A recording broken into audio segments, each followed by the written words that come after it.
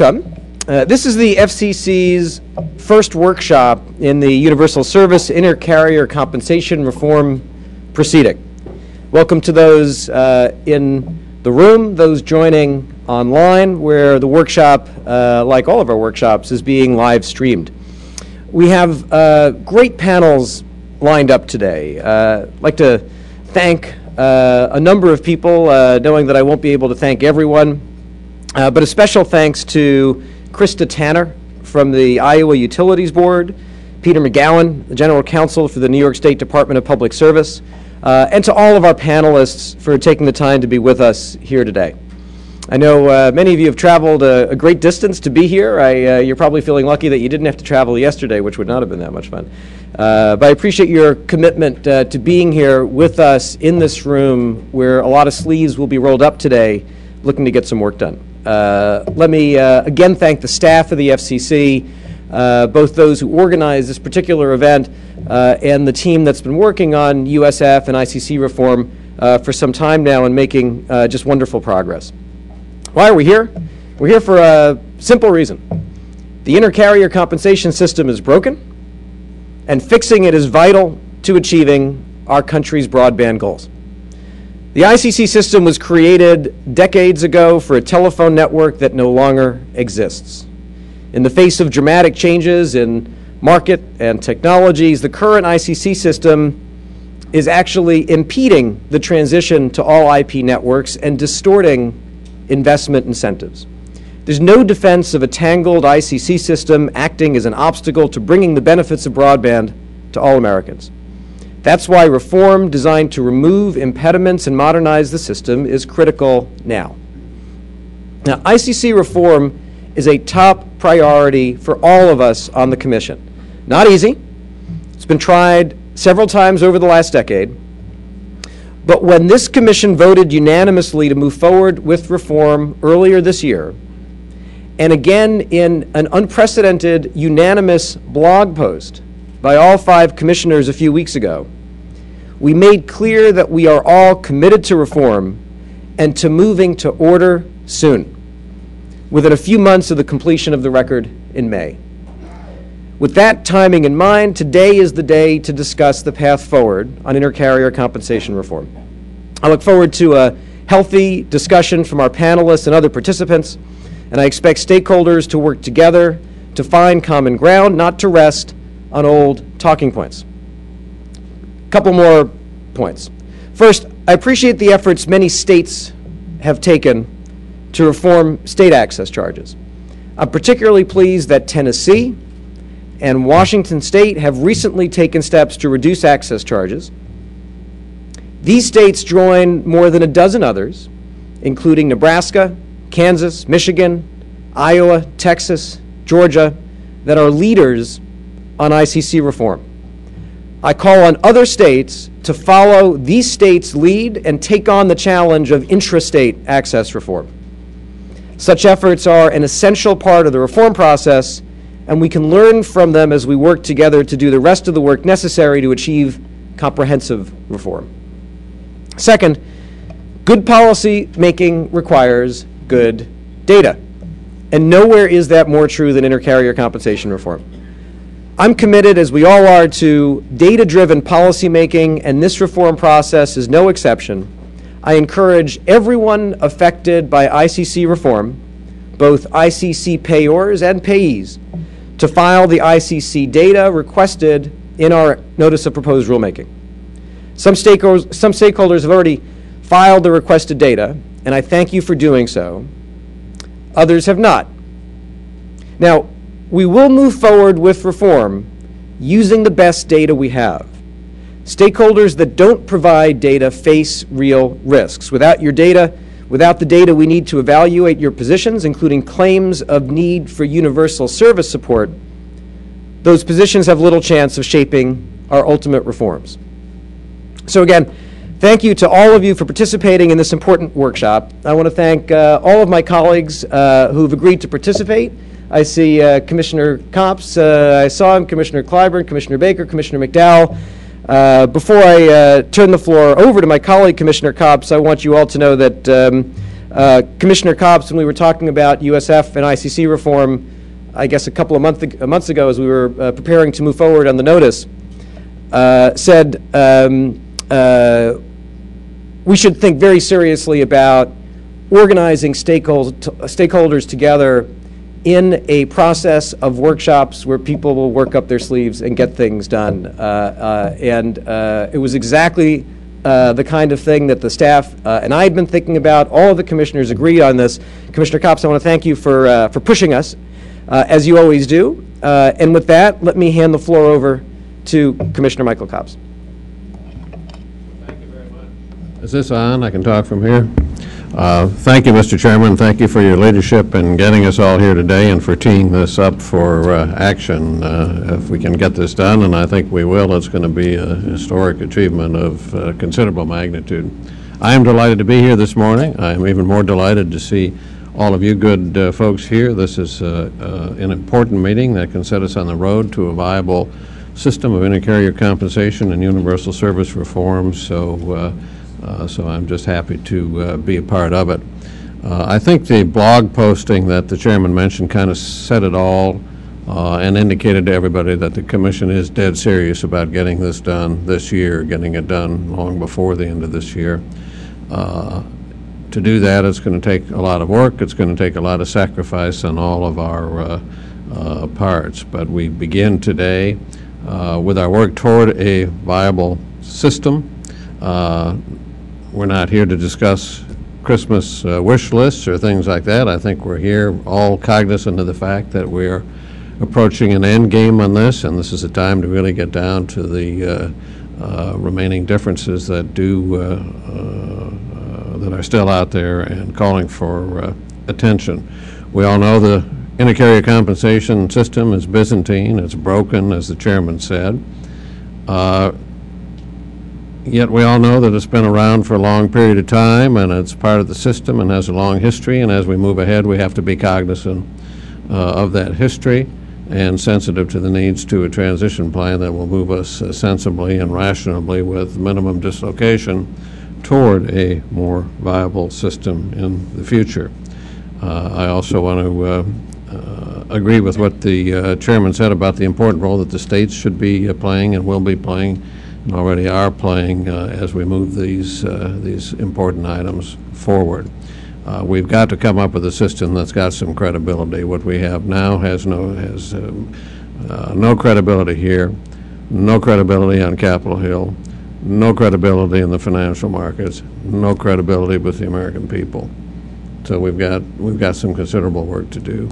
Uh, and with that, uh, I'll turn the uh, microphone over to others, but uh, uh, again, thank you all very much for coming. Uh, Commissioner McDowell is here. Commissioner, uh, I guess, can I say a few words?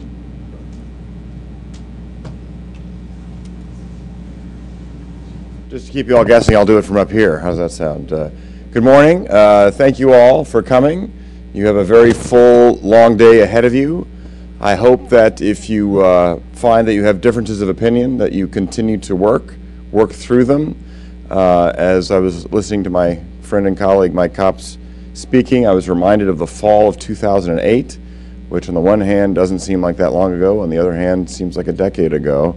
Uh, but we're four commissioners, two Republicans, two Democrats, of which he and I were a part, came uh, well, we came to agreement on some many of the thornier issues on intercarrier comp and universal service reform.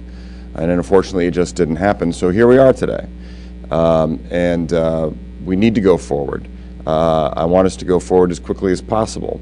Of course, I've been saying for some time now that I think uh, we should be tackling uh, distribution and contribution and intercarrier compensation all at the same time. Uh, I've said many times it's become a cliche at this point. It's sort of like fixing a watch. It's hard to uh, tinker with one component of it without affecting all the other components. But if we're going to uh, start off with the, the, distribution side, I'm all for that. Uh, let's get it get it tackled. You know, as I see the trees budding here in Washington, this is one of my favorite times of year, except for the allergies it gives me. But anyway, that's another story. Uh, but uh, it's absolutely beautiful time of year as we see the that newness, that new green coming out of the trees. Uh, maybe we can all make a pledge today that we can have agreement on comprehensive universal service and intercarrier compensation reform before those leaves fall off those trees this year. Uh, So I hope you'll all pledge with me to do just that. But um, the system is bloated, it is antiquated, it is inefficient, um, it is broken. And the inability of government to resolve this issue is part of what makes uh, people cynical about the ability of government to solve basic problems. This is one of the fundamental duties of the Federal Communications Commission, is to solve the universal service and intercarrier compensation problem. Congress charted uh, this, and it was uh, the last time around over 15 years ago uh, through Section 254. Um, It's important to listen to all stakeholders, but there's no particular constituency we should be worried about other than the American consumer. Because at the end of the day, it's American consumers who contribute to a subsidy that then others receive, uh, in, in theory, to, uh, to help uh, subsidize other consumers. Um, But um, we, uh, we need to go forward and do this uh, quickly, uh, because uh, if not, then we're not doing our basic jobs uh, as public servants, and uh, that would be uh, shameful if we can't come to agreement. So um, I don't think we also should uh, wait for Congress. Um, I respect uh, the advice from Congress, but if, if the House and the Senate want to agree on legislation, and the President wants to sign it, I will dutifully uh, implement it. But uh, we've spent 15 years waiting for Congress to revise universal service, um, and it hasn't happened, so we should go forward. It is our duty, it's what Congress has told us to do through the plain language of the statute, and uh, we should go forward and do that as quickly as possible. So, in a way, I feel as if we should close the doors and lock them and not let uh, anyone leave until this problem is solved today. Uh, Realistically, I know that's not going to happen, but I I do hope it will happen uh, before the leaves fall off the trees. So, without further ado, uh, we're here to help and to listen. We have a lot going on this week. Uh, I've got a, we have a little open meeting tomorrow with uh, some other uh, hot potato issues on the agenda as well, so I've got to go work on those. But um, look forward to working with all of you, but let's hurry up and get our work done. Thank you very much. Ah, well, I should introduce my colleague then. Let's see. Next, ah, Commissioner Clyburn, the Chair, Chair Clyburn of the Joint Board, who I'm sure has many things to say on this topic. Thank you. Uh, uh, Thank you, uh, sir. Um, uh, You've said most of them, but thank you. I appreciate it. Uh, Good morning, everyone. I'd like to join in the chorus in thanking the panelists for participating in today's workshop. I also would like to acknowledge the FCC uh, staff uh, for their diligence in planning this workshop. I know a great deal of advanced planning uh, must be done for these workshops to be successful, and I want to uh, formally thank uh, all of you who played a role. I would not uh, feel comfortable this morning if I did not also uh, thank Commissioner Copps. He recommended that the agency conduct workshops on universal service and intercarrier compensation reform to encourage a di- dialogue and consensus building. Again, I would like to thank you uh, for that.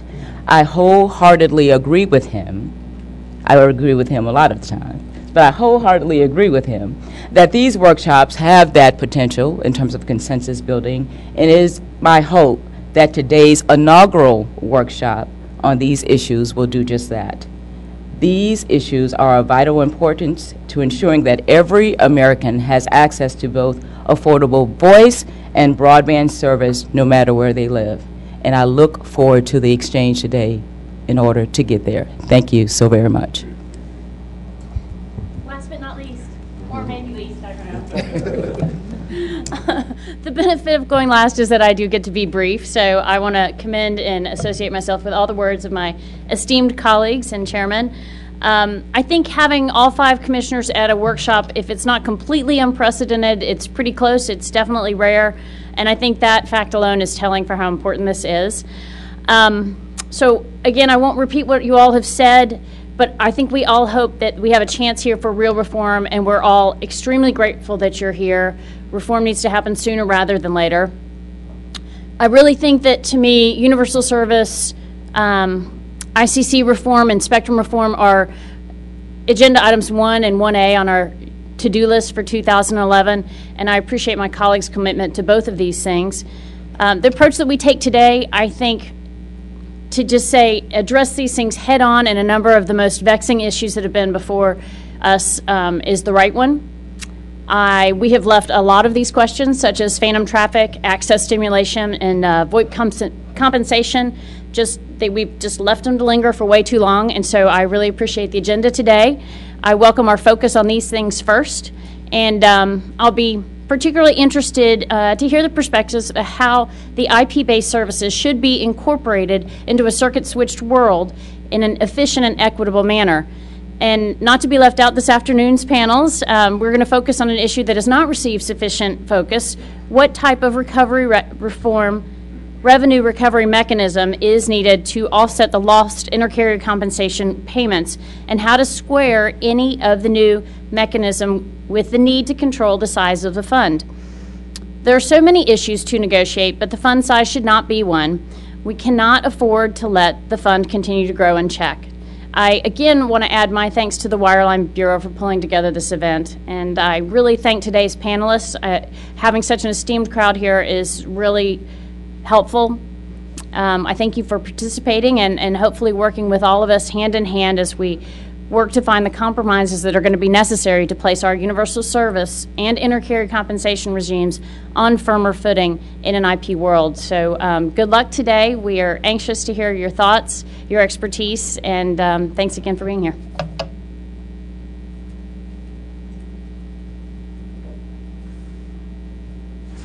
Good morning. I'm Al Lewis in the Pricing Policy Division of the Wireline Competition Bureau. Welcome, and thank you to our panelists for the first workshop through which the Commission will hear the perspectives of interested parties on the issues presented in the Universal Service and Intercarrier Compensation Notice of Proposed Rulemaking. We are eager to hear and learn from the perspectives of consumer representatives, state authorities, industry analysts, and industry participants. In our first of three sessions today, we will focus on arbitrage activities that are occurring in the market as a result of the current intercarrier compensation system. In particular, our panelists have been invited to comment on proposals to address phantom traffic, the delivery of calls with insufficient information to identify who delivered the call or where it came from, and access stimulation, arrangements between local exchange carriers and providers of high-volume services designed to radically increase the number of incoming calls and intercarrier compensation revenues. Our first session is scheduled for an hour and 15 minutes, so I will quickly introduce our panelists. Each panelist will then summarize their pos- positions or proposals in three minutes or less, and we will turn to questions from the audience in person and online, and our expert questioners to engage our panel in what I'm sure will be a lively discussion. If members of the audience would like to submit questions for the panel, we have note cards available from our staff. So just write your questions on the cards, and the staff will bring them up to the panel. For our online audience members, you can email questions to iccreform@fcc.gov. Our panelists this morning, from left to right, Iowa Utilities Board member Krista Tanner. Melissa Newman, Vice President, Federal Regulatory Affairs, CenturyLink. David Erickson, founder of freeconferencecall.com. David Frankel, the founder of ZipDX. Michael Romano, Senior Vice President of Policy, National Telecommunications Cooperative Association. Jonathan Banks, Senior Vice President, Law and Policy, U.S. Telecom. And Dave Shornack, Director of Business Development for Tekstar Communications. Thank you. And Krista, if you'd like to get us started.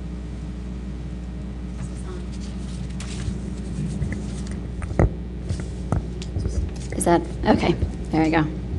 Well, thank you. And, and first of all, I'd like to thank the FCC for inviting me to participate today.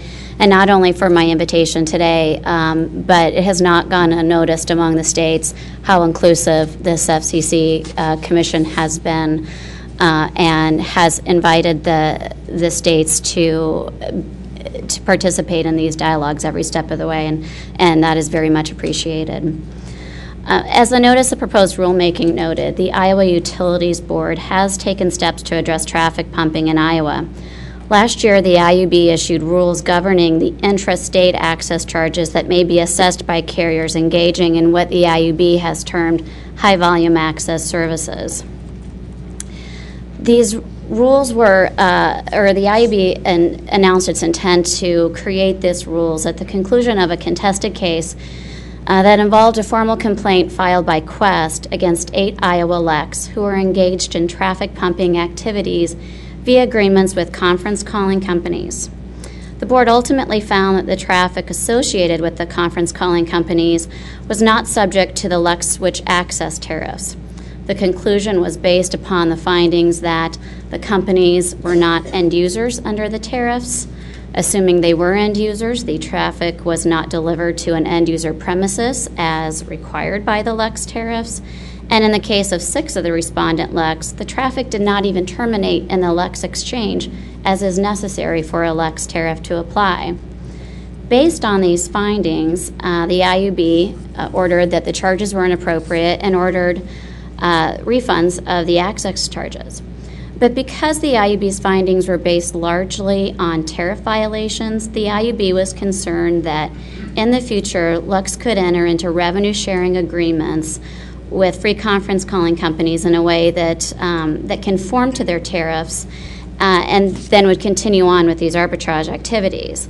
So, to curb these future arbitrage abuses, the IUB initiated a rulemaking to address the intrastate access rates associated with high volume traffic in those areas where access rates have been set high to reflow low traffic volumes. The approach that we took in our rules was based on the argument made by the LECs that Qwest complaint was really about rates. That is, how much the IXC has to pay for terminating toll traffic as the volumes of that traffic increase. So, based on these arguments, the board initiated the, the high volume access rules uh, on which the FCC has sought comment uh, as an alternative to its proposed rules. So, I've just given you a, a very brief overview of how those rules came to be. Um, and I would be happy throughout this workshop to answer more detailed questions regarding those rules. And with that, I'll end my comments. And again, thank you for inviting me.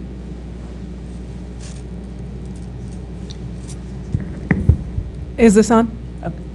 Um, I am pleased to be here today, and I applaud the FCC for teeing up phantom traffic and access stimulation issues in the NPRM and for adopting an expedited common cycle.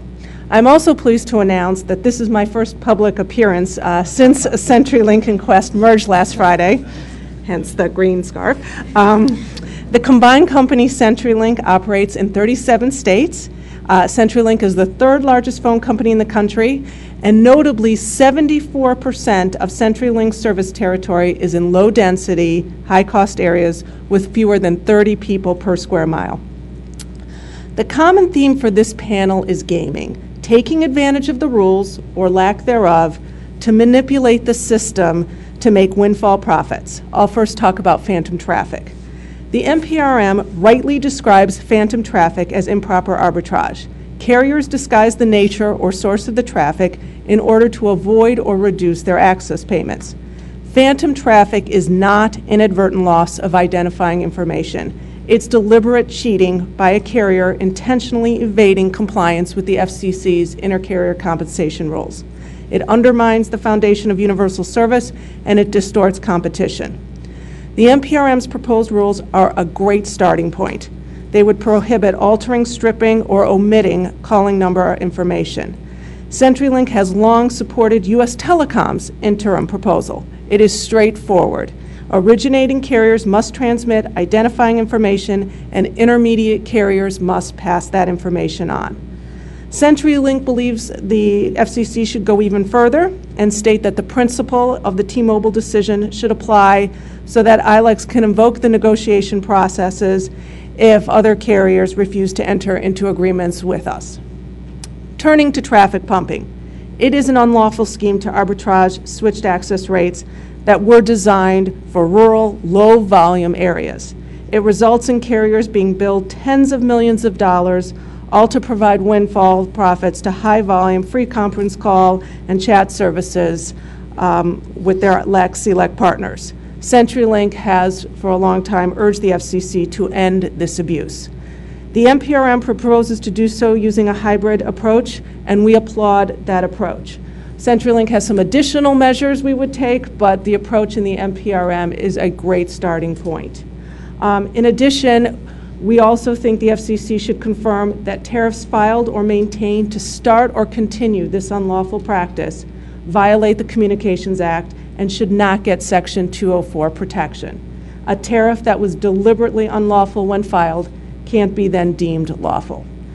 We really appreciate the FCC inviting CenturyLink to be on this panel. We're very interested in working with the industry and the FCC to stop these practices. Thank you.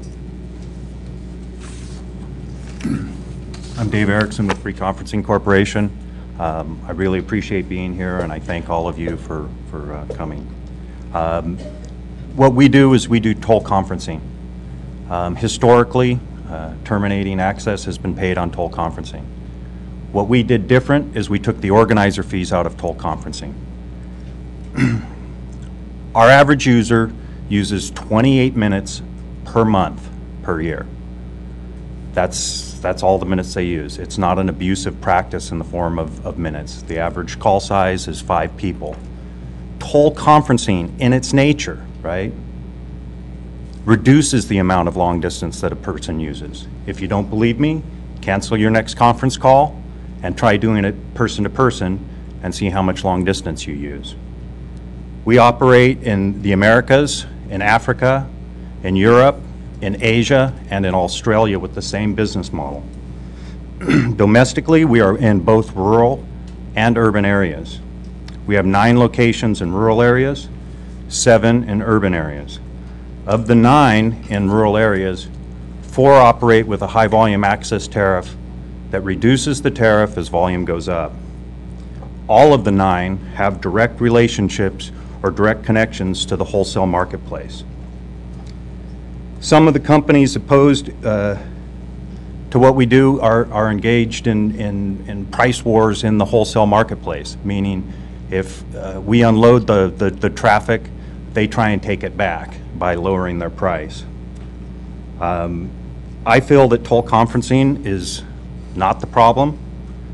Presidential campaigns use it, Congress uses it, the Senate uses it. Revenue sharing is not the problem. But I feel that pricing is the problem, and I want to work towards a pricing solution for a pricing problem. I like the idea of the revenue sharing trigger.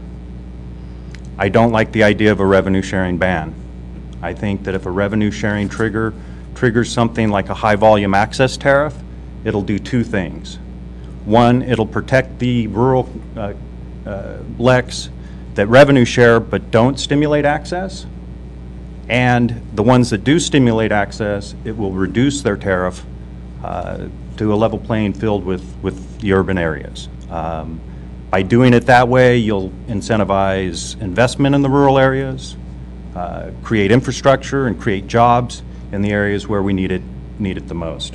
Um, I believe that we can arrive at a pricing solution that we could have a deemed lawful status.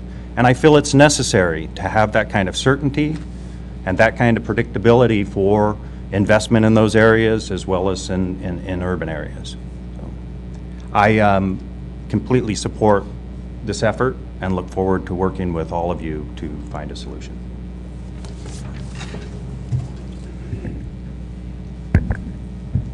Good morning. My name is David Frankel. My business is ZipDX LLC. We are a conferencing provider. Uh, we today do not operate in a mode that, uh, that, that uses ICC to our advantage. We pay interstate uh, uh, compensation charges as part of our wholesale arrangements with our underlying service providers. I've been involved in these proceedings uh, for several years. There are there are many that I've met uh, who have come before me, and I'm delighted that that the FCC is now committed to taking action to to resolve this. Um, as we've heard many times, the ICC as an element of supporting uh, and subsidizing uh, rural subscribers uh, is broken, and there's a commitment now to fixing it. Uh, this particular endeavor is about some interim adjustments uh, while we undertake longer-term overall reform. and, and I'm delighted to see that this is happening. If I thought I could come here today and ask you to codify a, a, a, regime that would help my conferencing business and, and, and give me particular benefits, I would ask you for that. But what I've seen in, in the proceedings to date and in your previous actions and in the National Broadband Plan is that you're not going to do that. You've already decided that that's not the role that ICC plays. Even though there are certain benefits that we could probably bring, uh, I'm, I'm a clever engineer. I can come up with things that we can do. You've said you're not going to do that. So the question now is, what are you going to do to help ICC hang on and do what it is, what, supposed to do while you reform the overall program? And certainly, phantom traffic and access stimulation are, are big pieces that today are being exploited and, and diverting ICC from that primary mission. So, so I think that what's been proposed is absolutely necessary, needs to be undertaken quickly. I think that when I look under the covers as an engineer at what's going on, you know, what I see is what I call most cost routing. As an engineer, I just think this is ridiculous. But what you see is you see people locating in, in, in locations that are particularly expensive with respect to ICC, where they're going to drive a lot of traffic. If you were an engineer, of course, you'd go to a lowest cost location if you were going to drive a lot of traffic. That would be the most efficient. Uh, you would not insert extra elements into your call path just so that you could collect addi- additional compensation. Okay, that doesn't make any engineering sense. It doesn't serve the public good. So I think as part of this interim action, the FCC should not only do what's already been explicitly proposed, but consider some further steps to, to explicitly say, we're not going to permit this kind of gaming. It's not appropriate. The patient is, is, is dying here. And while we try to let it live long enough to let us transition to something, you know, more reasonable, let's not uh, uh, completely crush it with these additional endeavors. My name is Mike Romano. I'm the Senior Vice President of Policy for the National Telecommunications Cooperative Association. Just want to say thank you to the commissioners and their legal advisors and the Bureau staff for uh, allowing us to participate today. Uh, Turning first to phantom traffic, um, the question of phantom traffic, uh, the practice, it it complicates or completely obfuscates the answers to three fundamental questions. Um, Which provider is responsible for the call? What payment is due for the call? And what happens if someone doesn't comply with the rules? Uh, Agreeing with CenturyLink, the notice of proposed rulemaking um, proposals represent a great starting point uh, for for addressing phantom traffic, but I think they only address that middle question, that second question, which is what payment is due for the call. Um, you know, Passing the CPN or charge number without stripping or alteration is is is great. Uh, Making sure that gets across all of the indirect networks and platforms, uh, very good start as well.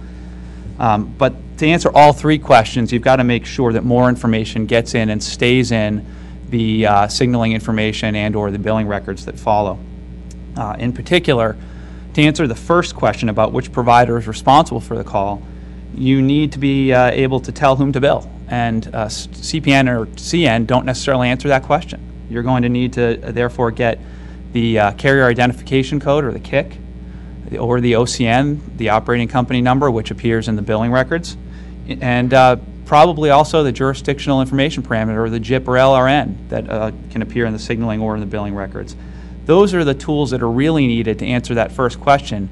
And, and frankly, you know, as people say sometimes, well, phantom traffic doesn't become an issue if unified rates are are put into place that's not true either. You could still have someone not tell you who's sending the call to you. And so having the CIC and the OCN and the JIP and the LRN are really important, even in a unified rate environment, to identify who is responsible for the call in question. So, so the rules really do need to go beyond the, the starting point in the NPRM and address these additional um, requirements. You also need to address a few other pieces of this relating to the substitution of CPN or charge numbers, um, how to identify uh, the jurisdiction of a call based upon the CPN or the charge number, and then also the violation of the rules. What happens? It's hard to say to someone, you need to go back and file a formal complaint against this. You need to have some deterrent built into the rules to, to um, affect, affect behavior. On access stimulation, um, NTCA came out this, uh, this winter and supported the U.S. Telecom proposal that was filed with a number of other carriers. I think ZipDX was on that as well. And um, we supported that by and large. The, I'd say the most significant question or concern we had was the uh, impact of revenue sharing trigger in that, because there are legitimate arrangements involving cooperatives, for example, and the notice proposed rulemaking recognized this, that could be swept up in a revenue sharing trigger or prohibition. We think it would be better to impose a, a minute of use trigger that would, um, uh, that would ad- address this more precisely and yet sweep up uh, any incentives to, uh, to stimulate traffic, uh, access traffic. So. Great, thanks. Uh, I wanted to thank the chairman, the commissioners, and the staff for their focus on these issues, particularly the, um, where do you turn it off? Should kick on once you start speaking. How's it, okay. So I wanted to thank the uh, chairman, commissioners, and the staff for their focus on, on intercarrier comp issues, and particularly these arbitrage issues, and for having the workshops. Exploiting loopholes in the regulatory access system is a serious problem that siphons money away from communications consumers and communications networks. It raises the cost of communication services and creates complexity and litigation for, for our companies that involves the federal government, states, courts, um, and is a, a real drag on, on investment in communication networks and serving communications consumers. Phantom traffic and access stimulation are, are the two key arbitrage issues, that, and, and um, it's great that this panel is addressing them. Phantom traffic is an issue that springs from the need for billing information so that calls that traverse the communications network can be billed correctly.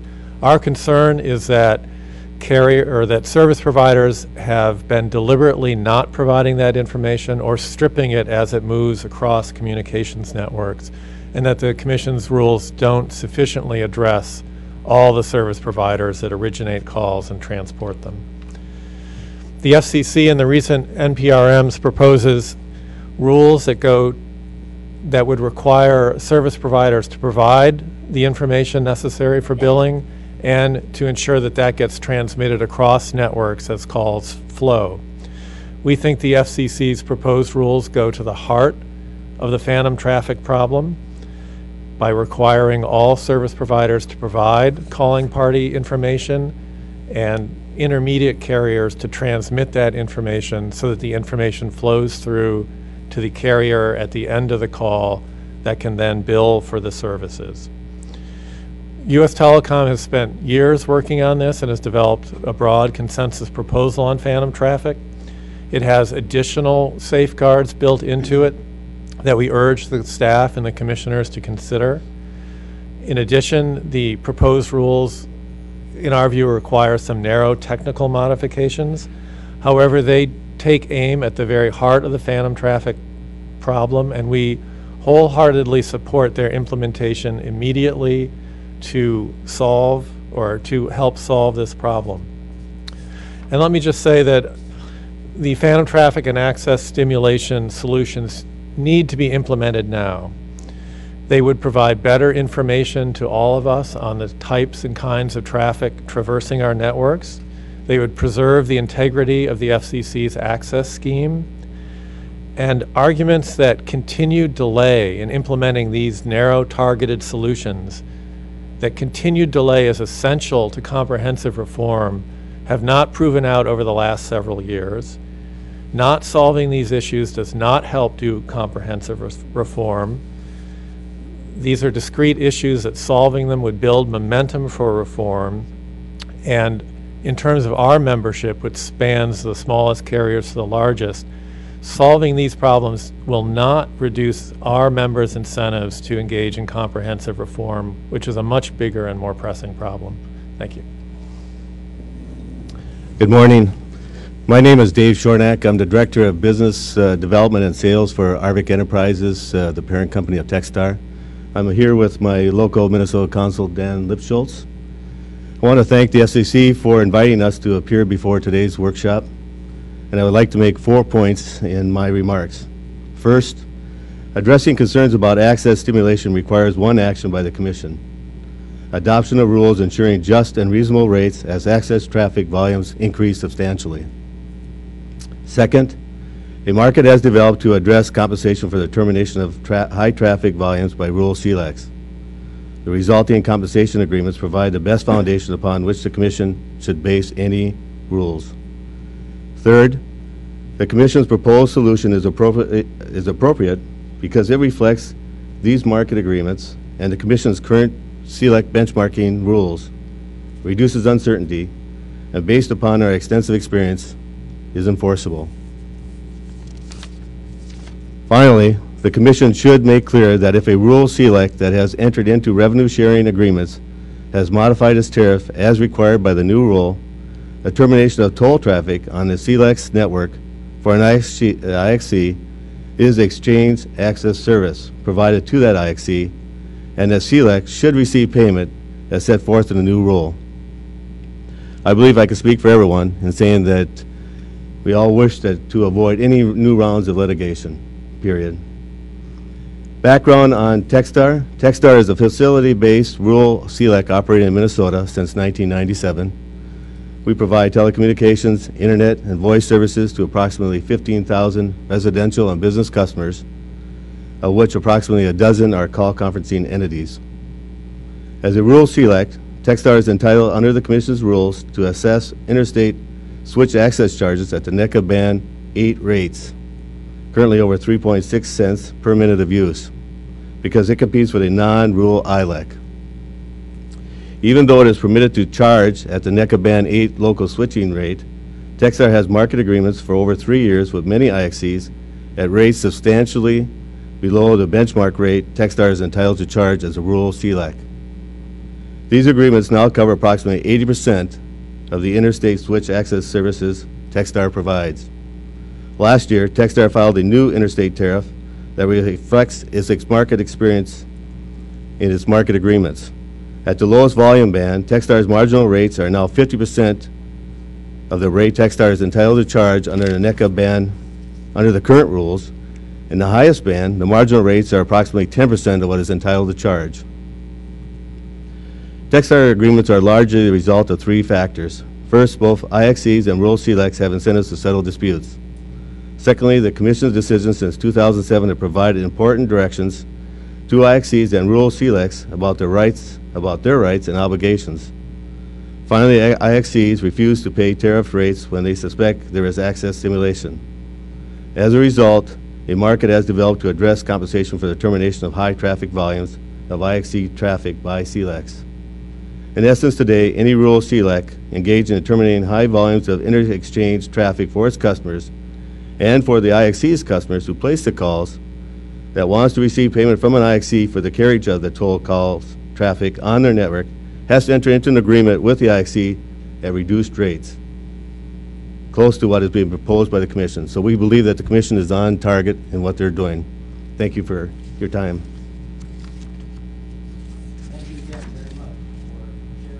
Thoughts and ideas with us. We'll now open it up for questions. And again, anyone here in the room, if you have a question, there are note cards available from staff. Please uh, flag one of them down, write down your question, and they'll bring it up here to the panel. If you're online, the email address is iccreform@fcc.gov. So commissioners or commissioner staff, would you, do you like to start off our questioning? Well, I know that Randy has a question. I, I certainly do.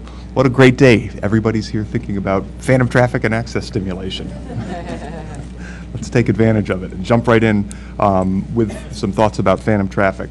Um, as you all know, our, our, our notice uh, proposed to require telecommunications providers and interconnected VoIP service providers to transmit calling party telephone number to the next provider in the call path. Um, and some of you mentioned uh, our proposed rules uh, in, in, your statements. Um, I want to dig just a little bit deeper uh, as to whether or not you think those proposed rules are an effective solution going forward. Um, if not, what would be the most effective uh, forward-looking solution?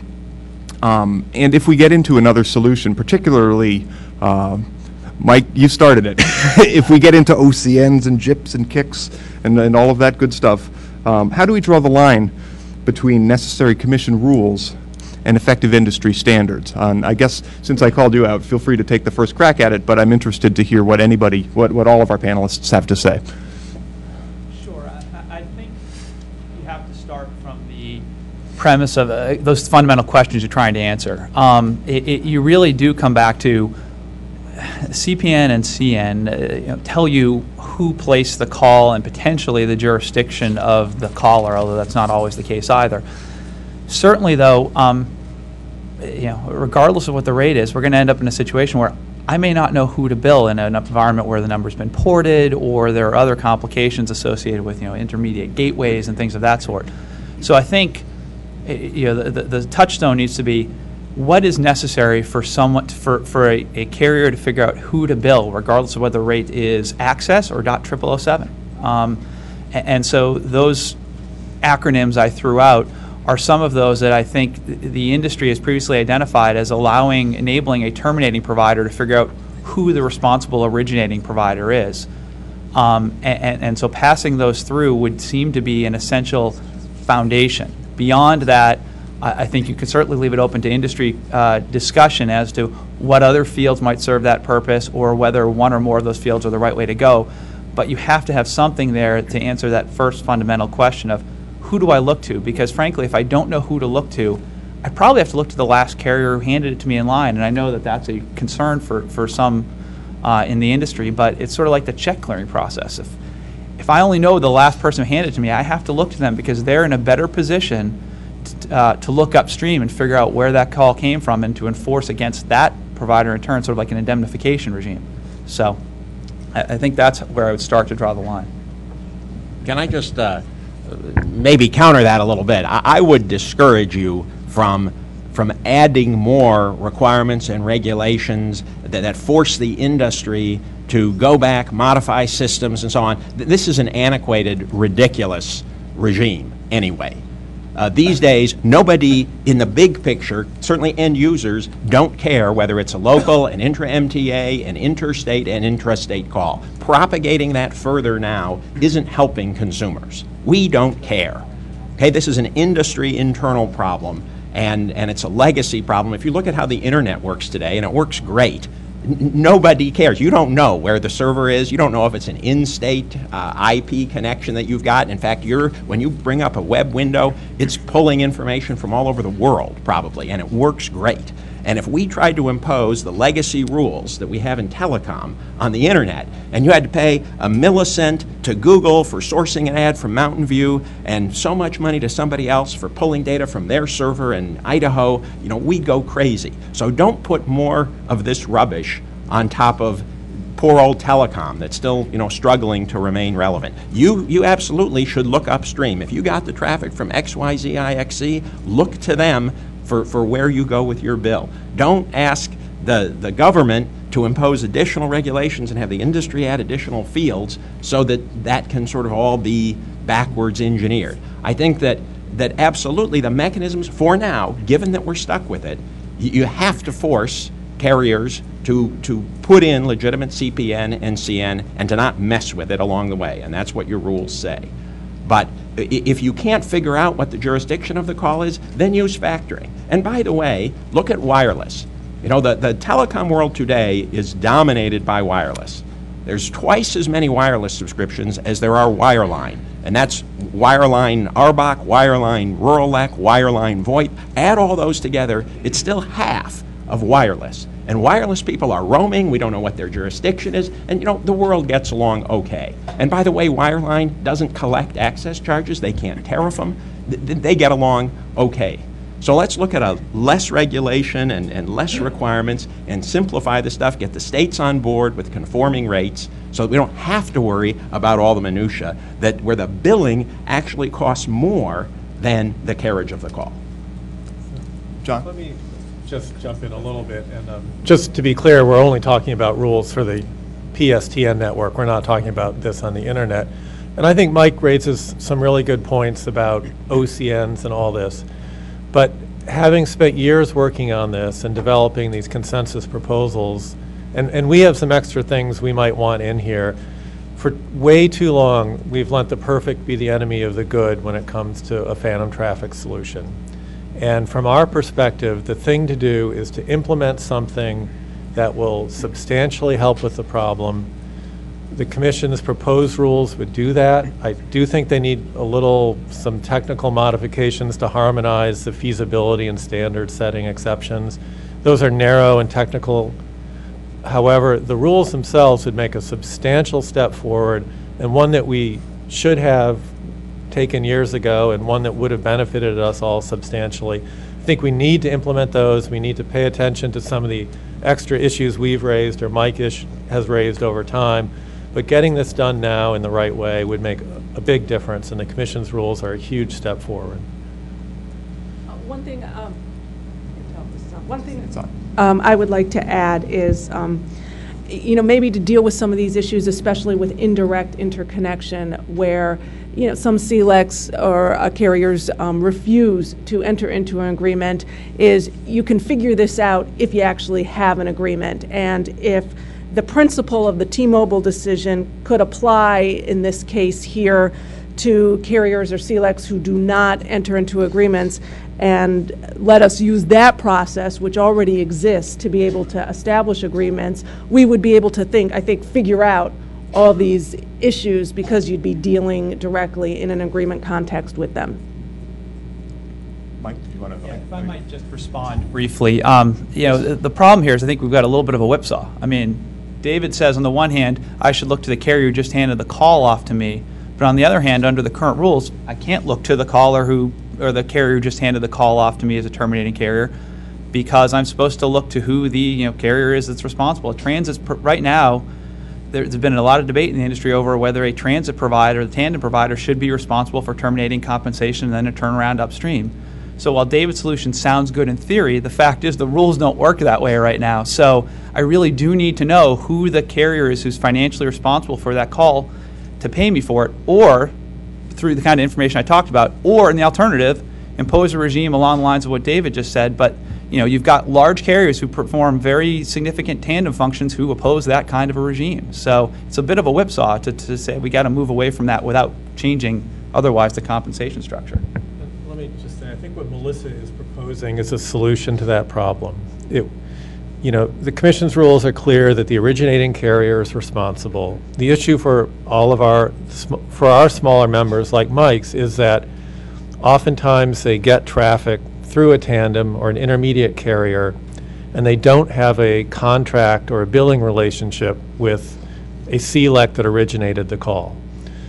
Under the commission's rules, CLECs can make ILECs negotiate, but ILECs can't make CLECs negotiate. So our smaller members, when they approach CLECs, often don't get anywhere in terms of negotiating a contract that would provide for billing. If we did have the- an exception to the T-Mobile doctrine and applied that so that small ILECs could essentially force CLECs to sit down at the negotiating table. They could not force a result, but they could force a good faith bargaining. Then the smaller ILECs could come up with some sort of billing arrangement with the, the distant CLEC, and with the pr- commission's proposed phantom traffic rules, would have enough information to start the bargaining process. So that seemed to us, after rounds and rounds of industry negotiations, to be the sensible approach to this, rather than trying to make somebody the banker who goes back to someone else, who goes back to someone else. Thank you for that. Um, We have a question from one of our uh, WebEx online participants, and thank you, thank you for your question. Um, The question is, does phantom traffic have to originate on the PSTN? No, phantom traffic can originate anywhere. Um, The commission's rules now require that most PSTN calls have this information. I think the rules may technically not apply to service providers that are IP originating calls. However, so phantom traffic can originate in a lot of different places. Some phantom traffic originates because of technical issues with certain older switches or transit arrangements or 800 number calling, but there is a substantial amount of phantom traffic that originates on the IP side. And in fact, I would argue that, that phantom traffic is interwoven with the VoIP ICC problem. Because in fact, a lot of IP originated traffic on, on purpose is labeled such that it it arbitrages or games the ICC system. You can see that in the calling patterns and calling data. And I didn't plant a plug for our second panel, but we'll, we, we will be addressing those issues. Um, To help us pursue data-driven policies, can you help us to quantify the size of the phantom traffic problem? And relatedly, how has the phantom traffic issue changed in the last couple of years with the rise of VoIP traffic?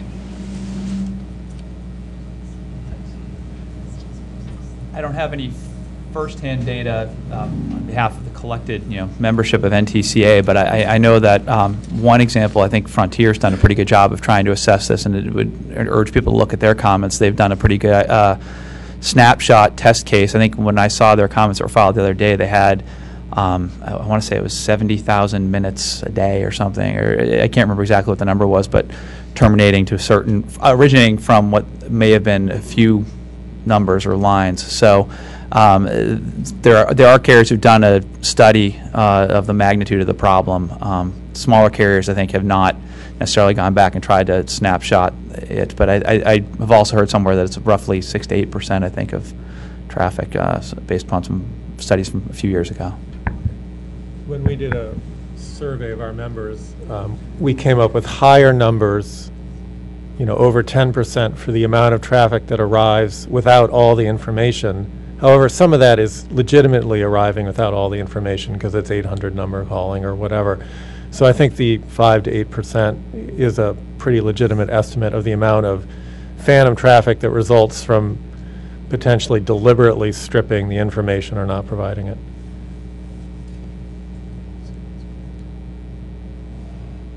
Well, we have a couple of questions from the uh, audience here in the meeting room, and they apparently would like to uh, focus on access stimulation solutions.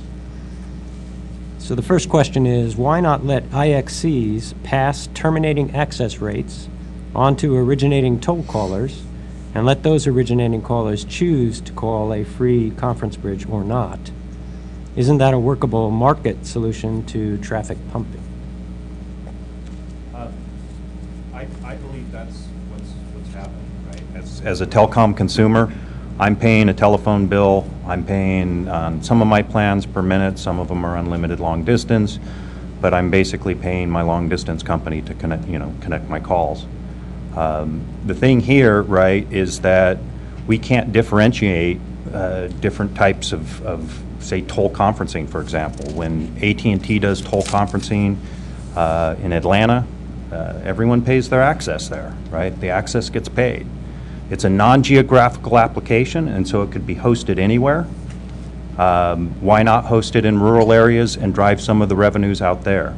So the consumer is paying for termination of the calls. That's what I believe the, the consumer pays for. If it's not to terminate, if it's not to connect the call, what are they paying for?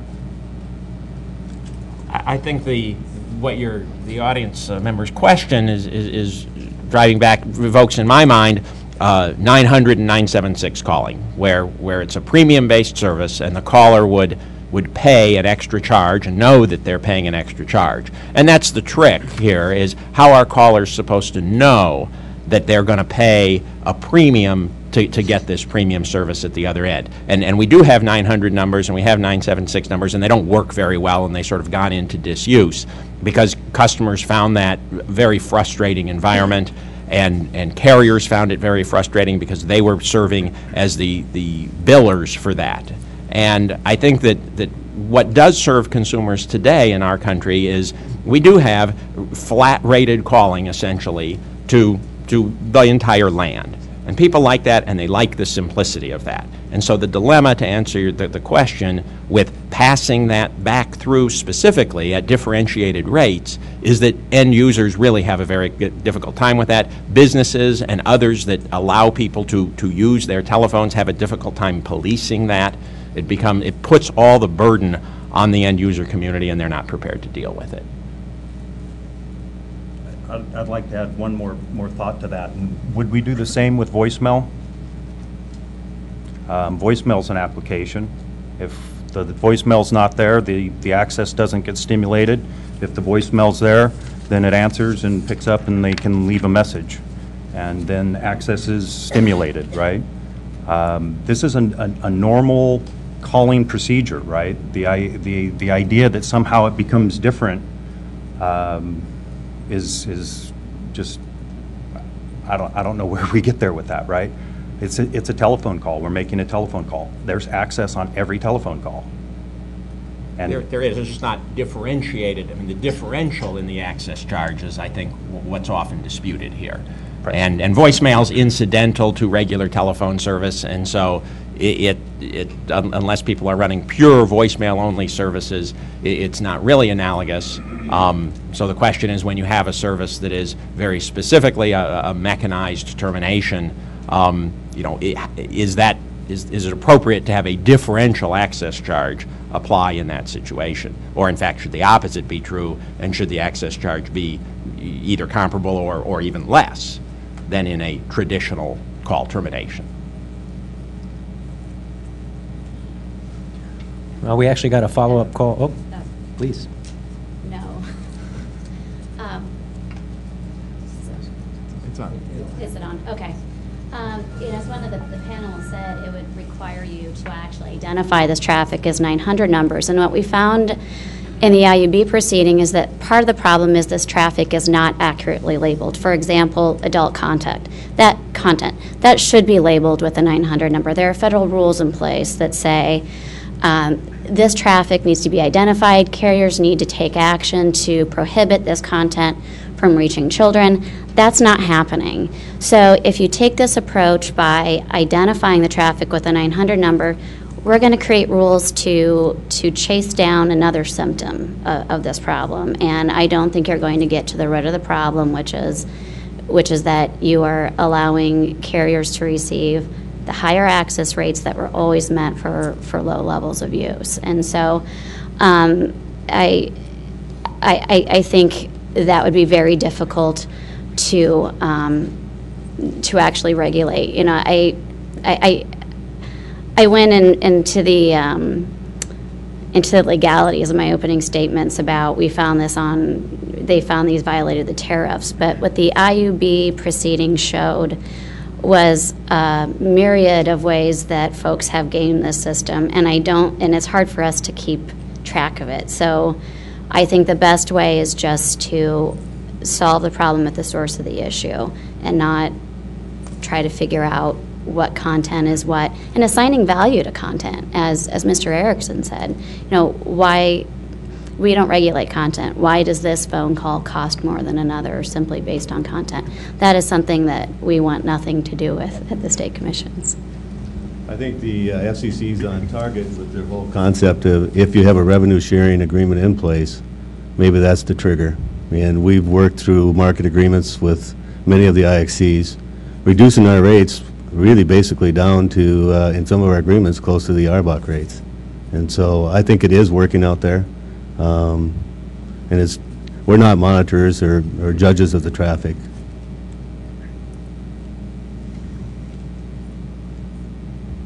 The only comment I guess would have about revenue sharing, it it made a mention of this with time permitted in the opening statement, uh, but is the concern that it could sweep up overly, it it could be overly broad and sweep up legitimate arrangements. Um, You know, in the smaller areas, you've got telcos that have five employees, they're not large companies, and potentially they may be buying more in wholesale long-distance service than they are charging in access. And so that, is that kind of an arrangement revenue sharing? I, I don't think so, that's the intent, but uh, the, the, the ability to comply with that kind of requirement um, post hoc, it's hard to do because you don't know what exactly falls within the scope of a revenue sharing arrangement. Likewise, um, cooperatives, when they uh, issue credits to members, is that, is that a revenue sharing arrangement? Um, if they pay the electric utility more for electrical service than they receive in uh, income from that, uh, or service payments from that utility in the, in the same area, the cooper- electric cooperative in that area. Those are just some examples, and, and again, I don't think any of them are intended to be swept up by it, but there's a concern that they could be. One thing we liked um, in the U.S. Telecom proposal from October, I say U.S. Telecom, but they filed it, it was a coalition of, of, of groups who were on that. Um, they, they, they uh, had a minutes of use trigger, and I think that actually is uh, of interest because it gets to the heart of the economics of the issue. I mean, you could have a case in which the stimulation of access that isn't shared with anyone. Is just accrues to the benefit of the provider who stimulated the access traffic. Um, and so having a minute of use trigger would get to those types of volume stimulation uh, exercises as well, while not potentially sweeping up unin- uh, unintentionally um, other arrangements that are legitimate. I, I just um, will add to that, as I understand the proposed rules, it's not so much that you couldn't have a revenue sharing arrangement. It's just once you had one, there would then be changes in rates. So it's not saying that they can't exist. Um, And that's why I think the trigger is actually a good one. You're not saying it's per se unlawful, but you are making changes then in the rates uh, to go from there. Um, And, and I'm not sure I see a problem with that, because you would still be able to take on legitimate revenue-sharing opportunities. That's, that's true, but I might only have 10 minutes of traffic. And my rate has suddenly been shot downward, and I've got no high volume of traffic. So you've got a case in which you're, in, a- you're artificially driving down the rate without any tether to whether there's actually been a high volume of traffic or not. Th- This is, this is the reason why we believe that it has to be a, a- a two-stage test. Um, The first would be revenue sharing triggers a high-volume access tariff, and then volume triggers the lowering of the rate. And with those two tests in place, you protect the company he's talking about that only has 10 minutes. They file a high-volume access tariff, they're required to, to refile, but it doesn't affect their rate because they don't have the high amounts of, of access to, to trigger the, the lowering of the rate. And, and the company that does stimulate access, right, basically starts heading towards the RBOC rate or the largest ILEC in the state. But the thing you want to remember is you want to keep it simple. You don't want to have it burdensome, and we'd be all here again arguing over the rules. And so I think the key is to try to keep it simple, not make it burdensome on all of us to uh, be able to fulfill the rules. Here's the interesting thing about this issue on access stimulation. There's agreement on this panel to do something, to change the rates. It may be, I- I'm fine with the trigger that's minute of- of use, actually. Um, But the surprise to me on this panel, which I hope is some comfort to the FCC, is you have really a cross-section of folks on this panel saying, you can do something here on access stimulation. And I hope that point does not get lost. There seems to be broad agreement up here on that point. Just a uh, follow-up question from the audience here on revenue sharing. Is the real issue not revenue sharing, but sharing that results in payment to the customer? So in our comments, we tried to come up with some alternate wording, I think, to address your concern. And that is that uh, the, the point is that if as a, as a particular customer or partner uses more traffic, if that results in the net obligation of that customer towards the carrier going down, including in aggregate, not per minute, but, but in aggregate going down. In other words, the more they use, the, the less their bill is, or in fact, it may get to the point that the carrier is now obligated to pay them. But if, if that's the structure of the agreement, then that's an indication that they are getting an excess uh, return from any inter- intercarrier compensation to the point that they are able to allow their, their customer to pay less or, or to even earn money from them. And so for your example of the, the power company, I mean, you don't have any legitimate customers where they pay a power bill and also as the power company makes more phone calls or receives more phone calls, they pay less to, to your carrier. So just, uh, so it, it's not a net, you're- what you're talking about is not a net payment measurement necessarily. It's, it's literally that their, their bill goes down as the usage of that customer increases. So it's Right. not the case if a telco uh, cooperative in a rural area happens to be paying more for its power usage to Right. the el- electric co-op than, than the electric co-op is buying in telecom services. You're saying That's that kind of exactly rule the would not be point. swept up. I mean, that, Right. that, that could be something that could work together. I, I do think, though, that um, it still frankly may not sweep up um, the cases in which you've got uh, high volumes of traffic that aren't necessarily shared. But Well, tha- that's yeah, the yeah, difficulty, is how do you, how do you impute such agreements when you have, under one umbrella, uh, uh, an enhanced provider or an enhanced service being delivered and, and there is no explicit agreement. So then you have to impute an agreement, and that obviously gets trickier.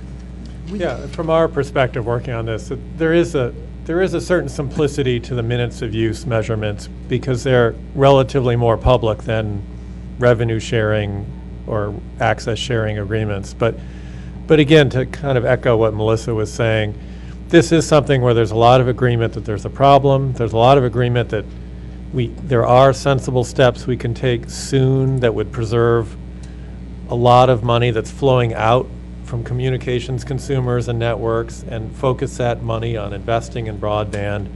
And again, let's not let the perfect be the enemy of the good and, and take some steps to solve this soon.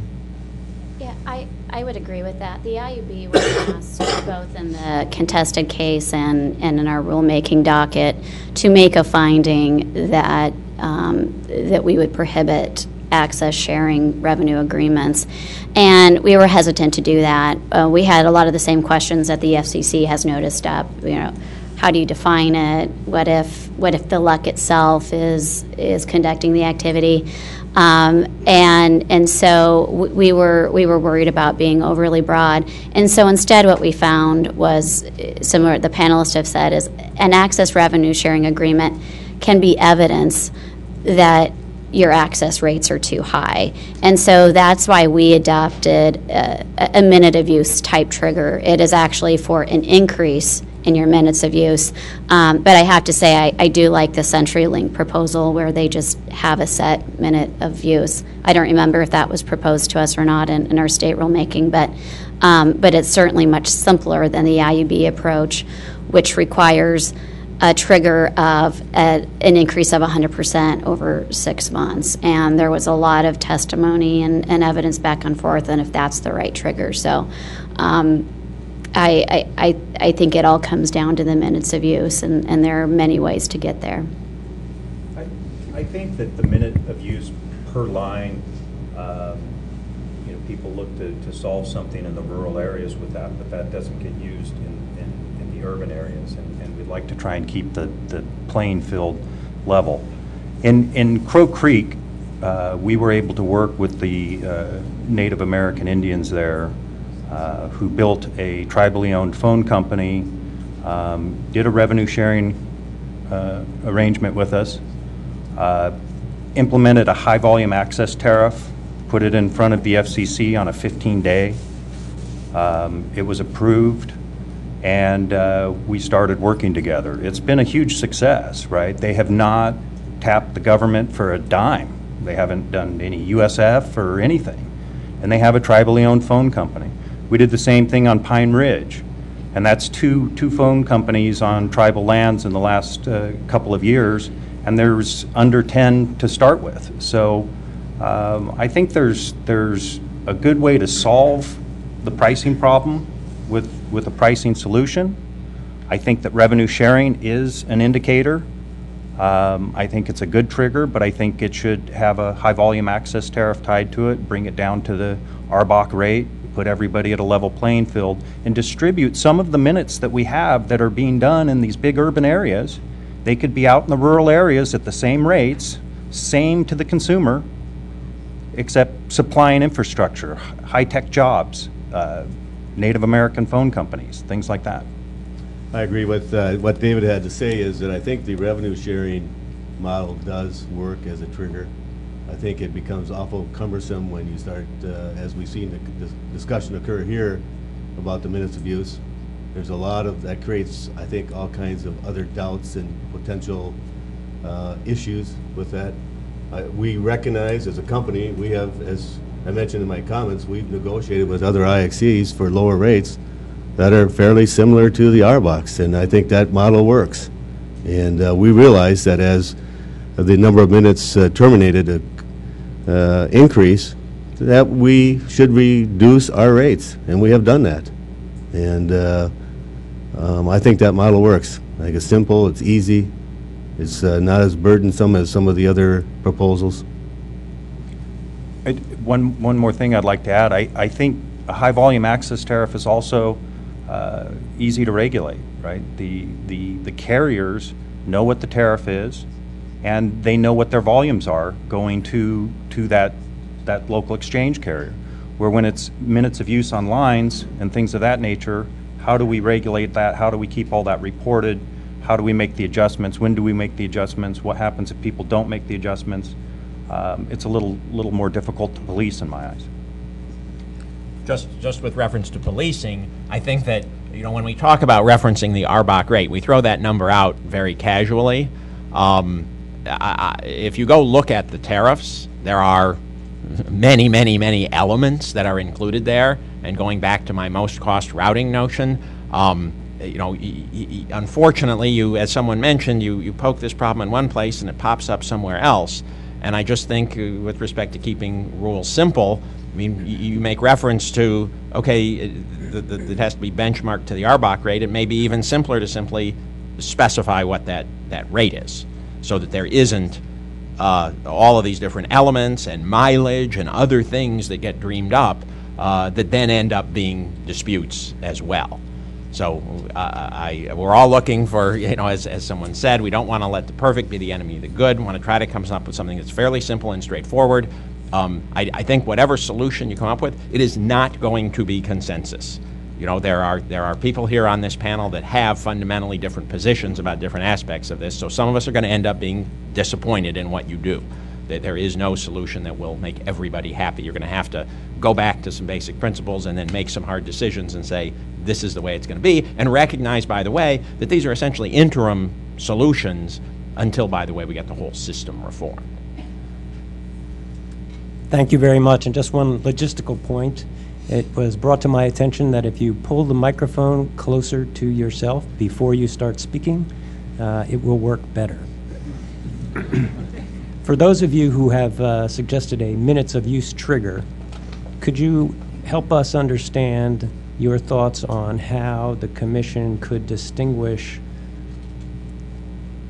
I will say, legitimate increases in traffic volume, for example, Microsoft planting a new call center in the middle of Nebraska, with high call volume increases due to access stimulation arrangements?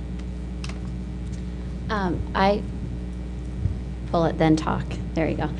Um, I think that's the beauty of it. You don't need to distinguish between legitimate and illegitimate traffic. I mean, I, and I don't, I don't think it matters. Uh, I don't, um, there was a, um, you know, I, I mentioned adult content before, and there was a lot of effort to get us pretty excited about that in, the Utilities Board proceeding, and, and ultimately, we were worried about it because of the identification issue. But we don't, we don't care what people are doing when they make phone calls. And um, it doesn't matter if you're in um, a bot calling territory and it's a conference center, or if you're in an RLEC territory and it's a, a conference, uh, I'm, I'm sorry, like a, a call center. It doesn't matter. And so, um, and, and that's another reason why we went to this minutes of use trigger in Iowa, um, because we don't want to place a value on, on traffic and, and distinguish between what's legitimate or what's not. Nor do we care what you do with it. You know, there's a lot of talk about, well, we do great things with this money. Doesn't matter. As long as your rates are reasonable, doesn't matter what the traffic's for, doesn't matter do what you do with your reasonable profits.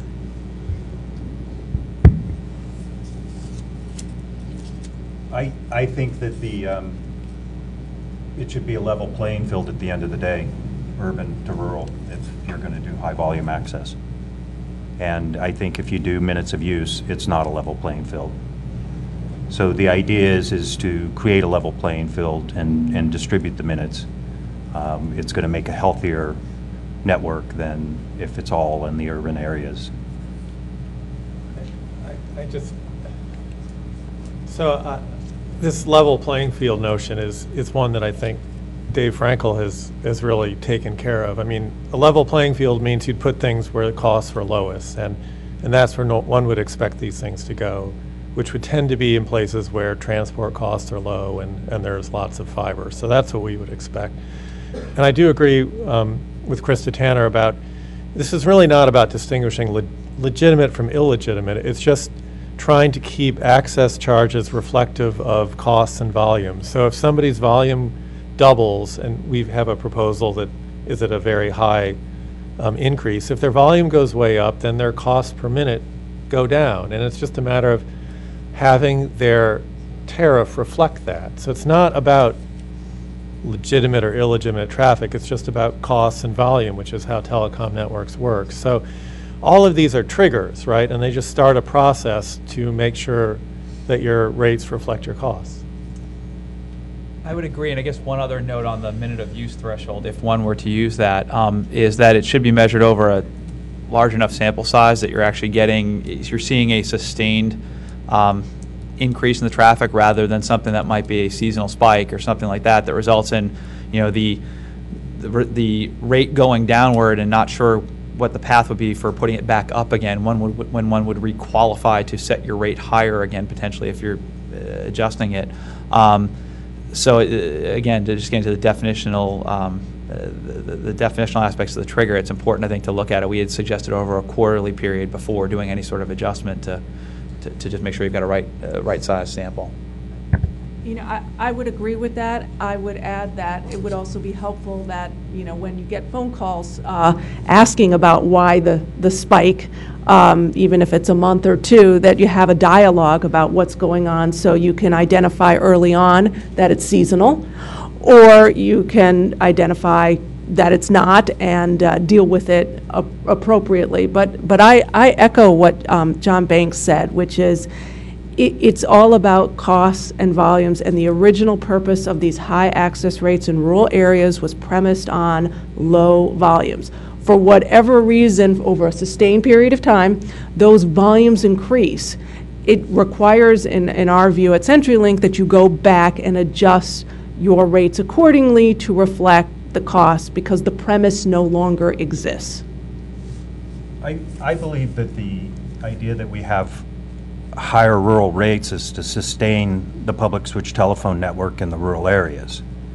And that if we do things to uh, inhibit growth in those areas, uh, it's going to be more difficult to stay, sustain, and it's going to require more government help to sustain it. And so you know, we, we work in the urban areas, we work in the rural areas, right? And, and I would like to see a level playing field between the two. There's no reason to inhibit rural areas to sustain their networks. Yeah, I, if I might just add, I, I, agree. The um, and that's why defining the triggers carefully becomes so important because you've got to make sure that you've got a you know you're not picking up false positives or, or um, overly uh, being overly aggressive in driving the rates downward in a way that doesn't reflect um, or, or, or, inhibits cost recovery for operating in what are you know the highest cost areas in the country. So, so that's why I think the definitional triggers become so important. It's also important from a compliance perspective so that companies know in advance what it is they need to do and where they need to be uh, with their rates at a certain point in time rather than having a, a speculation as to whether, well, is this am, am I sharing revenue? Am I not? What, what is this? How does this arrangement fit into the picture? Ha having precision in defining those triggers, uh, I think, will help uh, in addressing the concern about cost recovery in rural areas as well as compliance issues. And, and frankly, at, the end of the day, for us too, um, you know, it, it's also important to us because we need carriers to start paying their bills rather than disputing them over suspected access stimulation. I mean, in some ways, the long distance markets become the Wild West. People are disputing bills left and right. They're refusing to terminate calls to long distance areas. They're, they're affirmatively ceasing, the, in some cases, the, the, the delivery of those calls or, or delaying them. This, getting this issue out of the way and clearing this underbrush will go a long way towards getting the, the uh, PSTN working again. Mr. Erickson, I'd like to follow up on something that you just said. Where do we as the commission draw the line between sustaining the rural areas that need assistance through the Universal Service Fund versus through the ICC regime?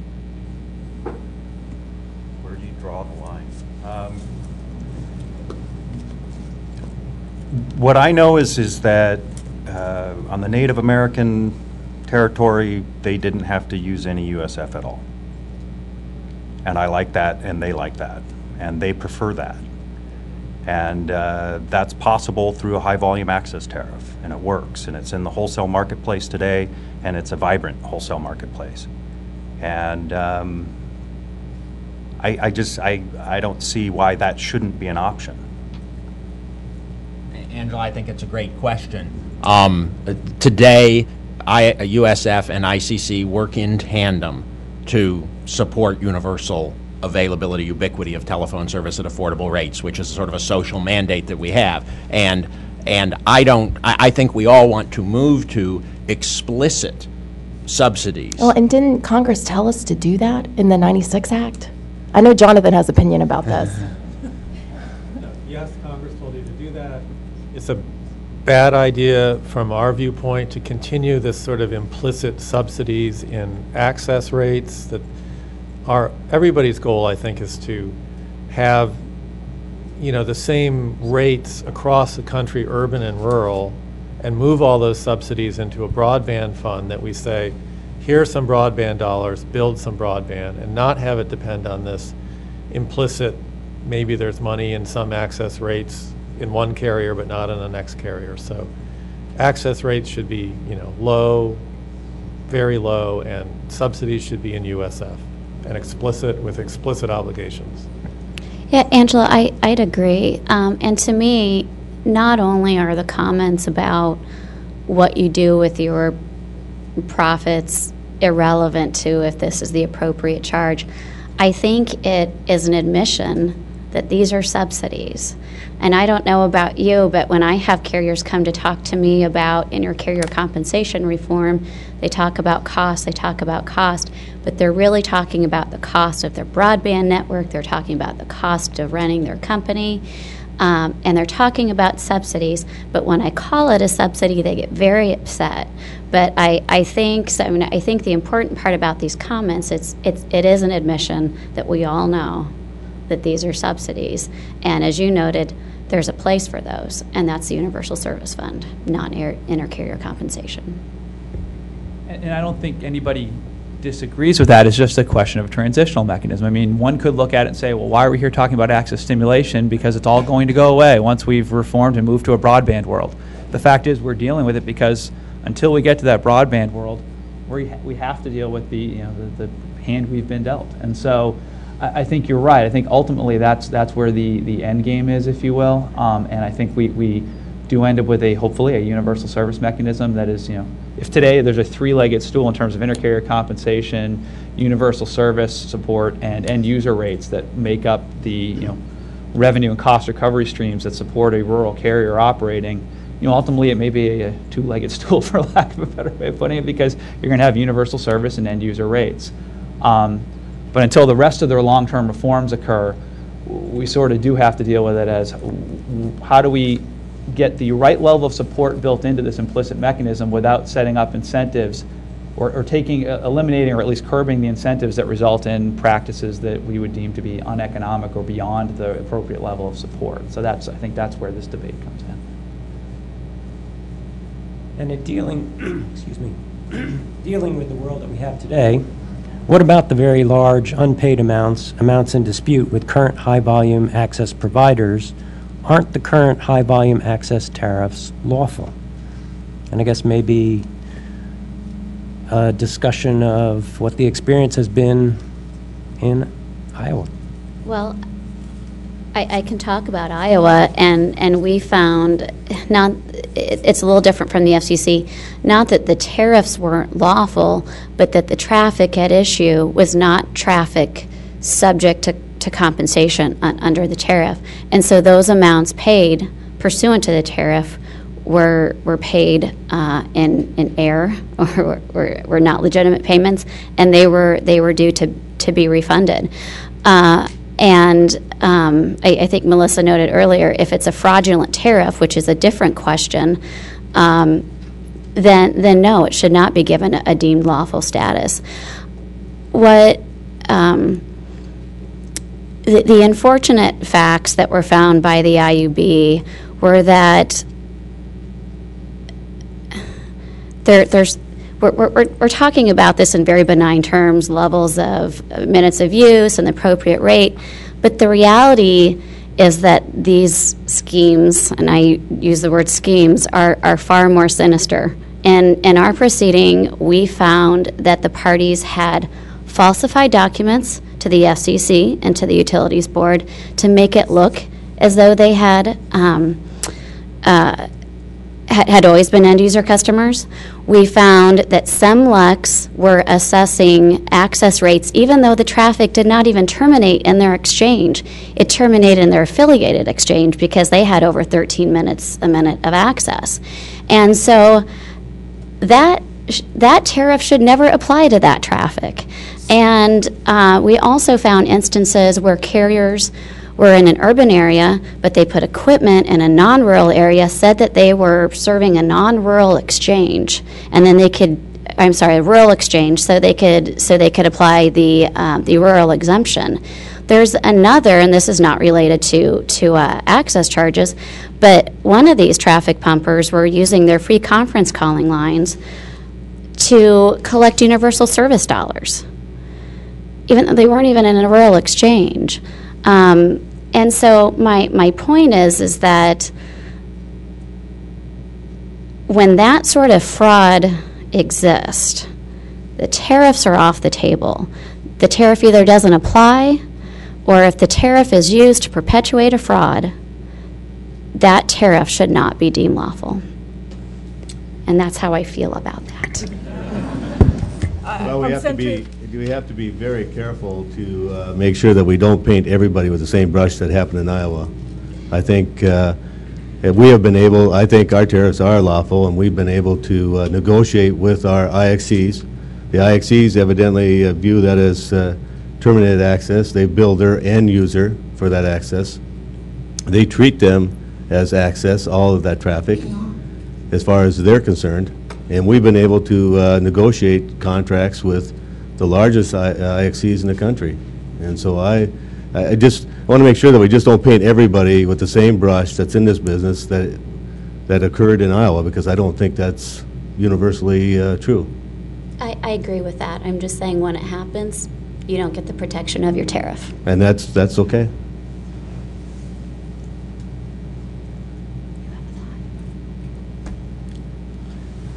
What she said. Um, No, I- I I- was not involved in the Iowa proceeding. Um, There was a lot of material that was confidential, and I am not privy to the exact details of of the fraud there, but we did know that that was going on, and it is what um, prompted uh, CenturyLink, and I'll say Classic Qwest um, at the time, to really go forward with this uh, full throttle. And in our view, it is exactly what Krista said, which is these are um, tariffs, the access should not have even applied in the first place, the tariff doesn't apply, and the issue is appropriately in litigation. If I might too, the, um, I think this highlights the importance of consequences built into the rule rather than having uh, something that has to be enforced outside of the, uh, outside of the rule. And, and actually, um, I think the examples that, that um, uh, Commissioner Tanner brings up, you know, as, as I think the gentleman from Tekstar said too, they're, they're not, um, they're not typical of the operations of- of most of these companies, they are the vast majority of them. There may be a handful who entered into this, but we don't make policy, I think, based upon um, the worst of the bad actors. We, we set up a rule that all can enforce, uh, can comply with, know what they're going to be complying with in advance, and, and can be enforced against those who, who do, do violate it. Um, I, I, you know, not to bring it back full circle, but I think the same kind of uh, reasoning needs to apply in the concept of phantom traffic. I mean, phantom traffic is very similar. I mean, some people have called it theft. It's something where someone is deliberately removing information to, you know, in the one case, you people, people are deliberately driving up their traffic volumes. Uh, The argument is to stimulate receipt of, of monies.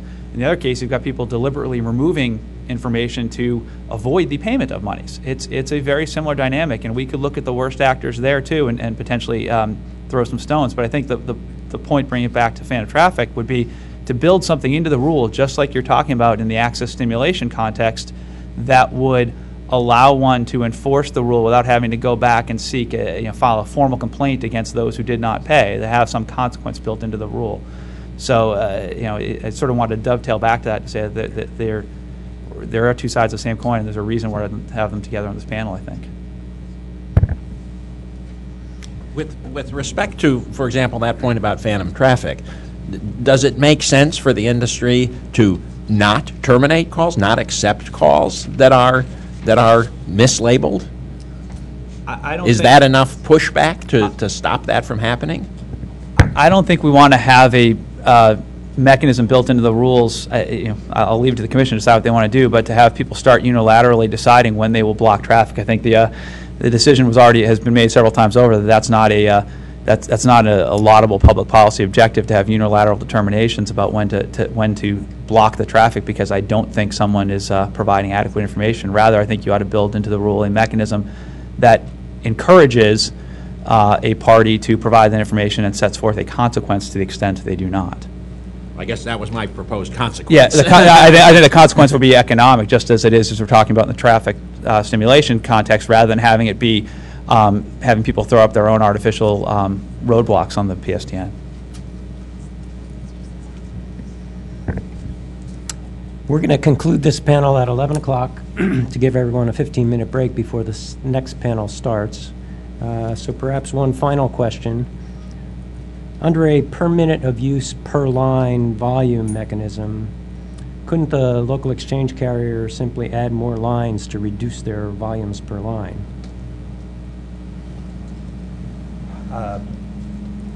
I think that would be the case, right? I think that as we're talking here, we're, we're finding out that there's a certain percentage of people that are always looking to, to bend the rules somehow, some way. Um, That's why I like the high-volume access tariff, because it's the IXC that's paying the bill, that's able to police what's going on in the amount of volume that they send. And, and, and you know, the, the, the idea that we could take rural phone companies that apply for a rural exemption and make them non-rurally exempt phone companies, basically get them down to the RBOC rate, is, is a great idea, right? I, I, the, the idea of subsidies and, and, and all of that, that's what we're trying to get away from. And so if we do it based on volume of traffic, the IXCs can measure it, the IXCs can adjust their price, and uh, the rural phone company becomes a non-rural phone company, so to speak. I, I I think that, yes, companies could add more lines. I mean, to the extent people add new customers, they should have higher volumes. But I would like to echo what Commissioner Tanner said, is we're not talking about small volumes here. We're talking about huge increases that are really beyond the ability of any small rural company to add enough lines to, to bring the huge volumes down to sort of a typical average minutes per line.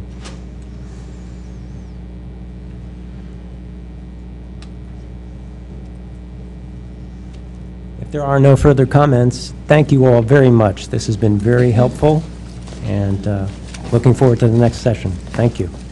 We'll take a 10 to 15 minute break, started exactly at 11:15.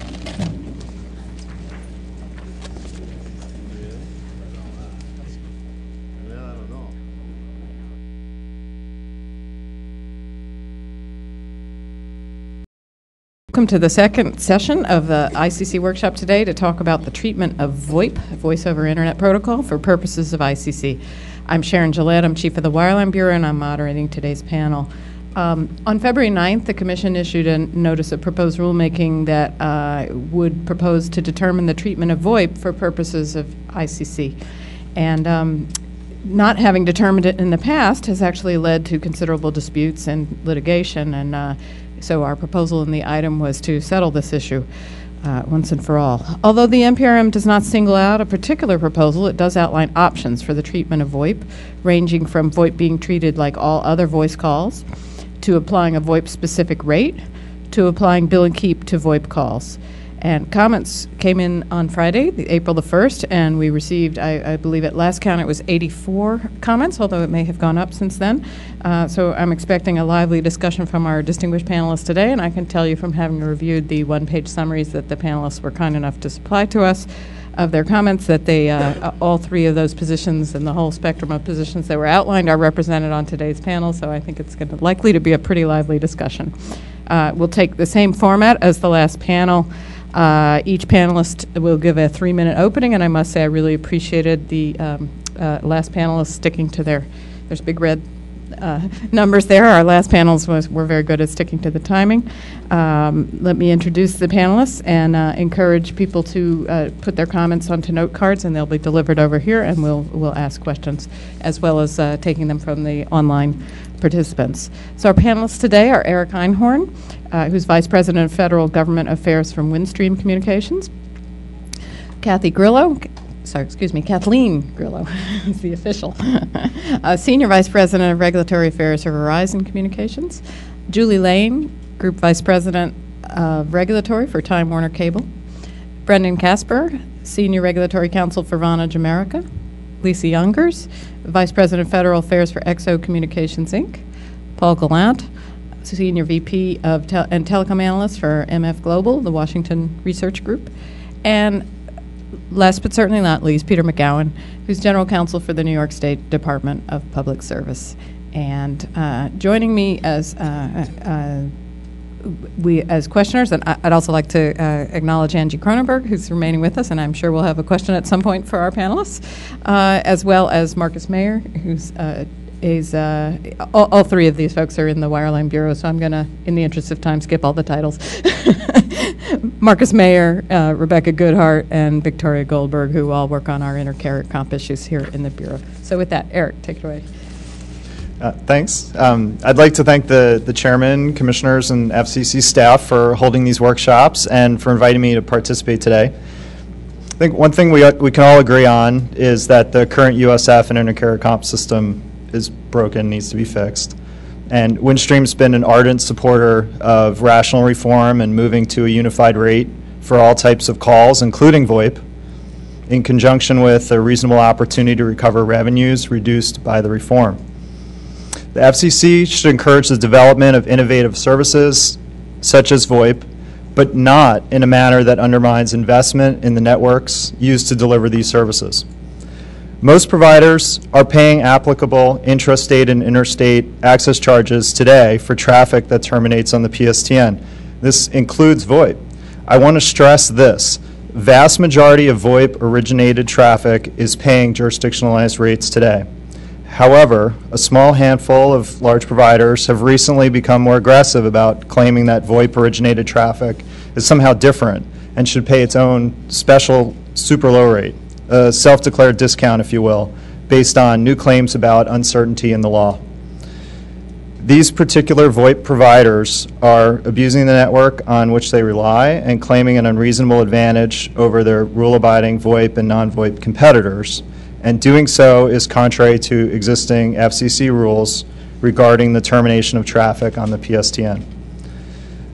There's no rational basis for treating VoIP and other PSTN traffic differently under the current rules. Both use the same network components. Terminating carriers incur the same costs. And from a customer's perspective, these services appear virtually identical and are marketed as substitutes. The FCC must make it clear that its rules apply to VoIP, to, to VoIP providers placing traffic on the PSTN to pay, the- and that they should pay the same rates as all other voice providers and voice traffic. If the FCC doesn't act now, the self-help very well may destabilize the current system before rational reform can take place and undermine the ability of carriers of last resort to serve consumers in high-cost areas. This will harm consumers rather than help encourage broadband deployment. Allowing VoIP providers to arbitrarily avail themselves of a lower rate is a different kind of reform. It's reform dictated by a few, a few actors rather than rational reform with reasonable transitions that the NPRM envisions. Windstream has and will continue to work with the FCC, the states, and others in the industry from all sides to develop a path forward on these important issues, and we look forward to doing so. Thank you. Thank you for the opportunity uh, to appear here today and discuss these issues. I just wanted to start by extending a compliment to the panelists and the staff from the first panel. I thought it was very good, very interesting. And, you know, in a lot of these discussions, we tend to all retreat to our, you know, respective corners, and I thought that was a good dialogue um, and very substantive. So I'm looking forward to the same experience here today. The chairman and the commissioners have been very clear that reforming universal service and intercarrier compensation is one of their top priorities for 2011, and that is welcome news to Verizon. Virtually every player in this debate agrees that these systems desperately need reform. I actually wrote down some of the words that the commissioners and panelists used to describe the current system, and just some of them were Byzantine, broken, tangled, antiquated, and inefficient. On the intercarrier compensation side, there are a host of problems that we need to address, but the most immediate and the most in need of commission action is the issue of what compensation carriers pay to each other when exchanging VoIP traffic from the circuit switch network. This issue has tied the industry in knots for years. It distracts from other priorities and it drives carriers to litigation and disputes. The Commission can put an end to these problems now by establishing a default rate for VoIP PSTN traffic. But Verizon believes that the industry can solve most of these issues through commercial agreements. We have asked policymakers not only to endorse commercial agreements, but to encourage them. Commercial agreements give carriers the flexibility to take account of their individual circumstances and traffic flows and reach mutually agreeable terms. In the absence of these agreements, the FCC should set a default rate. We have suggested .0007, which is a rate the wireless and wireline carriers exchange for a lot of different traffic today. So we have a large group here today, and I'm sure we're going to disagree on many things. But I think we'll all agree that this is an issue that needs to get decided quickly, preferably very soon it's a problem that's only going to get worse over time, and we've seen this before in other contexts, and I think we're seeing it now. Um, the more these traffic volumes increase and the more disputes we have, the problem is only going to get worse. So again, I look forward to discussing this issue with all of you today. Thank you. Good morning, and thank you for the opportunity to appear here today to share Time Warner Cable's views of this important topic. Time Warner Cable believes that the fundamental goal of intercarrier compensation reform should be to harmonize and simplify the current system in a manner that is technologically and competitively neutral. As long as the rates that carriers pay and collect are based on artificial regulatory and jurisdictional distinctions, there will be continuing incentives to game the system. And we therefore believe that with respect to VoIP services, as the Commission has acknowledged, similar services should be subject to similar rules. First, telecommunications traffic terminated by LECs should be subject to the same intercarrier compensation rules regardless of the technology used by the originating or terminating carrier. The NPRM does not define the term VoIP traffic, and in fact, as used, the term is misleading. The Commission appears to consider VoIP traffic to encompass any interconnected VoIP traffic on an interconnected VoIP provider's network. But the use of the term confuses the provision of exchange access service by a local exchange carrier with the provision of a distinct retail interconnected VoIP service by a retail provider. As the NPRM acknowledges, the Commission has already determined that interconnected VoIP traffic is telecommunications traffic based on the pure transmission of the finished service, regardless of whether the end user VoIP service is classified as a telecommunications service or an information service. Therefore, Time Warner Cable believes that any interim step towards fundamental reform of the intercarrier compensation system should confirm that reciprocal compensation for local calls and access charges for toll calls should apply to traffic delivered to terminating LECs, regardless of whether the traffic originates in circuit switched or IP format, and regardless of whether the traffic is ultimately handed to a VoIP provider for termination to an end user customer. Second, new artificial distinctions amongst types of traffic would have would hinder the commission's long-term goals in this area. Without clarification that traffic originating on or terminating to IP-based networks is subject to the same rules as any other telecommunications traffic, some carriers will continue to exploit artificial distinctions in traffic or ambiguity in the Commission's rules to reduce or avoid their intercarrier compensation obligations. Finally, the ESP exemption does not permit IXCs to avoid paying access charges to LECs. Even assuming that interconnected VoIP is an information service, the ESP exemption would not relieve IXCs or LECs from their obligation to pay intercarrier compensation for traffic they deliver to terminating carriers. As I mentioned earlier, it is not interconnected traffic that is the subject of this debate.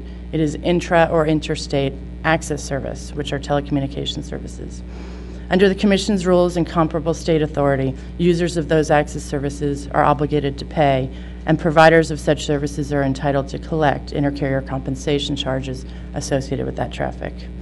Again, I thank you for inviting me to speak today, and I look forward to your questions. Good morning. Thank you for inviting me to discuss this important topic.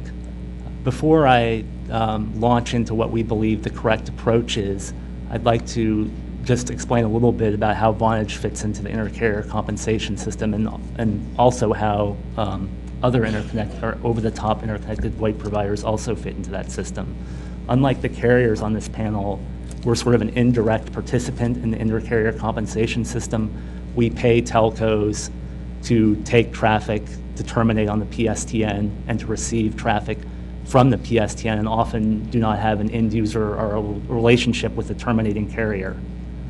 Um, so that means that our, our pricing model is to recover our costs through our end user prices only and not through uh, intercarrier charges, which is um, important background into why we think that bill and keep is the appropriate um, solution for intercarrier compensation for VoIP. Bill and keep is an important step towards long-term reform. As the NPRM recognizes, the Commission is seeking to eliminate distinctions, non-cost-based distinctions driven by jurisdictional, jurisdiction and other distinctions. If we moving in, uh, if we fail to say, specify that VoIP should be subject to bill and keep, we will harden the carrier's dependence on intercarrier charges and only make it more difficult to achieve long-term reform. Second, VoIP, declaring that, that VoIP is subject to bill and keep promotes the transition to IP networks by um, eliminating the incentive to funnel traffic through the PSTN in order to maximize intercarrier charges. Third, bill and keep is an economically efficient solution. It recovers interconnection costs through end user prices. End user prices, like Vonage's price for service, is subject to um, robust competition. In contrast, intercarrier charges essentially require, you know, they require regulation no matter how competitive the end user market is. Also, bill and keep more accurately reflect, reflects the benefits received from the call. Traditional calling party network pay solutions um, posit that the uh, calling party generates the costs and uh, you know and, and, should there or generates receives a benefit and therefore um, should pay the costs. But in reality, most communications is two-way. Both parties receive a benefit. And finally, bill and keep minimizes the need for ongoing regulation because, as I discussed, there's no need to uh, regulate intercarrier charges. Thank you, and I look forward to your questions. Good morning. Thank you for having me here today to share XO's viewpoint on intercarrier compensation reform. And a special thank you to staff for putting together these workshops and providing an opportunity for all of us to be heard on these issues. The FCC and the industry as a whole has been dealing with intercarrier compensation issues for quite some time, and XO looks forward to working with the Commission and its industry peers on resolving these issues expeditiously. While examination of these issues is complicated and there are many moving parts, XO agrees with the other panelists that the time to address intercarrier compensation is now. We are here today to discuss specifically the appropriate compensation framework for VoIP traffic. It may be helpful, however, briefly, to put this all in context and look more broadly at where XO believes intercarrier compensation reform should be heading overall. Last fall, XO put forward a plan for intercarrier compensation reform on the record, outlining what we believe is the appropriate framework for intercarrier compensation going forward. Essentially, XO believes a comprehensive intercarrier compensation scheme must be forward-looking and include policies that focus on IP networks rather than circuit switch TDM networks. This is because IP networks provide more efficient and lower-cost transport and exchange of traffic. The bottom line is XO developed an intercarrier compensation plan that mirrors where telecommunications networks are heading. The central piece of that proposal is that IP interconnection should be encouraged regardless of the technology used to serve particular end users. Adoption of strong IP interconnection policies within the intercarrier compensation regime will create the proper incentives to spur additional broadband deployment. Therefore, XO proposes that the FCC adopt rules that require carriers to exchange all traffic, whether IP originated or not, in IP format within a five-year period. More details of our plan are, be, are on the record now and will be filed on April 18th with the rest of the comments regarding comprehensive intercarrier comp reform. But the question here today is obviously about VoIP and what the FCC can do now with respect to the treatment of VoIP traffic. Last Friday in our comments, XO put forward what we deem as an interim solution for the treatment of VoIP traffic. This solution is interim, of course, only until the FCC adopts a more comprehensive intercarrier compensation scheme. XO's proposal would apply to all traffic, including VoIP, and so the treatment of VoIP traffic would be addressed under a more permanent solution. Specifically as to VoIP, there has been too much uncertainty for too long regarding the treatment of VoIP and what is the appropriate compensation scheme. As such, XO proposes that prospectively, VoIP traffic should be treated as a separate category of telecommunications traffic that is not subject to switched access charges, and that recip comp rate should be applied on a going forward basis when carriers exchange VoIP traffic on a TDM basis. The FCC has the authority to regulate the compensation for VoIP exclusively and should implement this interim solution immediately. I look forward to discussing these issues with all of you.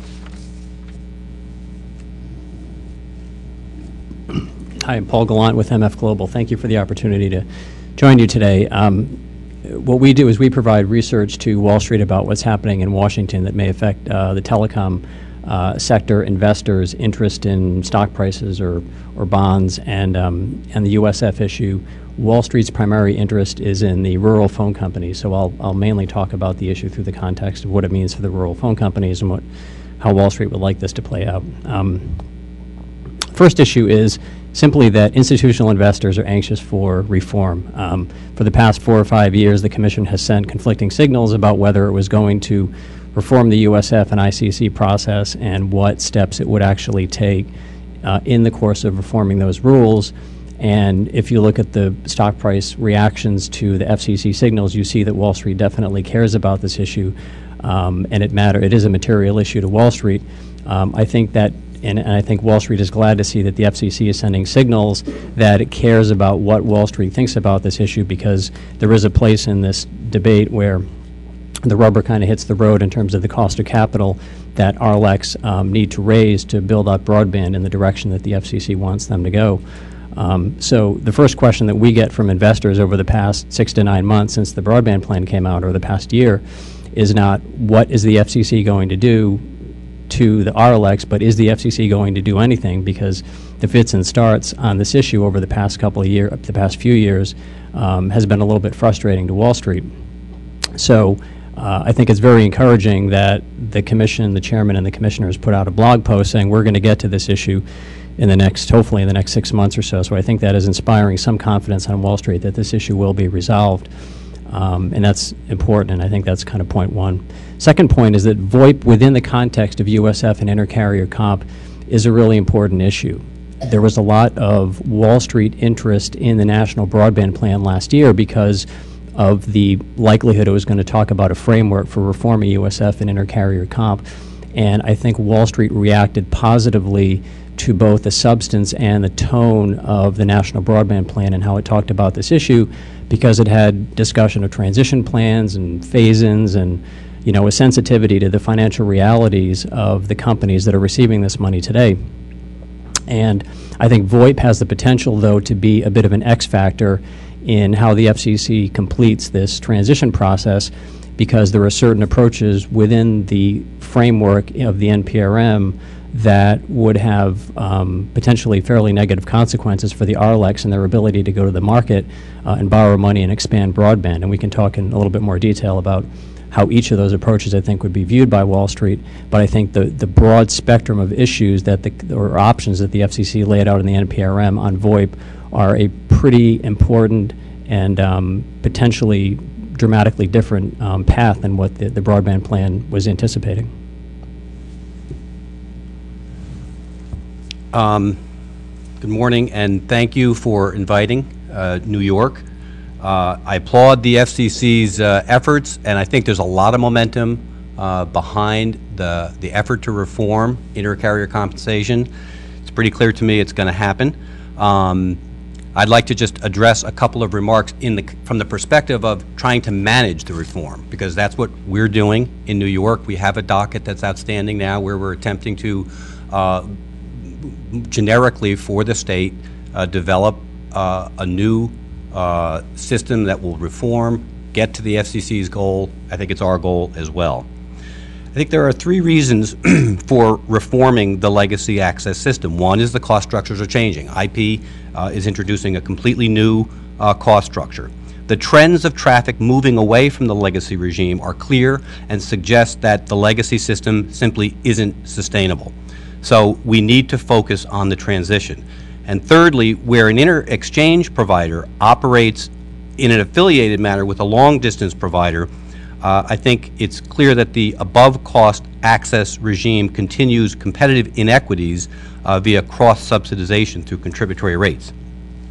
Access charges are well priced well above cost, and it's my view that creating a definitive glide path to uh, more rationally price intercarrier compensation actually gives the LECs an incentive to move to more efficient IP platforms and develop a sustainable business model.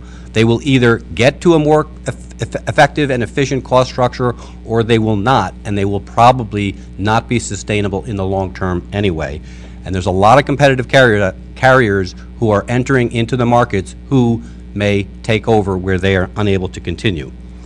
So in thinking about the problem of reforming the legacy system, uh, let me just center on three points. First, as I mentioned, the costs are changing. We're going to get to a lower cost structure, so we've got to get there. Uh, second, where intercarrier traffic is exchanged on an integrated basis with a long distance provider, uh, there, there is, if there's a symmetrical rate being exchanged, uh, then a reduction in access rates should be less painful financially to the carrier. Uh, the loss of access revenue uh, would be offset by the long distance carrier's reduction in access costs.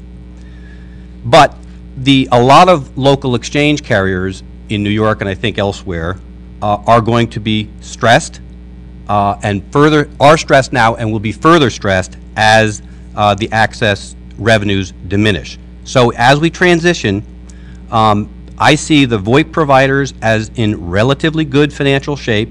They are no longer the nascent technology which needs regulatory protection. Um, but LECs, on the other hand, are stressed financially, and in limited areas, uh, they are the only provider. So we need to recognize that we need reform, uh, but I see the definitive path to lower access charges as an incentive for the LECs to invest in and gravitate to the more cost-effective and sustainable IP network. VoIP traffic should be subject to the legacy regime with uh, carrier access and reciprocal compensation. Many VoIP carriers, as we're hearing today on the panel, have been able to do that and have been able to successfully enter the market. To the extent VoIP carriers resist the legacy system, I see it uh, as part of the cost of the transition. And the most important thing, I, think the, the, the priority today, the chairman indicated the priority is to reform the access system. We are in New York, many states have already done it. We are reforming the system. We need as many tools as possible to help us get through the transition. To the extent some VoIP providers are not going to uh, contribute to the access regime, it's going to make the transition all the more difficult. So we want to we, we want to reform. Uh, but we need as many tools as possible to help us get there. Thank you. Well, thank you all for uh, for uh, for your comments, and uh, I'd like to start off the questioning with a uh, question for Paul. Uh, first of all, um, I just want to point out that we always have to be clear about our terminology here at the Commission, and uh, you used a couple of terms that I think Wall Street interprets somewhat differently from regulatory folks. One of those is X factor. Just. Some people in this room have a very specific meaning of that term, people who actually construct price cap regulations. Um, The other was, uh, no, just seriously though, to clarify what you mean by rural carriers. uh, You know, here at the commission, rural carriers encompasses about 800 holding companies, most of which are not public. I think you're largely referring to a company like a Windstream, a mid-sized carrier. Is that correct? And, is that right? That's right. Okay. And um, the, the, the question for you was, you, you mentioned that, uh, that, uh, that the different proposals in the NPRM might be uh, reacted to differently from Wall Street. I wondered if you could be more specific. Uh, In particular, the, the NPRM laid out a spectrum from the bill and keep idea, which we heard Vonage supporting, um, the uh, VoIP-specific rate idea, which we heard, I think, in slightly different forms from Verizon and XO, and then uh, the idea that uh, VoIP is exactly the same as existing traffic, which I think we heard from Windstream and Time Warner. Um, Could you speak a little bit about how investors might react to that spectrum? Uh, Right, so on the, uh, on the option of uh, interconnected VoIP providers paying the full access charges today, I think that is really the only option that would actually improve the um, stability and the predictability of the rural carriers' access charge revenue stream. uh, That really helps give confidence to lenders that they can keep lending money to RLECs at a, at a reasonable rate. Um, either of the other two options, the, the bill and keep option or the set a VoIP-specific rate option, tend to, I think, potentially replace one set of, or one arena of uncertainty with another, in the sense that it's not immediately clear whether the originating, if the originating carriers have the ability under uh, either a bill and keep regime or um, a VoIP-specific rate regime to determine what is VoIP traffic and what is not VoIP traffic. Um, There is the potential for, under certain, depending on how originating carriers behave, um, the potential for a significant reduction in access charges.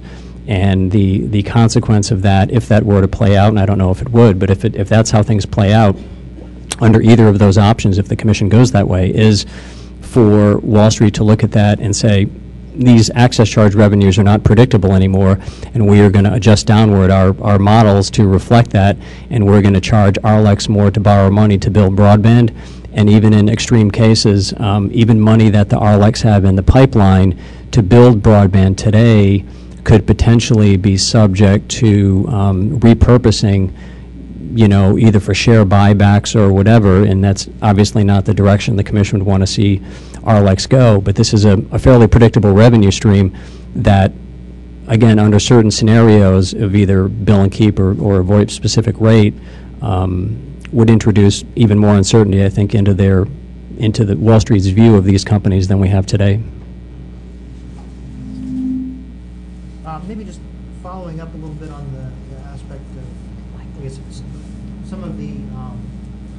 Arise under either a VoIP-specific approach or a bill and keep. And there's sort of, I guess, a question, I'll start, start with Lisa, but any of the other panelists as well, that are sort of suggesting either a VoIP-specific or, or bill and keep approach. Um, To the extent that some of the uncertainty comes from the potential uncertainty about what traffic will be treated as VoIP, are there approaches that you see to um, identifying that in a way that I think, you know, will, would give comfort to the terminating providers and others that, you know, there, there's a way to identify, here's, here's the traffic we're talking about. There provi- there's maybe some certainty then about, you know, what's the universe of traffic over some time period that's going to be under one particular regime versus another. Um, So XO's position, of course, is that um, VoIP should be subject to recip comp, and your question is about how do you identify that VoIP traffic? And in our comments, we talked about that VoIP traffic um, should be designated upfront as VoIP, um, either by agreement, there are agreements in place that dictate how this is done with carriers, or through some sort of industry standard. So some of, some examples, some possibilities are, um, one way to do it is having originating carrier populate the JIP, the jurisdictional indicator parameter, um, which would identify it as uh, VoIP traffic. Or you could use some sort of factor on the back end. Um, factors, of course, are done today. Um, you could come up with some sort of factor that works. Um, XO is also open to any other mechanism that might work or might be agreed to by the industry. Um, we're open to um, other ideas. So the originating carrier would have to self-designate, and then in our comments, we suggested that the uh, terminating carrier would have some sort of audit right, some sort of auditability, um, to verify that that in, indeed the originating carrier is identifying the traffic correctly, and if they are not, there should be some sort of recourse for that. So, for example, um, charging access if it truly isn't VoIP. So we actually had a fairly similar proposal. Um, we actually had a fairly similar proposal. Um, we think that the, the, the traffic should be identified as VoIP in either the billing information or the signaling information. Um, because we're not a carrier, I'm not, you know, we're not entirely clear what the best candidate is, but one thing we saw was that from the IP to uh, PSTN gateway, uh, you can populate the calling party category, uh, which is a designation on the PSTN side and can be populated with information from the IP headers. And then you, um, we would suggest that you include that in the phantom traffic rules that you couldn't falsely populate traffic as VoIP that is, that is not VoIP.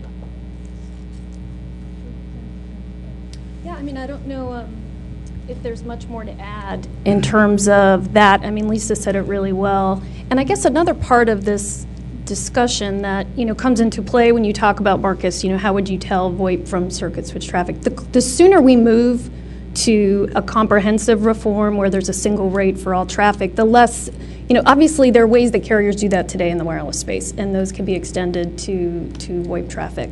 Um, but I do think that the sooner, you know, we move to deal with these larger issues, you know, the less of a, of a concern that really is. Follow up. Um, Kathy, you recommended um, moving to commercial negotiations.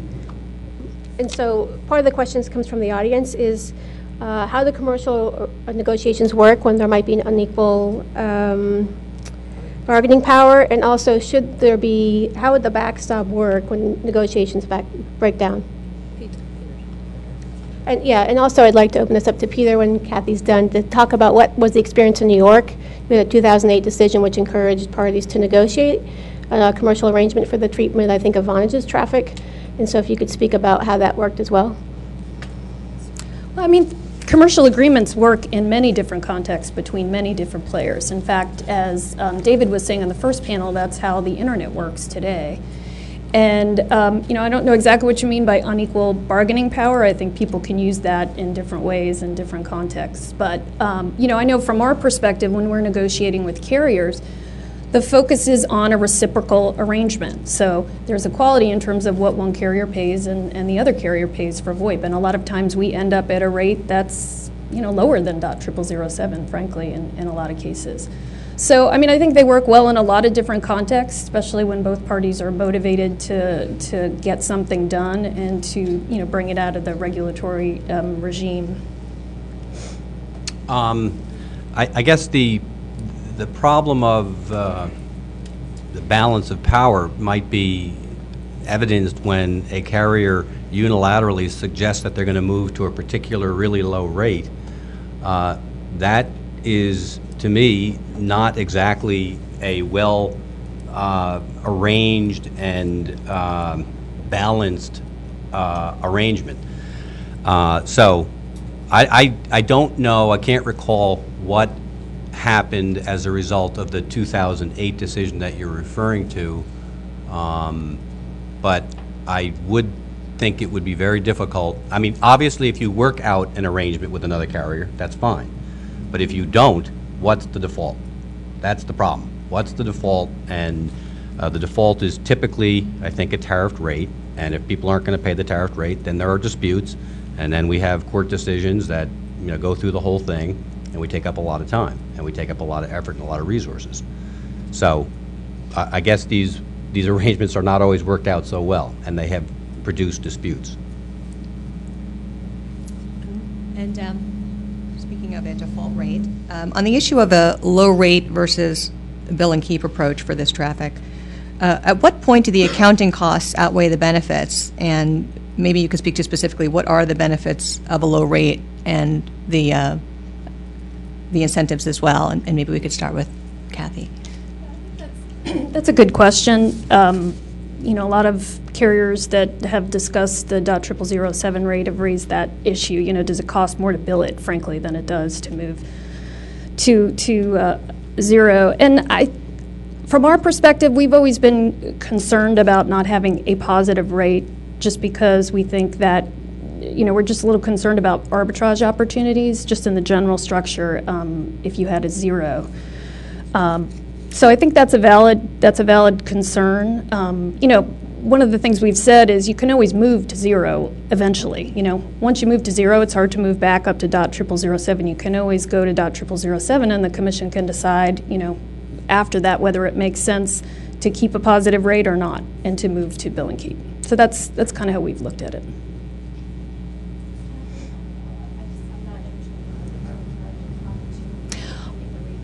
Well, that's a good question, because I don't know that we do either. But, um, you know, it's just a concern generally. Uh, One of the, th- you know, the prior panel was really interesting, because in a lot of cases, you don't know where some of these arbitrage opportunities will go. I don't think anyone anticipated, you know, what happened with the ISP-bound traffic and all the problems that, that came out of that. So it's hard to anticipate these, which is why we think it's so important for the commission to move quickly to a single rate, you know, one rate um, that's low and uniform across the board. It just makes it easier, obviously, to avoid these sort of things. So I, I don't have anything specific that I could point to. I mean, in the wireless world, carriers exchange traffic at bill and keep a lot.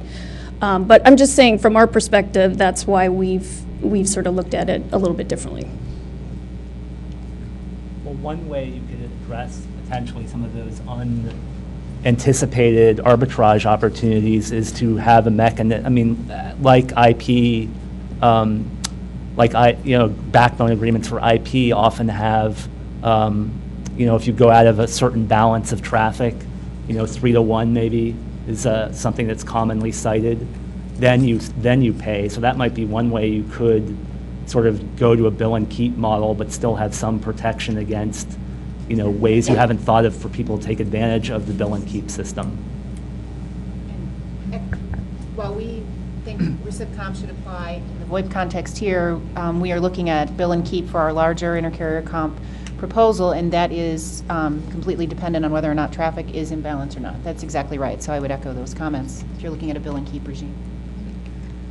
Yeah, I would, I would simply add that you probably need uh, the balance thing under the law, I think, also seeks balance in order to do bill and keep. So if you're not in balance, I think that is going to be a problem, so.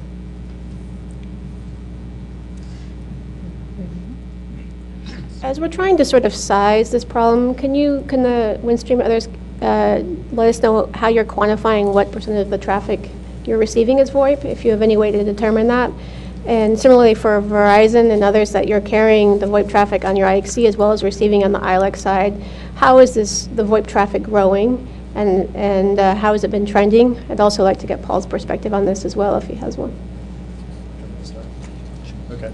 Um, Well, we don't really know um, if traffic, if uh, carriers are sending us uh, traffic as VoIP or not. We do know that there are certain carriers that have disputed traffic and said that it's VoIP and they're not going to pay us access charges on certain traffic. So that's one way we do know. As I said in my uh, statement, uh, this is this is really a, a I, I describe it as a new phenomenon. Uh, there, there recently have been a couple large carriers that have been a lot more aggressive about this. So we know that that's an issue. Um, and you know, to me, the way I think about this is, it's not, you know, the the disputes, the current disputes, are certainly a problem.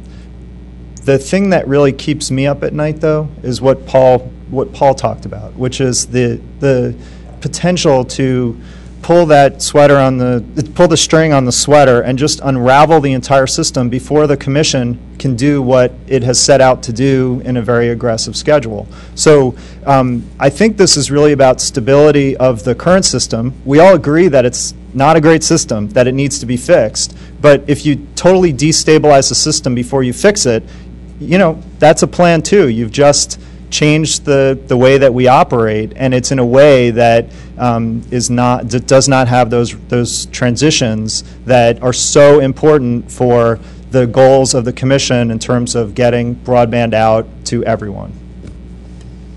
So let me start where, where Eric stopped on transitions. Um, We do think it's very important for the commission just to decide this issue now. There is just incredible uncertainty in the market about this. Carriers are doing different things across the board, and the commission, we think the most important thing is for the commission just to decide this issue going forward. I think rather than, you know, have a prolonged period after that where there is, you know, the instability that Eric talked about, I think that will be create momentum towards reforming the system overall. And in that context, we do support and actually think it's important that the commission have transitions.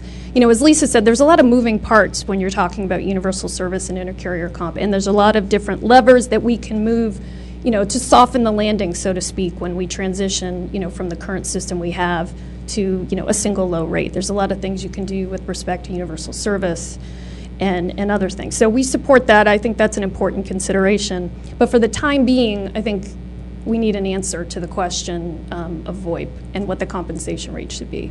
To your question, Rebecca, about um, the volumes, you know, I don't have exact numbers. I know it's relatively small right now in terms of VoIP. And you asked whether or not, you know, we are seeing that trend up. And yes, I mean, I think that's where the industry is going generally, obviously. So we will see that trend up. We will see those numbers grow um, year over year, which is why I think it's really important to get some clarity now. Does that answer your question? Yeah, I know, just to that point, um, I think that we can agree, um, we're on the same page in terms of a, a unified low rate. Um, we agree with Verizon on that in the long term, and I think that we would say, let's hasten that process rather than take an interim step to cause more confusion, uh, give more incentives for people to game the system, and have a separate rate um, in that interim period. It's important to resolve it um, and keep it as simple as possible during the, the period that you're, you're taking the path to a unified low rate for everything. I guess on the point that, you know, the, the, the volume is relatively low but growing, I mean, doesn't that give us time to phase in? I mean, the commission is not talking about, you know, just, you know, adopting bill and keep or something like that and, you know, letting the chips fall where they may for the rural carriers. I mean, they are talking about, you know, making implicit subsidies explicit, you know, funding it through USF. And if you have, you know, relatively low volume of VoIP now, that gives you a chance for the system to, you know, for you to actually get those mechanisms installed and identify specifically what the subsidies are and whether you're actually getting what you, you know, wh- whether the funding is appropriate for the need, which is the problem with sort of having things funded through intercarrier charges. You don't really know what you're getting. Do you want to respond to that? I, I wanted to follow. I wanted to follow up on that. Um, I mean, that sounds good, but I think it's totally impractical and, and wouldn't happen. Um, play out. It wouldn't play out that way. Um, the the fact is that there's really no way to tell what you know to confirm what this traffic is when it comes in. We basically have to take carrier's word for it. It's coming in over trunks that is inter, you know, where the traffic's often intermingled with other traffic.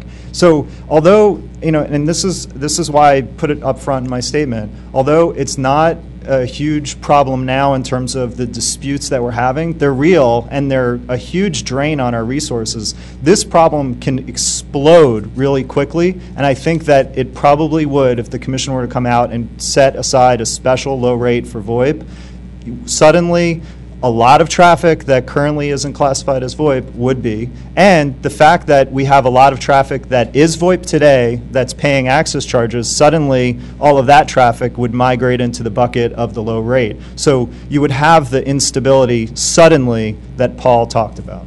Have there been any alle- allegations of carriers basically saying all our traffic is VoIP because we can't tell the difference? Has that already happened in the marketplace?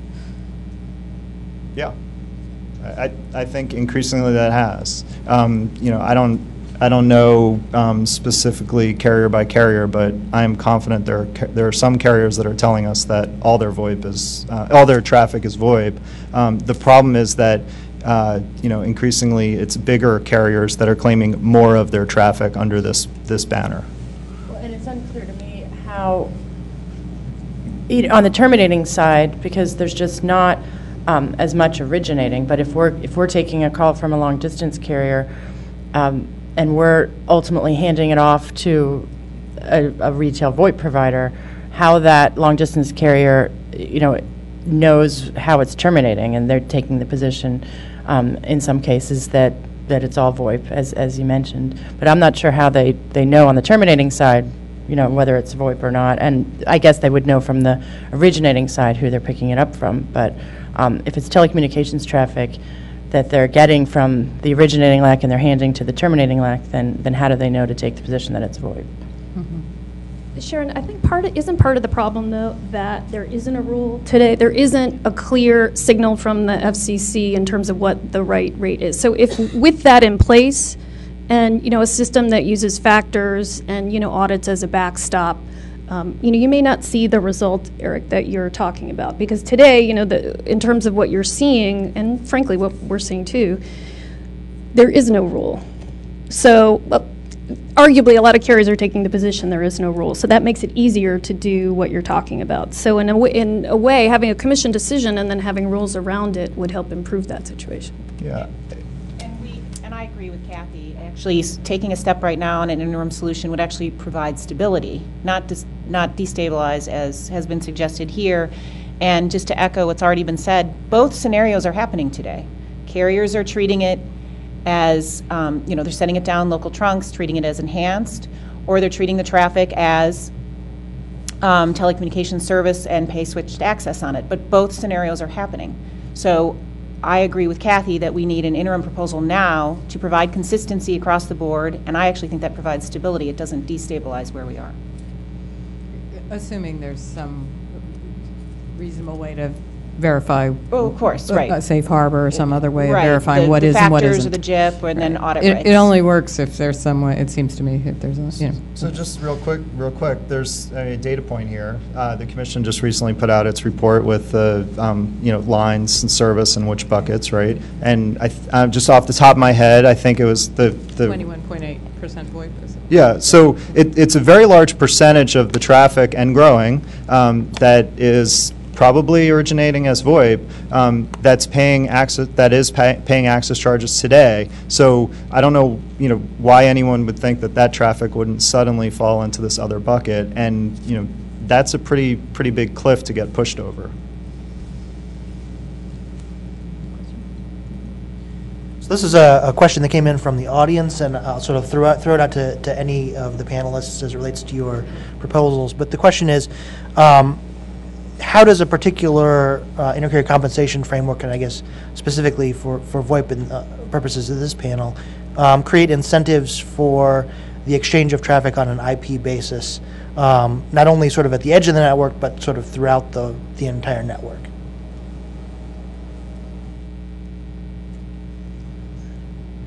Um, Well, our- our proposal um, for intercarrier comp reform on- as a whole is that the FCC, when it adopts a comprehensive scheme, that um, it include the requirement that carriers uh, interconnect on an IP basis, and that do so in a certain amount of time, we've suggested five years, and that um, there be incentives um, created to get carriers to that point, and that includes, um, at some point, if a carrier is still um, interconnecting on a TDM basis, that that rate be different, um, and it would probably be higher, and that is to incent carriers to move to IP interconnection. I agree with that. I think it would be an incentive for carriers, companies to move to IP um, and help facilitate this transition to an all IP network, which is what, you know, most of us want to see.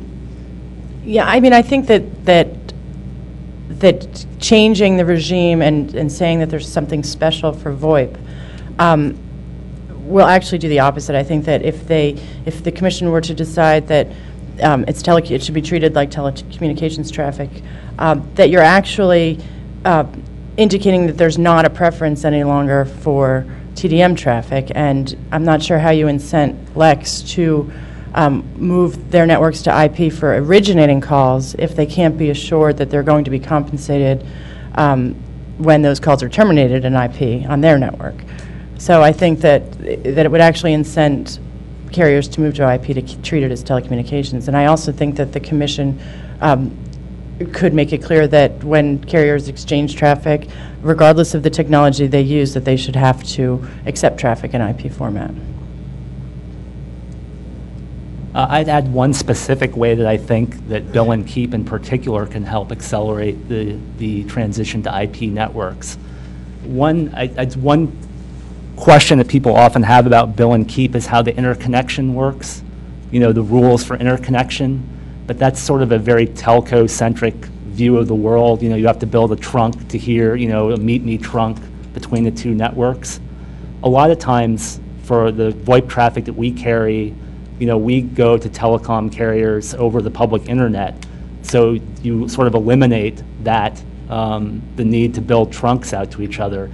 So, you know, if you go to bill and keep, it might encourage some of the, you know, say for instance, a rural telco who Vonage or someone is not anywhere close to, to move their traffic, you know, convert it to IP and move it over the, basically move it over the public internet in order to interconnect with us more efficiently. All right, um, lightning round here. Um, I- I've always wanted to be on the other side of this one, as opposed to being in front of Congress having to do this. Okay, uh, what, uh, let's, let's go down the line. I'll start with Eric on this. What's your position on whether the compensation obligation for VoIP traffic should be prospective only or applied retroactively? Question from the audience. Uh, I think it applies now, so I'd say both. perspective, uh, I think there's been enough, you know, uncertainty and enough litigation over the, I think we should, you know, if the commission takes a position, it should do it quickly and just make it perspective only. And I agree with Eric. I think it applies now, so both. Uh, I would say prospectively, uh, there, there, I agree with Kathy, there's been enough uncertainty that it would be, uh, it it would be reasonable to apply it prospectively. Um, Prospectively, for the same reasons, um, you know, there's been enough uncertainty, enough litigation, enough disputes, and um, in order for it to apply right now, the FCC would have had to have found that it's telecommunications services, and they haven't found that yet. So I don't think that works, and it it has to be prospective. We're in lightning round, but I'm going to come back with a question about that later. Yeah. Um, Investors are entirely forward-looking, so the only thing they would care about would be the prospective treatment of uh, of VoIP traffic. I mean, if they, if the commission were to, uh, it would be free money to, you know, if the commission were to order accrued liability to be paid to, uh, to the RLECs. Uh, Retrospective would be, would be certainly a way to increase the risk, I guess, to those who are taking this gamble, but I don't think uh, it's going to be, I I mean, I think prospective is only, the only really practical way to avoid even more uh, disruption and chaos. So I guess maybe the, the flip side is quick, rather than retrospective or prospective, quick. There you go. Um, Leave it to a state commission to find that middle ground. Right, There we go. Um, I wanted to just go back to something you said, Lisa, that- and, and ask you and Julie to square it up, because you're saying it's not telecommunication services, and Julie, you're saying it's telecommunications. So can we understand why we're Sure, hearing and different to- things there? To clarify, the FCC hasn't reached a decision to date on the classification. It hasn't decided if it's telecommunications service or information services. Um, And in fact, I think you reiterated that in your NPRM, and they would have had to have made that finding for um, access to apply. It is telecommunications. That was decided in the Vonage order and other places, but that's a different, obviously, that's a different thing altogether. Well, and I think, I think we agree. I mean, the, the commission has not determined whether uh, interconnected VoIP is a telecommunications service or an information service. But apart from that, it has said that, that interconnected VoIP traffic is telecommunications traffic. So, you know, I think that, that, that it's, that, that that's sufficient. And how does that apply in the access context? Well, I- again, I think we're not, difference does that make? you know, if you think about how VoIP traffic, when it's, when an IXC hands a call to th- a LEC, it's generally in TDM format, it's not VoIP, and, and whether it's delivered ultimately to a VoIP provider, and um, that interconnected VoIP provider provides interconnected VoIP, an unclassified service to an end user, that's one thing. But what the IXC hands to the, um, the LEC that ultimately gets to the end user that's served by VoIP is telecommunications. So I'm, I'm not sure that there needs to be a, de- a declaration that interconnected VoIP is a telecommunications service in order to apply access to the traffic that's exchanged between an IXC and a LEC. Um, I have a question for all of the panelists. In the NPRM, we talk about working in cooperation with the states to achieve intercarrier compensation reform. What do you see as the role for the states in terms of the uh, uh, treatment of VoIP? Well, since we think uh, intrastate access applies, we think they certainly have a role, and um, we, we have been involved in lawsuits in the states and um, before state commissions who've decided that issue uh, too. So we think the states have a role so long as the system is uh, the way it is today um, with a bifurcated role with, with local and interstate traffic. Um, they have a role. Yeah, I think the states have a role in a lot of context in this debate. Um, we think that the commission itself has determined that VoIP is an interstate service that's subject to exclusive jurisdiction by the FCC. Um, and in this context, for in terms of setting the rate for VoIP, that that should be done by the commission. I, I just want to clarify, we're almost out of time on this Oh. panel, so let's make it lightning round and go down the line on this question. It'll be our last question. Okay. I think that the, the, the Federal Communications Commission should declare that it's subject to access charges, and then the states certainly have a role on the intrastate side. Um, and then I also think that the FCC should reaffirm what Kathy mentioned, the 2004 ruling that, um, that states shouldn't be regulating the retail interconnected VoIP service. I would say that it's, you know, uh, as Kathy said as well, um, you know, the FCC has decided that VoIP is interstate more or less in the, the Vonage order, and they have the authority to set the rates, uh, you know, across the board. And so I think, I don't see as much of a state role in this area. Um, I agree, the FCC has uh, determined that this is an interstate service. Um, I agree with what was just said, and I think the Vonage order carved out for the state um, public safety and consumer-type roles that um, could be ongoing. I think introducing a state role into the, uh, into this process, um, whatever the public policy benefits or the uh, intergovernmental benefits, would probably introduce more uncertainty and more, if there's an opportunity for states to complicate the ability of um, uh, rural telcos to collect some of the, some of these um, access charges, I think that would not be a welcome development, just from the, the investor perspective. But I don't see the states as necessarily trying to complicate it. I see, I, I, I think the FCC has classified nomadic as interstate. It has not successfully, I don't think, classified fixed as inter, interstate. I think that was uh, challenged and it was de- deemed to be not ripe uh, in the Eighth Circuit, if I remember. Um, and I think that the states do have a role in, uh, in terms of establishing the wholesale treatment. I think, I would also like to note that New York and I think a number of states have been, have tried to be very nimble about not over-asserting jurisdiction on the retail uh, stuff, on the retail services. So I think, uh, I think in New York, we have been very uh, careful about trying to only assert jurisdiction that is truly needed. Okay. Well, let me thank our panelists and, uh, and turn it over to Roger, who will uh, tell us what we're supposed to do next. You're all free to eat. Uh, If you can get back here by 1:25, so we can start promptly at 1:30 and stay on schedule. We have little sheets about lunch places for those of you who don't know, right here at the front table. Thank you all.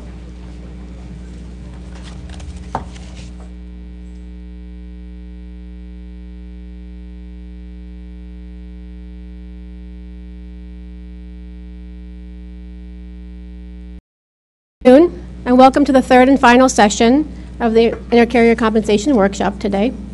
My name is Rebecca Goodhart, Associate Chief of the Wireline Competition Bureau, and I will be moderating this panel. We had two very productive sessions this morning and expect a similar lively discussion this afternoon. This afternoon's session will focus on developing a recovery mechanism as part of intercarrier compensation reform. The NPR ma- makes clear that we propose to develop a predictable transition with no flash cuts.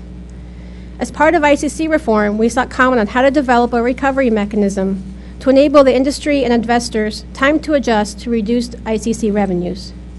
The NPRM asked a variety of questions, including whether the FCC should focus on cost or revenue recovery, and if we focus on revenues, what revenues should be considered regulated, non regulated, net revenues versus gross revenues and how the FCC should look to reasonable end user charges, and finally, developing a criteria for access to the Universal Service Fund for areas that are uneconomic to serve, absent support. We also asked data to help size and develop the recovery mechanism. We have an excellent panel ready to dig into these issues, as well as a distinguished team of questioners. This panel will be 90 minutes. I will first quickly introduce the panelists and my colleagues, and then each panelist will have three minutes to summarize his or her positions, followed by questions from the panel, the audience, both online and in person. Turning to our panel, we have John Rose, President of OPASTCO, Ken Mason, Vice President of Government and Regulatory Affairs for Frontier, Bob Quinn, Senior Vice President, Federal Regulatory and Chief Privacy Officer, AT&T Services, Charles McKee, Vice President, Federal and State Regulatory for Sprint Nextel, David Bergman, Assistant Consumers Counsel Chair, NASUCA Telecommunications Committee, and Frank Louthan, Managing Director, Raymond James.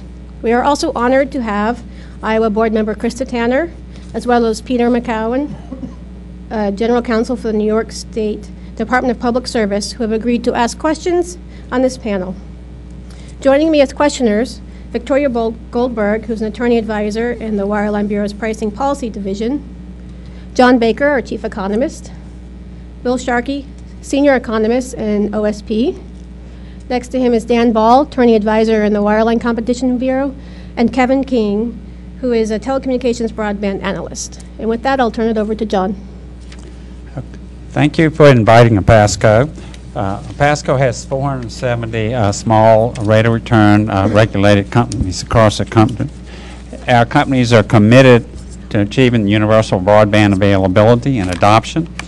The National Broadband Plan recognizes the need to create the right incentives, and one of those incentives is intercarrier compensation reform and, and having a recovery mechanism. This is a very important point to us, and it is one message I want to leave with today, is this. To be beneficial to rural consumers, it's essential that there's a sufficient recovery mechanism to provide the RLECs a transition. It is important to remember that RLECs rely on access charges for 30% of their revenues, and, and USF another 40%, which equals 70%. The lack of an adequate recovery mechanism will necessitate significant uh, rate hikes for both basic and advanced services, and this is to pay, repay loans. To get into kind of the plan is that we recommend as, as a first step, the commission enable RLECs at the option of the state commissions, and Chairman Genachowski mentioned some of this this morning, is to lower intrastate originating, terminating, switched access rates to interstate levels. And this would be with a benchmark rate of $25 or around, that would include the local rate, interstate, intrastate SLCs, contributions by state USF. In the first year, RLECs would be permitted to recover the revenue loss after the voice rate benchmark has either been charged or imputed. In subsequent years, as the switch access revenue goes down, so would the recovery mechanism. We believe this is a balanced approach and would immediately eliminate a major source of rate arbitrage and help contain the fund. Uh, The adoption of a benchmark would be, help be fair to early adopter states. The total estimated revenue loss to RLECs from reducing intrastate rates to interstate levels would be around 300 million. With the adoption of a benchmark, would, that put it probably under 200 million. And then if we adopted uh, uh, some phantom traffic reforms as well as, as VoIP pan access, that would make it even lower.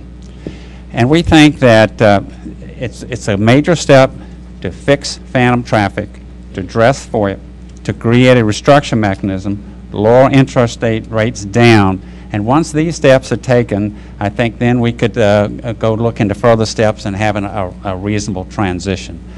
Thank you. Good afternoon. I would like to thank Chairman Genachowski, the FCC commissioners, and the commission staff for hosting today's workshop and for pro- providing Frontier an opportunity to present its views on the important topics of intercarrier compensation and universal service reform. Frontier supports the steps the commission is taking in evaluating reform to both intercarrier compensation and the universal service fund. Currently, Frontier receives approximately 10% of its revenues from these sources. Not surprisingly, these two sources of revenues are critical elements supporting Frontier's aggressive deployment of broadband to our rural markets, markets where we will never have the scale, scope, or a customer base comparable to what exists in more urban parts of the country. Given the integrated nature of this support, it is critical to reform ICC and USF in lockstep, as action on one can have direct impact on the other. We recognize and accept that there will be an impact on the way we recover for our ongoing investment in our rural markets going forward, but we also point out that these revenues enable mid-size ILECs like Frontier to meet the Commission's challenge of deploying broadband to rural America. Last summer, as part of our acquisition of 4.8 million access lines from Verizon, Frontier made aggressive commitments to deploy broadband and improve service. We were able to make that capital investment commitment in part because of the revenues that we received from universal service and intercarrier compensation. The primary theme you will hear from Frontier on reform is transition. Whether it is the phase down of ICC rates or the shift of the Universal Service Fund into a more explicit broadband fund, it is critical that these transitions occur in a way that are gradual and predictable in order to provide an appropriate glide path for Frontier and others. Companies must be given the ability to adjust for these changes in their business to ensure that ongoing investment in broadband in rural and high-cost areas can continue. Transition must also be the central theme of any discussion of access recovery and should affect the way the Commission balances its goals of modernizing ICC and USF for broadband while controlling the size of the Universal Service Fund. In, fact, an appropriate transition is the key to making sure these goals aren't in conflict. Any transition that is done too quickly will place the burden on the companies that currently collect ICC and their rural end users. Recovery of ICC revenues from end user rates needs to be measured and limited, as is any use of the Universal Service Fund.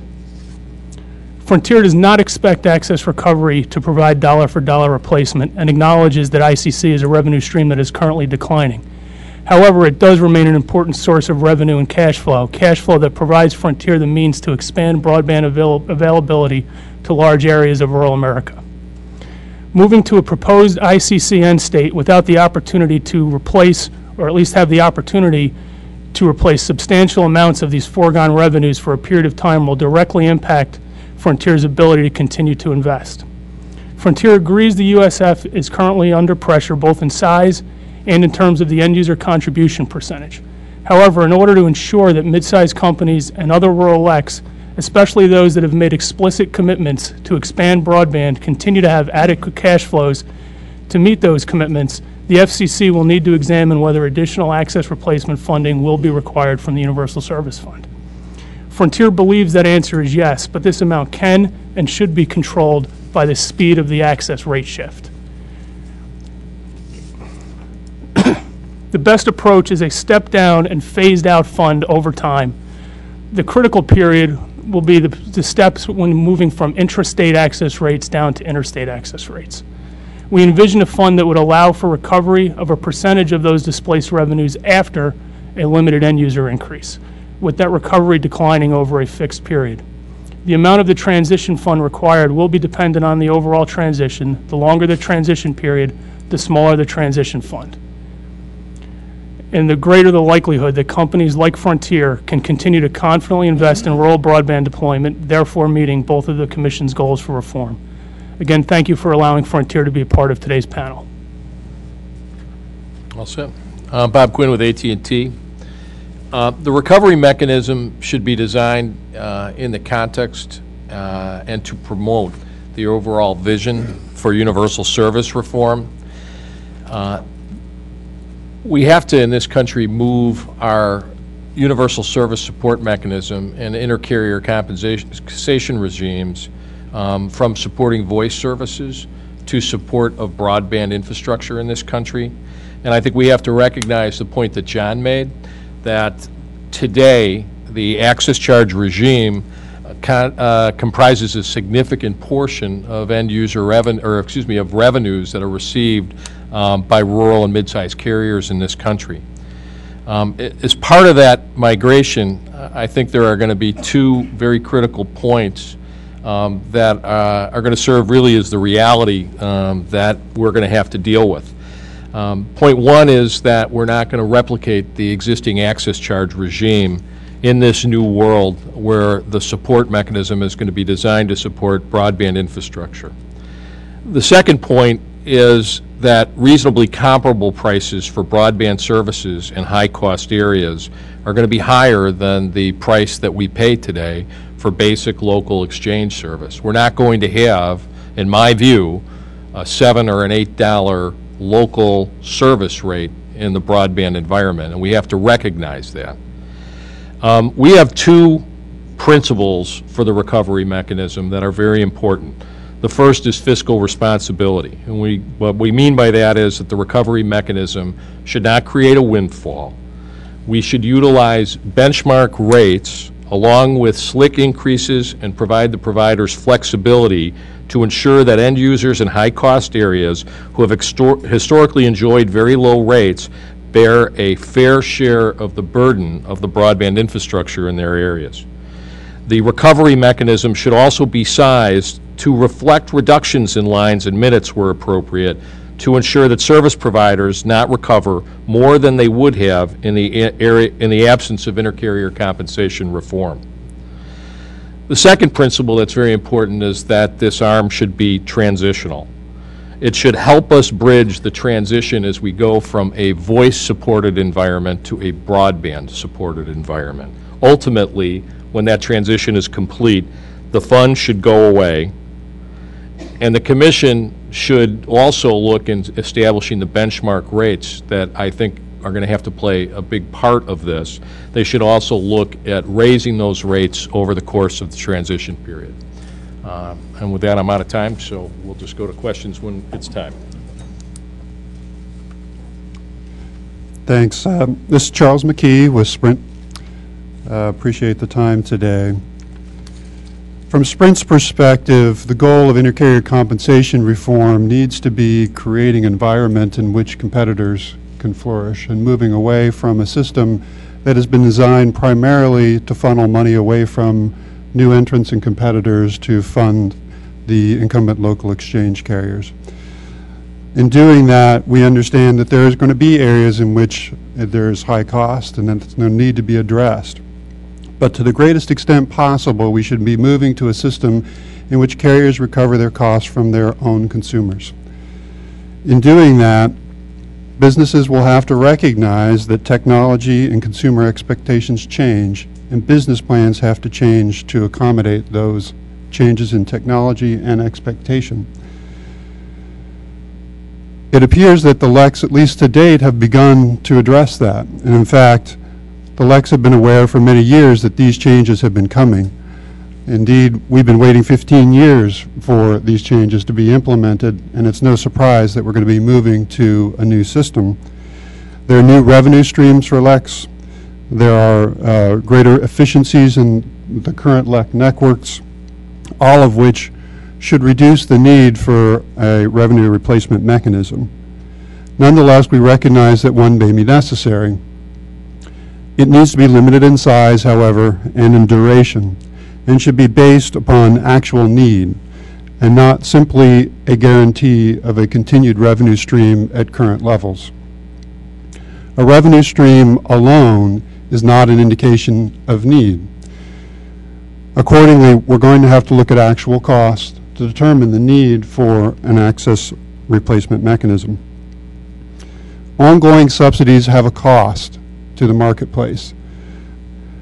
They reduce the possibility of competition, they prolong market distortions, and they defer the benefits of ICC reform to consumers. Accordingly, we feel it's important that the Commission move as quickly as possible to a system that does not subsidize competitors, but rather looks to the end user for its basic recovery system. That's all I have. Thanks. Good afternoon. Uh, Once, I'll repeat what all the other panelists have said all day, is thank you very much to the commission for uh, having us here on this panel. I especially want to thank uh, Commissioner McDowell this morning, who uh, talked about how important the interests of consumers are in this whole process. And uh, I would note that apparently I'm the only representative of consumers on any of the panels today. So, um, and you talk, th- there's a lot of talk about building consensus, and it appears that there may be some consensus among the industry. Uh, But does it make me a Luddite to point some of these fundamental questions out? Uh, Does it make me a heretic uh, not to have uh, drunk the Kool-Aid? I don't think so. But on behalf of those who pay for all of this and those who are supposed to benefit, I feel it's my responsibility, representing NASUCA, to continue to ask these questions. And the questions include whether the reductions in intercarrier compensation are necessary, and the question of whether recovery is necessary. Um, I'm going to continue, we're going to continue to point these fundamental questions out and point out the law where it's incon- maybe inconvenient. And uh, to quote uh, that great savant, Yogi Berra, this to, to us sometimes seems like it's deja vu of deja vu of deja vu all over again. Um, From the customer perspective, you can and should fix the traffic pumping and the phantom traffic issues, and you should also require inter-carrier compensation for VoIP traffic. Um, Those will have an impact on consumers, but eventually, as they work themselves out. Uh, But the recovery mechanism obviously will have a direct impact on consumer. The uh, i- proposed increases to the subscriber line charge, of course, not only go away from the original purpose of the SLC, and, uh, but also burden low users. And of course, it's likely to drive more customers from wireline to wireless, which some of the members of this panel might be happy about. Um, But the, and changes in the USF, of course, spread that burden more widely. But in the end, what you're talking about is reducing these revenues. By, uh, and are we talking about reducing these revenues because the charges are going to be reduced below cost in order to create a subsidy in the true fall harbor sense of the word? Um, and, but if you put intercarrier compensation at its economic cost, that means that the revenues should be adequate. In the end, uh, flowing these dollars through the Universal Service Fund without examining the fundamentals of the statutory purpose of universal service is asking for the customers of other companies in other states to support the revenues of the carriers who are having their access revenues reduced, and we're going to continue to ask questions about that. Thank you. Okay, uh, good afternoon. My name is Frank Louthan. I'm with Raymond James. I'm an equity research analyst um, here. So, uh, just quick uh, disclosure up front: none of the stocks we, the companies we talk about today, I do not own any any shares of any of the stocks. Raymond James may have some business relationships with some of these companies. If you have any questions about that, you can feel free to, to, to see me later. But you know, with that said, uh, I'm, I'm sort of independent here. I, I cover uh, the rural I cover AT&T and Verizon, Comcast, Time Warner Cable, the CLECs data centers. I pretty much cover this whole space. So uh, I, I when I and when I look at this, my, my my job is to try and tell investors what I think about the space and where's the best place to invest. Which, from a public policy standpoint, is something that it it should be paid attention to because ultimately it's this investment in this in these networks that provides these services. And without the investors and without the, the cash flow there, then you, you won't see that uh, over time, and that becomes you know ultimately becomes uh, a part of a, a becomes a problem. But you know, I take one, you know, I've, I've heard a lot today, a lot of comments about the, the revenue side of this and, and how much revenue this is, that potentially looks at it. And, and when we look at the valuation from, from an investor standpoint, we look at the free cash flow, which is basically a measure of, of your revenues less your cost and reinvestment in the business to determine what's left for the, the shareholders. And, and when you look at that, the, the, the, the intercarrier compensation, whichever flavor it is, and in, in my opinion, I think Wall Street's opinion, universal service, access, intercarrier comp, are pretty much all the same. When you get to, when you get that, there's there's a revenue aspect and a cost aspect as well. And the real impact is is sort of the net impact because if you were to take away that revenue, a substantial amount of cost would go away as well and that's something that uh, that you know we've tried to educate our investors on um, quite a bit. It's not necessarily because some investors would look at some companies and say if all this went to zero, oh no, there would be no free cash flow, there would be no more no more company. It's not necess- not necessarily the case, although you know it is clearly important. And the other thing that I think that is important um, is, is come up also today that I think from a public policy standpoint, the commission and others need to, to look at is is the the what are what, whose ox is going to get gored here, and somebody everyone is going to have to end up paying some higher cost, and uh, including the end users. And that that's not, there's not really been a market rate for telecom services that the customers have ever paid, and they don't understand that, because this whole, the whole inter-carrier compensation system has really distorted the economics of the business. And that's a public policy decision that uh, I think is, is something that the commission and the states are going to have to have to deal with. The important thing is this really should be a very long transition and very very slowly and predictably put this in place because these businesses can take time to transition, and with that you have time to sort of educate the customers. But I think that's an important thing that I, I, I haven't heard discussed as much um, uh, in the in the past. I'll turn it over to Rebecca. Thank you, everyone. I'll start off, both uh, David and Frank hit a little bit on the consumers. And um, previous intercarrier compensation reform benefited consumers through lower long-distance rates and more competition. Today, with bundled service offering, how should we evaluate the potential benefits to consumers? Well, I, I guess, you know, the fundamental question is the question that you just asked. And lowering the long-distance rates when so many customers now have bundled packages is probably not going to have that great an impact on the cost that customers pay for local, for their long-distance calling. But on the other hand, loading the uh, costs onto local rates by increasing the SLC or by other rate increases is not going to help consumers. So I'm not sure that there's been a, a a definitive benefit to customers shown in any of this. Well, in, in general, I mean, especially when you go back to the, the, the CALLS order and the MAG plan and so forth, there were several step downs in rates, and they weren't necessarily always passed on to consumers, at least after a certain point they weren't. Uh, and, and, but I think your, your question about a bundling is really important, because that's generally how most customers are buying services these days. And you can talk about adding the SLC and so forth. These are all regulatory terms that, that the customer doesn't really think about. They know what they write, how much of a check they write every month, and that ends up being what's really important. And then if you look, if you really want to do, uh, make a proceeding correct, you need to look further down the road and where we're going. We're going to more of a broadband world. And eventually, uh, both on the wireless side and the wireline side, you'll see, I think you'll see the industry charging by the amount of bandwidth you're using. So a lot of this doesn't, is, uh, over time, um, doesn't become relevant. And there have been sort of the law of unintended consequences that have been talked about earlier today in other, in other panels, such as the uh, access pumping and so forth, that someone finds a way to get around it. I, I- it, when, I think it's very important as the commission takes these steps to reform these things, that they make sure that you look at where the world is going and, and, and, and, and you don't put a policy in place that becomes outdated very quickly. Um, All of you mentioned sort of a transition and a- a sufficient transition time. I don't know, it'd be helpful if we could go down the road to see what you suggest as a transition. I'm wondering if a long transition in Wall Street terms is maybe different in the regulatory terms. Can we start with you, John?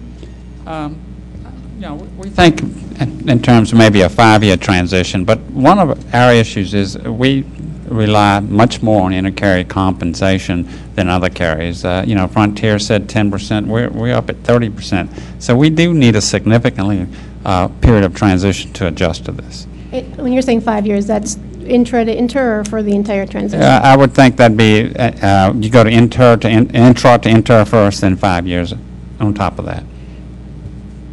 Ken? We- We would be looking at about a- a four-year transition of the first step, and then some period of time to go down to whatever the, the ultimate end rate would be. And, you know, John's five years sounds good to me. Uh, I'm going to give you some numbers. In 2006, when we finished the acquisition of BellSouth, the combined company on a pro forma basis had over 37 million residential access lines. We just issued our annual report for year-end 2010. Four years later, we have 22 and a half million residential access lines. Frank made the point that when revenues go away, costs go away. That's not how it works, right? Not in our environment, not the way that the regulatory environment works. Back in 2008, when we were in front of this commission, we filed a number of dials ex partes to talk about the access recovery mechanism. And I think we sized that ARM at about $4.3 billion, given the fact that um, we were only talking about the terminating side of this issue. And in some of the preliminary analysis that we're doing today, um, we're looking out three years, so there's a five-year time frame, and the size of that ARM looks like it's going to be just over $2 billion total. So when we talk about transitions, we're in a free fall. And I don't think anybody can plan on having the kind of transition that's going to provide the absolute certainty, because we're already way through this transition. And if we don't do something very quickly, um, there's going to not, we're going to get to a point where there's not going to be a point to do anything at all, because the numbers are in free fall. So I would argue for you that our transition ought to be as short as we can possibly make it, because technology and the market is transitioning this stuff today, and it's not going to stop. So I, I joked when Bob sat, sat down that they, they must have seated us next to each other in the hopes of conflict, and I find myself in the awkward position of almost immediately agreeing with Bob on something. Um, That is awkward. It is awkward. Almost embarrassing. Um, You know. You or for me? I, I think I better stop now. Um, You know, a- as I said earlier, and, and I think, I think we need to recognize this uh, from another, so the comment was made about people moving to wireless. Well, that's right, people are moving to wireless. Um, They're not being forced to move to wireless. Wireless rates are not being subsidized. Um, People are choosing to move to wireless. They're choosing to leave their landline services, and they're choosing a different service. Technology has effect- effectively moved to a position where that's where consumers want to choose to use their services, and that's what they're buying. So that's right, we are moving, and, and it's not just wireless, of course, it's also broadband. Um, People are moving onto the net, and they're using the net as their replacement for voice transmission. Um, That's a choice that's occurring today and has been happening very rapidly. As Bob points out, we have 280 million uh, wireless connections. We've got, uh, I keep losing track of where the number is on, on the landline, but it's been dropping dramatically and continues to do so. But, and nice it- chart, Charles. It's a a very nice one, too. You should, you can, you should have blown up or something. What's our conclusion? Uh, But the, but the point being that the government is not going to be able to somehow stop that tidal wave of change. And, and the government's not going to be able to somehow slow that down and say, well, that's not where we want consumers to go. So uh, I'm, here's my, my point of embarrassing agreement. I agree with Bob. We need to do it as quickly as possible. And, and frankly, we just need to move to the point where we're actually trying to live in a competitive environment as much as we can, recognizing that there's going to be some need for other cost recovery. Well, I I guess from the customer's perspective, since we are likely to be impacted by whatever recovery mechanism is arrived at, I think we would prefer a longer perspective, a longer transition.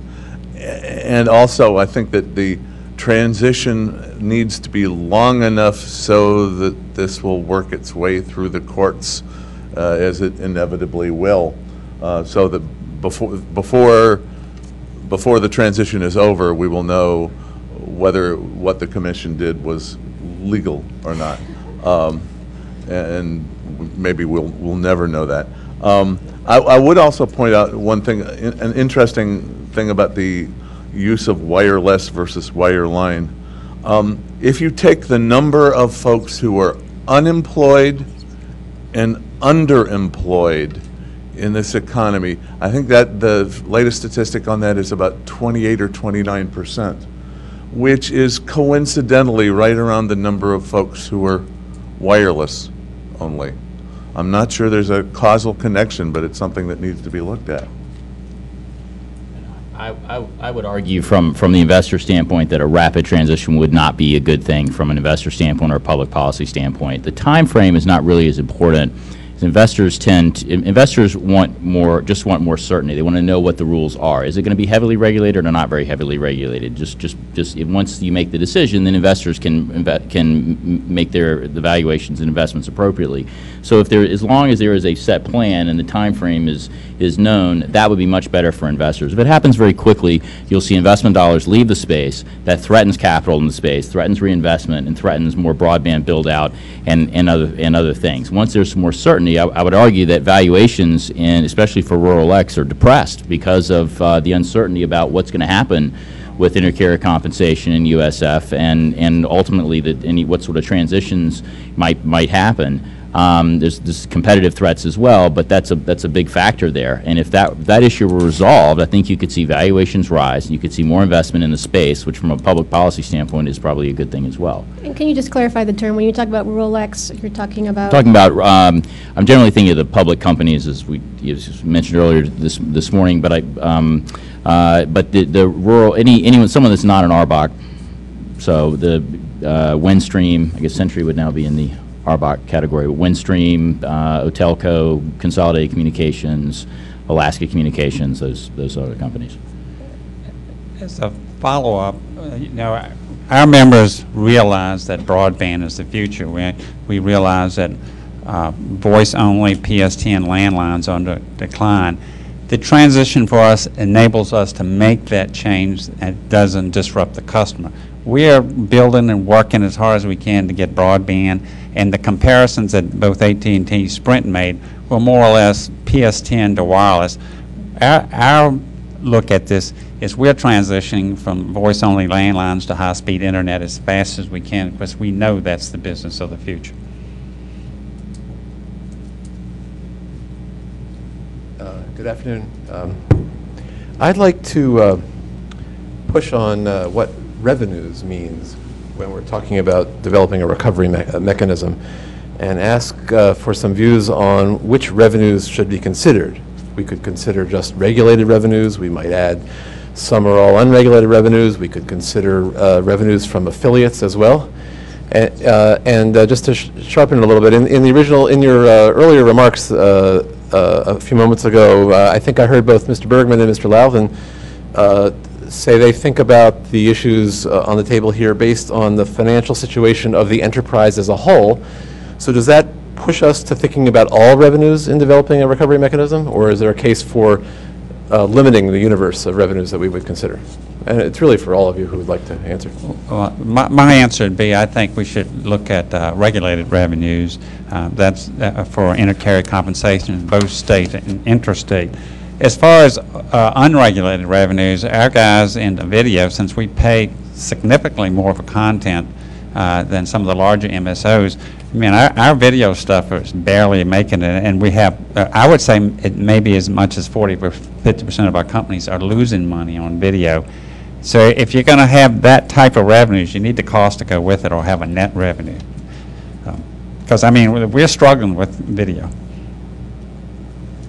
And I would say Frontier's opinion is, is very much the same. When, when we look at replacement, we, we are looking at the switched access world or, or the revenues related to, to intercarrier compensation, both at the state and, and, and federal level. And that's really how, when we look at it internally, even how we're sizing what we see as, the- as the potential risk and, and kind of determining how we think we would need to move through this, whether it's replacing through a fund, replacing through an end user, or having a transition long enough that we can actually limit how much of that we need to do. I was just referring to the uh, switched access revenues. That's all I, were- all we were trying to size back in 2008 was what is the implicit subsidy that's built into switch access and where is that going? So that's what my references were, were simply to the regulated inter-carrier revenues. Well, with respect to revenues, it seems to be the question of what's the goal here of the transition? Um, Simply making carriers whole would seem to undermine the idea of a reform. Um, And the question is, well, what revenues need to be replaced? There's an assumption, I think, that all revenues must be replaced because they're somehow needed. I think there needs to be a demonstration of need. So our starting point is not to look at revenues, no surprise. Our starting point is to look at, well, what is the cost? Um, But certainly, if you're going to look at revenues, you need to look at all the revenues that are being recovered off of the plant that's being subsidized.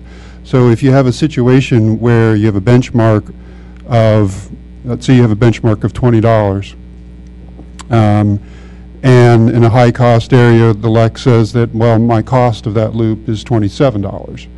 Um, But they're selling services and getting ARPU off of that loop of 120 by selling additional services on the same loop.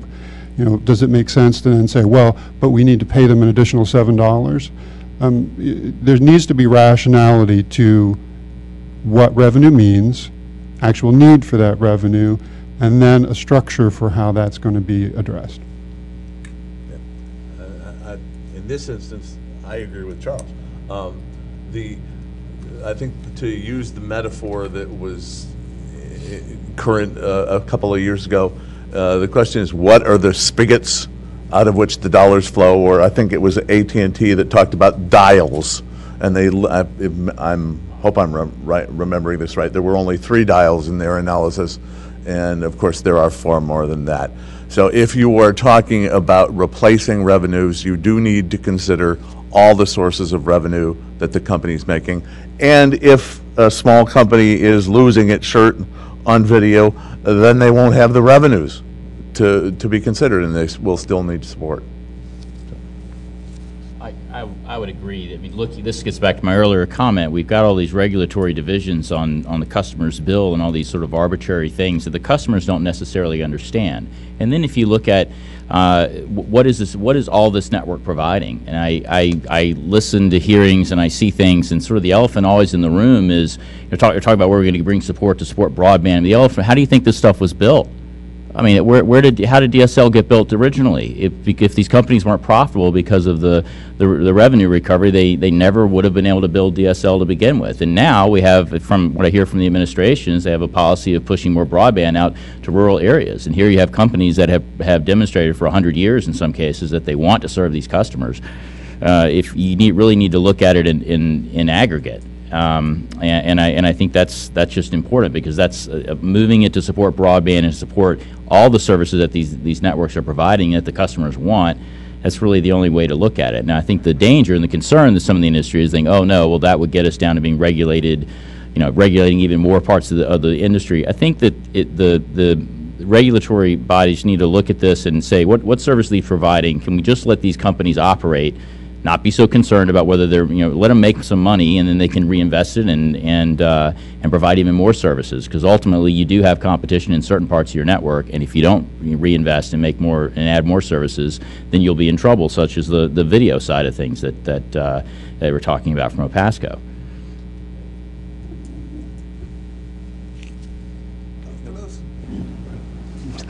Uh, Yes, hello. I have a question uh, that pertains to the in-state or the long-term uh, reform, and as it applies to, might apply to rate of return carriers.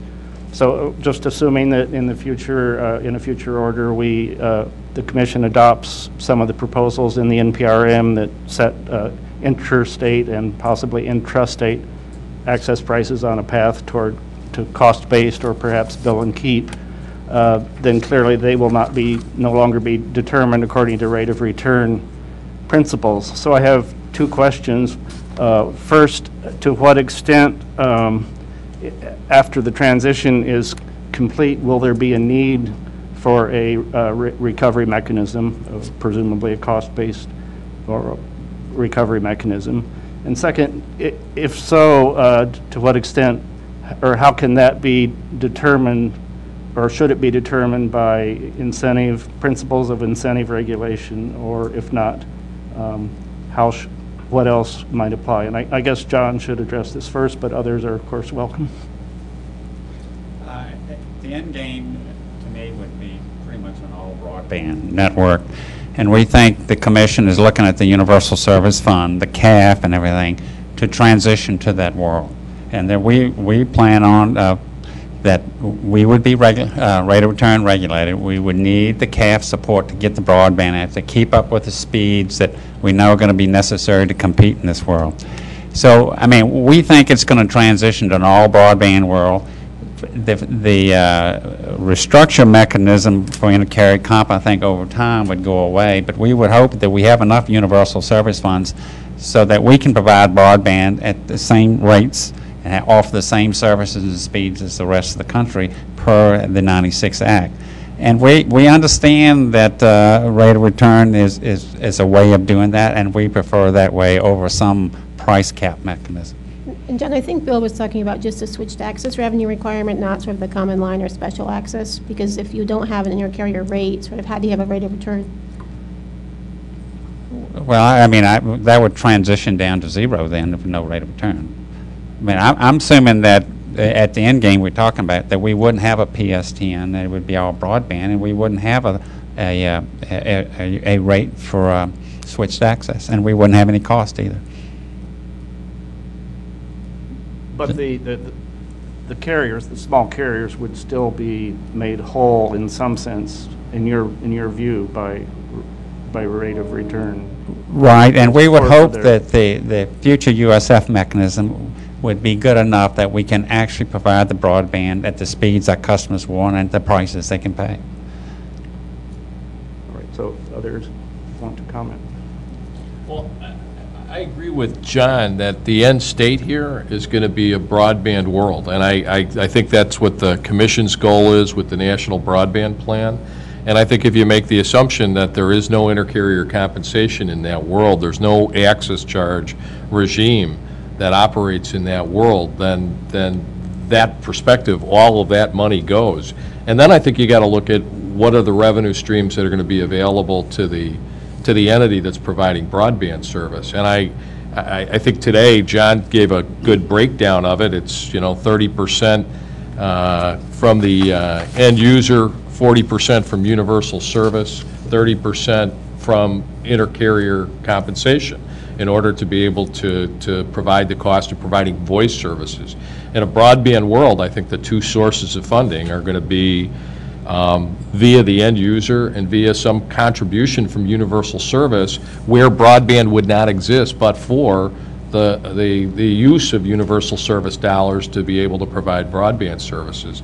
I I don't know what that world looks like. I don't, if, if it, if it turns out to be rate of return, um, for some carriers in that environment. It's not going to look like rate of return today, but I think what you're going to be trying to do is you're going to be trying to establish a regime whereby the end user is contributing a fair portion of the cost of providing that service, and the balance comes from the Universal Service Fund.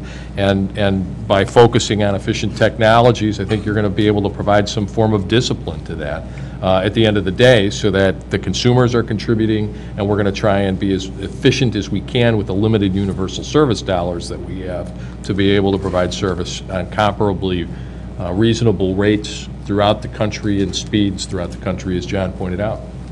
Thank you. I I would throw one more thing in there. I mean, when I I read a lot recently about uh, rate of return regulation seem to be vilified because it's come to people's attention that it's not very efficient.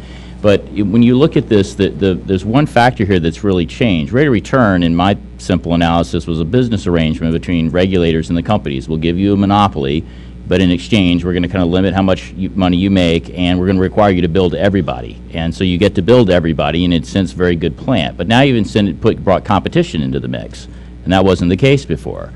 And so I think, you know, moving to an incentive-based regulation is, is probably something that's palatable, but there have to be some offsets for the competition that's there, whether you're going to continue to require the, the, the of last resort obligations and so forth, if you're moving to a, a more incentive regulation, more actual cost-based, and then more actual, you know, cost-based uh, uh, revenue that you're charging the end user. And I think that's, that's one aspect, if you're, if you're going to start messing around with rate of return, that aspect, the, the competition um, factor has to be considered. Let, me just add, uh, from the state perspective, of course, I, I, I think the reference, references to rate of return regulation are, have largely been on the interstate side, because on the state level, of course, very few carriers remain regulated under rate of return regulation. In my state of Ohio, um, by law that was passed last year, um, nobody's under rate of return regulation, so they're entitled to set all, all but basic service rates at any level they want, and they're entitled to earn as much as they want. And in fact, you know, while what rate of return regulation from the customer's perspective was, was a guaranteed of a minimum level of revenue, there have very, very seldom been any high-end adjustments on the state level on, for rate of return carriers. David and Frank make, make an interesting point. I think you really have to kind of put their two thoughts together. You know, in the old days, in a rate of return environment, you- 100% of the customers, or virtually 100%, I think we, we achieved north of 99% penetration on voice services, subscribe to one carrier service. You know, when I look out at the world tomorrow, I'm going to tell you that a third of the customers are going to choose a wireless-only option. And I know that there are a whole lot of people out there who'll tell you that wireless isn't, isn't the be-all, end-all, you can't do what you can do on wireline. I heard that in the net neutrality debates at this commission, but that's not the reality. Wireless is going to be a very viable service, and a third of the customers are going to choose a wireless-only option. And if there's a cable company president, a third of the customers will choose the cable competitor, and a third of the customers may choose an incumbent provider of wireline broadband services. Rate of return regulation had two components, and while David points out on the, on the rate side, on the, the return side, all of those regulatory obligations are gone, but the COLR obligations and all of the legacy regulatory responsibilities are there. So in that environment I described, where, where I've got three customers and each chooses a different broadband delivery mechanism for them, that local incumbent, if something's not done, still has to maintain all three loop infrastructures, even though two of those customers are never going to be there. And that's, when, when, when I think John talks about rate of return, I think that's one of the critical aspects that underlies his analysis of why it's so important. And I think to Frank's point, it also underscores how difficult that concept is going to be to address. We have to deal with the underlying regulatory environment that's there, um, or none of this is going to work. Well, is, the issue becomes, is there a reason why you continue to subsidize when you've got two alternative providers who are in fact providing service to those customers? So is the question then going to be needing to look more carefully at how those dollars are being spent and whether or not they in fact are being spent wisely?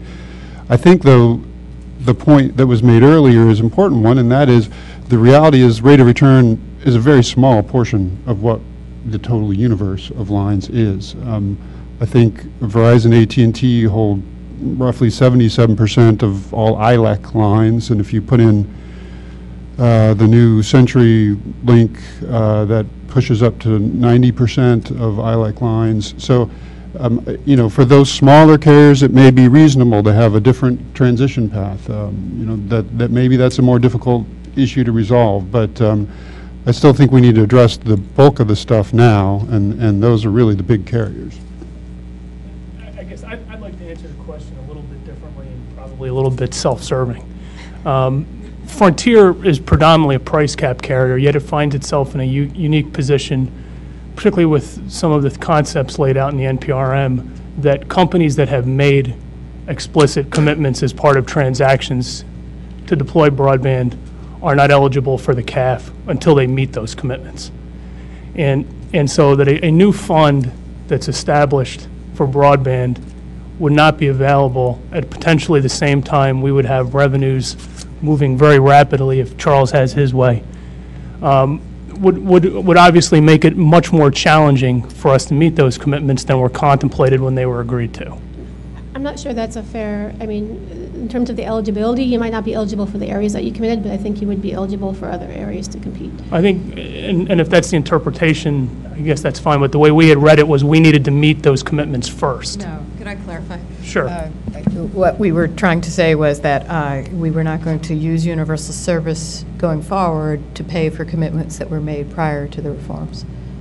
So whatever you committed to, you need to do, but if you're going to get Right, and I- universal I- services, it's got to go beyond. So I, I think the, I think the That's result, I think the that's result the- is the same result as what I'm It saying, which doesn't- is. Doesn't mean you have to complete everything before you could consider getting capital. Okay, but, but the result is still the same result that I'm, that I'm speaking to, which is, we, we, we, we can only use CAF then, let's just say, for the last fifteen percent of an area that we hadn't committed to, and yet potentially have our revenues and cash flows dramatically changed to try to meet the jump from X percent to the eighty-five percent over that. And that's where, uh, on a transitionary basis, we think uh, some access recovery mechanism becomes critical for us.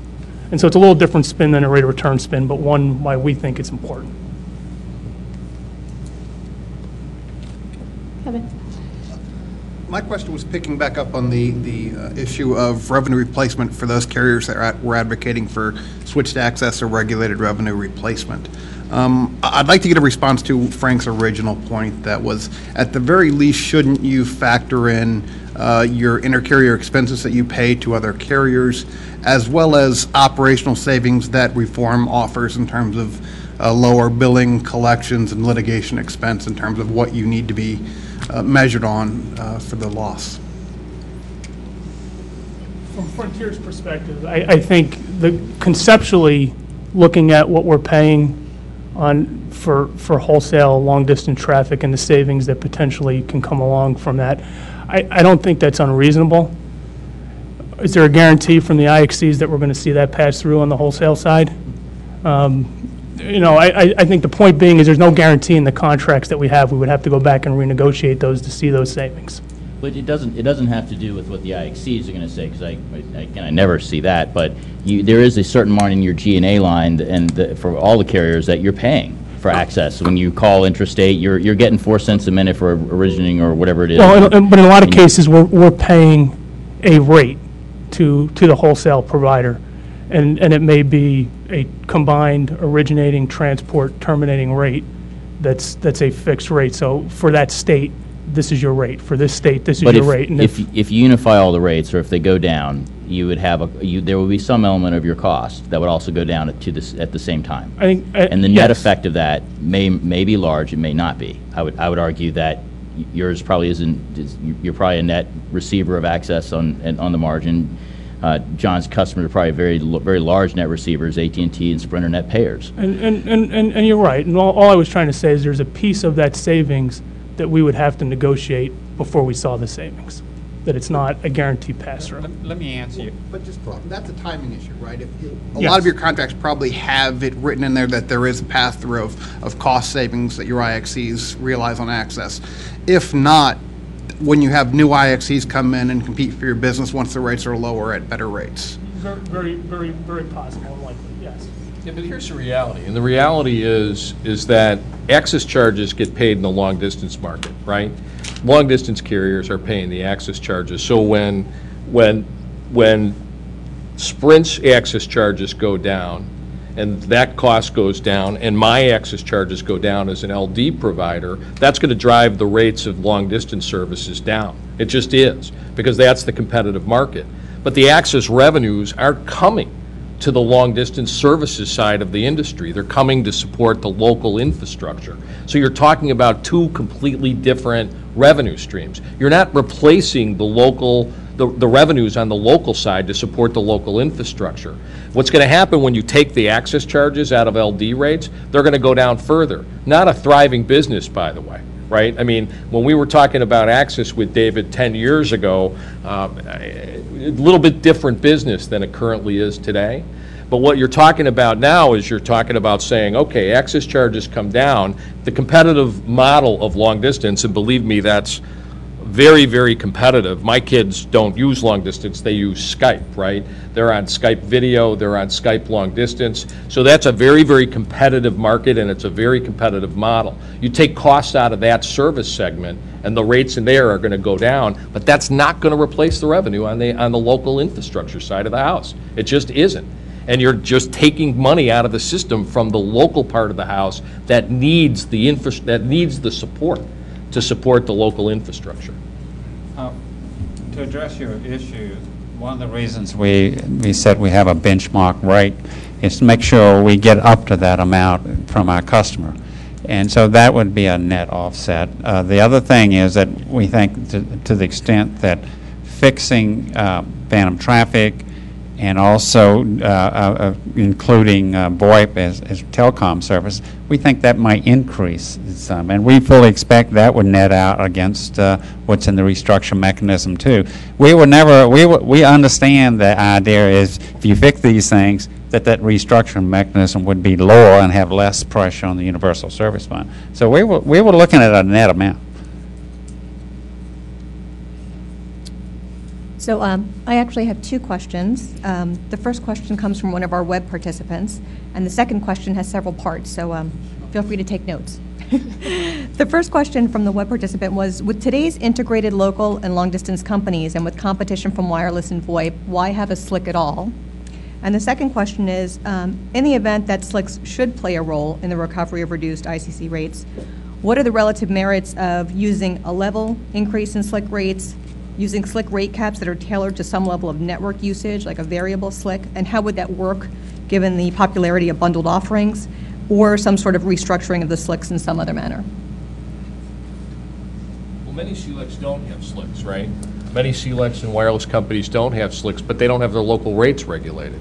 I think if we remove the regulation and you provide the, the certain amount of flexibility, I don't really care what bucket it falls into. But you have to provide the flexibility to the carrier to be able to recover the lost revenue or the cost of providing the service. But, Bob, in some states, you don't, the local rates aren't rate regulated, so do you suggest, what do you suggest happens in those states? Because there's some states, I think Iowa's one, where the local rates aren't regulated by the state. I, I, I think, to be fair, I, I don't provide service in Iowa, right? But to be fair, if, if the local rates aren't regulated, as long as you have the flexibility to be able to recover it, that's all you can ask for as a carrier. I mean, just to be perfectly honest, um, I think that's really all you can ask for. But that's, that's going to be the exception, not the rule. I would- I would say that, of, of course, we don't need a SLC. I mean, think about, we're talking, we're calling it the SLC.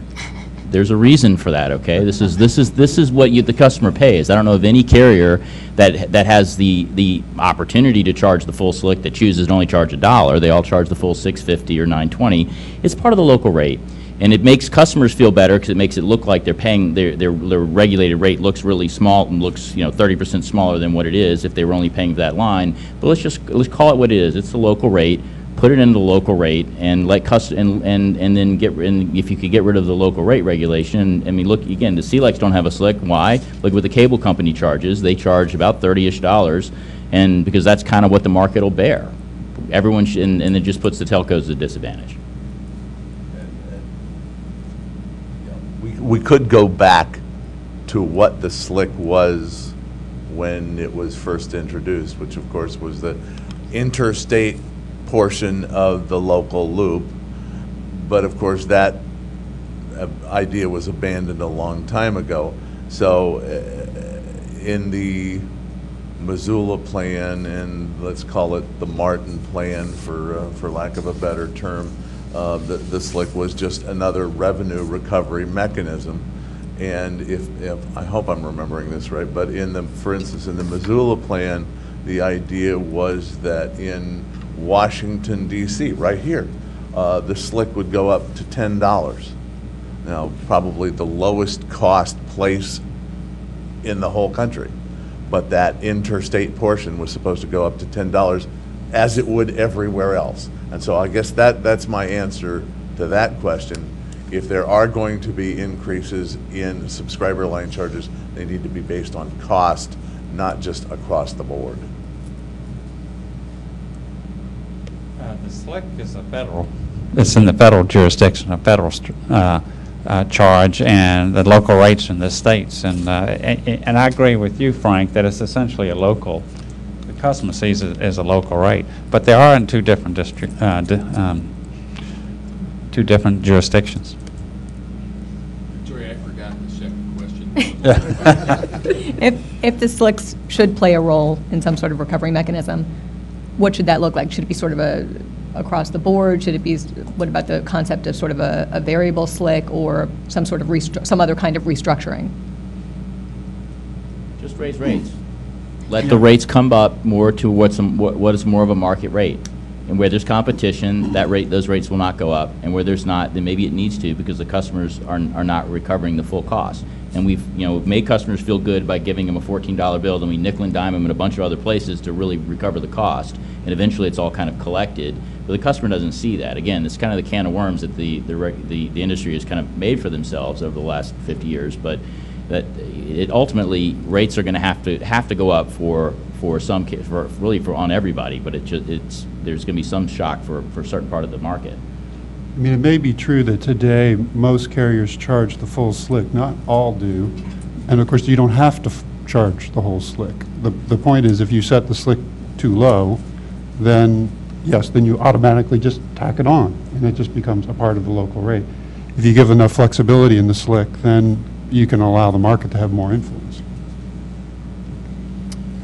Um, I want to ask uh, if the carriers have any particular experience in an interstate access reform and developing a recovery mechanism that maybe the FCC should look at.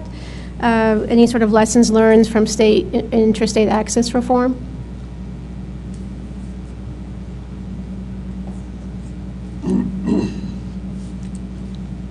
I'll start, I'm just, Ken?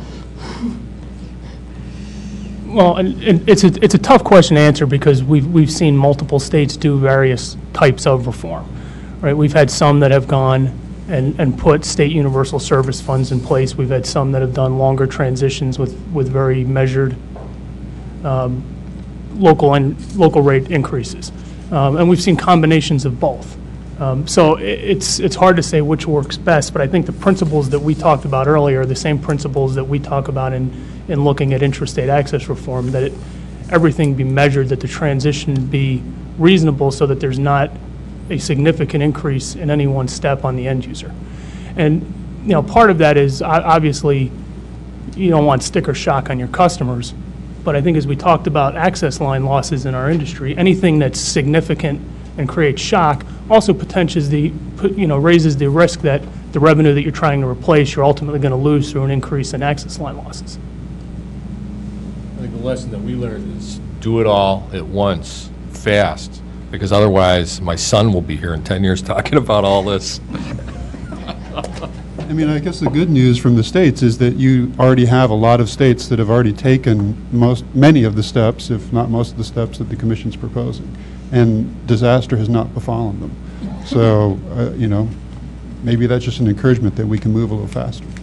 I, I think a number of the states have, have a universal service fund um, that have accomplished some of this in the past, and I think it, it would be a good idea for the FCC to look at those to see how they've worked, and not do anything that would upset what some of the states have already done. Because our, members do uh, depend on some of those uh, state universal service funds for the for the lowering of those access rates in the state.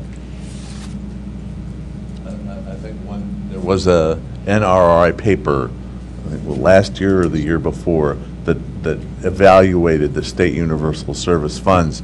And some of those universal service funds were actually high-cost funds intended to uh, make it easier for carriers to provide service in high-cost areas. Others of them, though they're called universal service funds, were actually revenue replacement funds.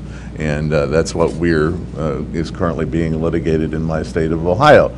Um, So I think we, we need to make a, a clear distinction between a state high-cost fund, which is what the federal high-cost fund is currently supposed to be, uh, and, and state revenue replacement funds, which is unfortunately what a lot, a lot of the funds actually are.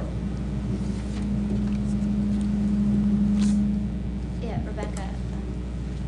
I- Can you hear me? Okay. I'd be happy to share with you the Iowa process. Um, We're struggling, so I don't know how informative it will be. Uh, But a couple of years ago, the board did undertake some intrastate access reform, um, and it was brought to us uh, via the complaint process. And in Iowa, we have several rural carriers, upwards of of 200. And, and together, they serve about 225 calling areas. And these carriers join together under the association tariff and the ITA, Iowa Telecommunications Association. Well, the record showed in that proceeding that the average ITA member retail rates were unreasonably low, while their switched access rates were unreasonably high. Um, to give you an idea of how low the local rates were, um, of these 225 calling areas, 197 of those areas offered service below the national average of $15.03, 211 below Qwest Iowa urban rates of 1660, and 77 of those calling, calling areas were below $10 a month. Um, on top of that, we found that the access rates charged were unreasonable. We had um, asked for support for the access rates. Uh, ITA responded that we mirror the NECA rates, or that they uh, mirror the NECA rates. Uh, in truth, that was not the case. Um, there had been some some reforms, and, and I'll, I'll throw out the the tra- uh, transport interconnection charge as an example, the, the TIC charge. despite the fact that a lot of those costs had been reallocated to other rate elements, the ITA was still charging that. Also, a lot of those, um, that the services recovered under that charge, such as tandem switching or, um, were, were performed by someone completely other than these ITA companies. They're performed by a group called INS. So what we found was that that the access rates were not cost-based. And we didn't have to have this discussion in Iowa, should we do revenue replacement or cost replacement? Because by statute, we have to move charges to cost, and we also have to make decisions in a, um, that promote competition. So we needed to move those rates down to cost, and we, and we lowered those to the NECA rates um, with one exception. By rule, we still charge a three, three cent CCL, and we can't waiver on rules. So all of this is a really long way of saying we've started, started this process. What we told our companies is if you still can't recover your cost, bring a proceeding to the board. We have had a test case where a rural carrier said we can't recover our cost under the board's new rates. And it has opened up a whole new set of issues for the board on what are cost. Because we were surprised to learn when they submitted these embedded separation cost studies that their ver- version of cost is not necessarily the cost of access. It's the cost, again, to, to run their company. And I can't go into the details because a lot of them are confidential. But suffice it to say, in general, we found that there were cost or inputs in these separation studies that uh, related to the non-regulated side of the company, uh, that related to, um, again, I, I, I don't want to get into confidential information, but th- things that didn't have a lot to do with, with providing interstate access or phone service, for that matter.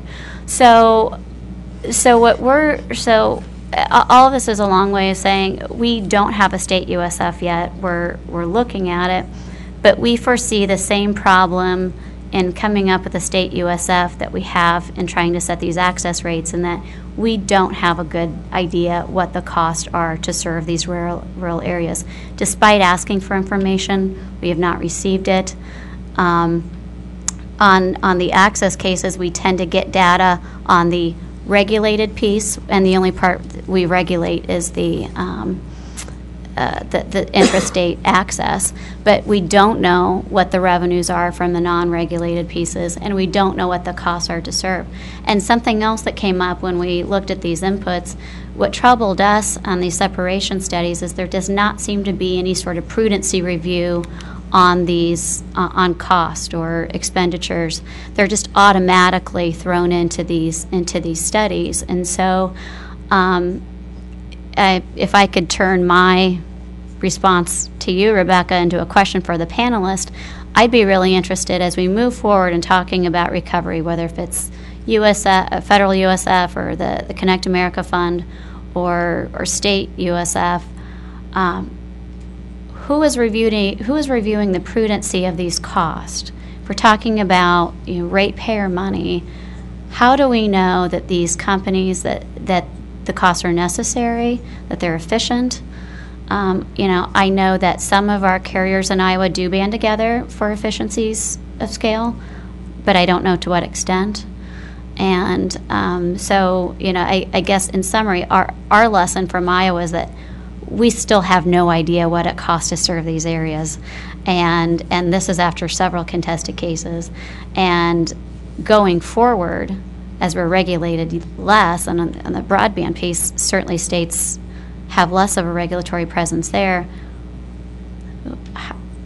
How, do we, how do the regulators, whether it be a state or federal level, know that these costs that carriers want to recover are prudent? Well, I think, I mean, that's an, that's an excellent, excellent point. I, I would love to be able to highlight and score that in the transcript uh, after, after you said it. Um, you know, the reality is that, uh, you know, from our perspective, the, none of these rates are related to cost. Um, the, the actual incremental cost of providing these services is small, very low, and in fact, it's been going down steadily And with IP technology, it's reducing even further.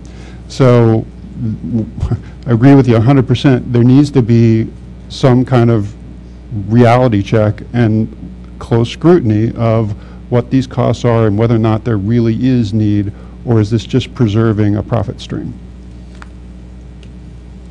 I think we got to take a step up here, because respectfully, if the Iowa Commission doesn't understand the costs of the carriers um, in providing access services, the FCC isn't going to be able to do that either. And just from a resource perspective, I- we're, we're fighting a battle that, to me, is, is already lost.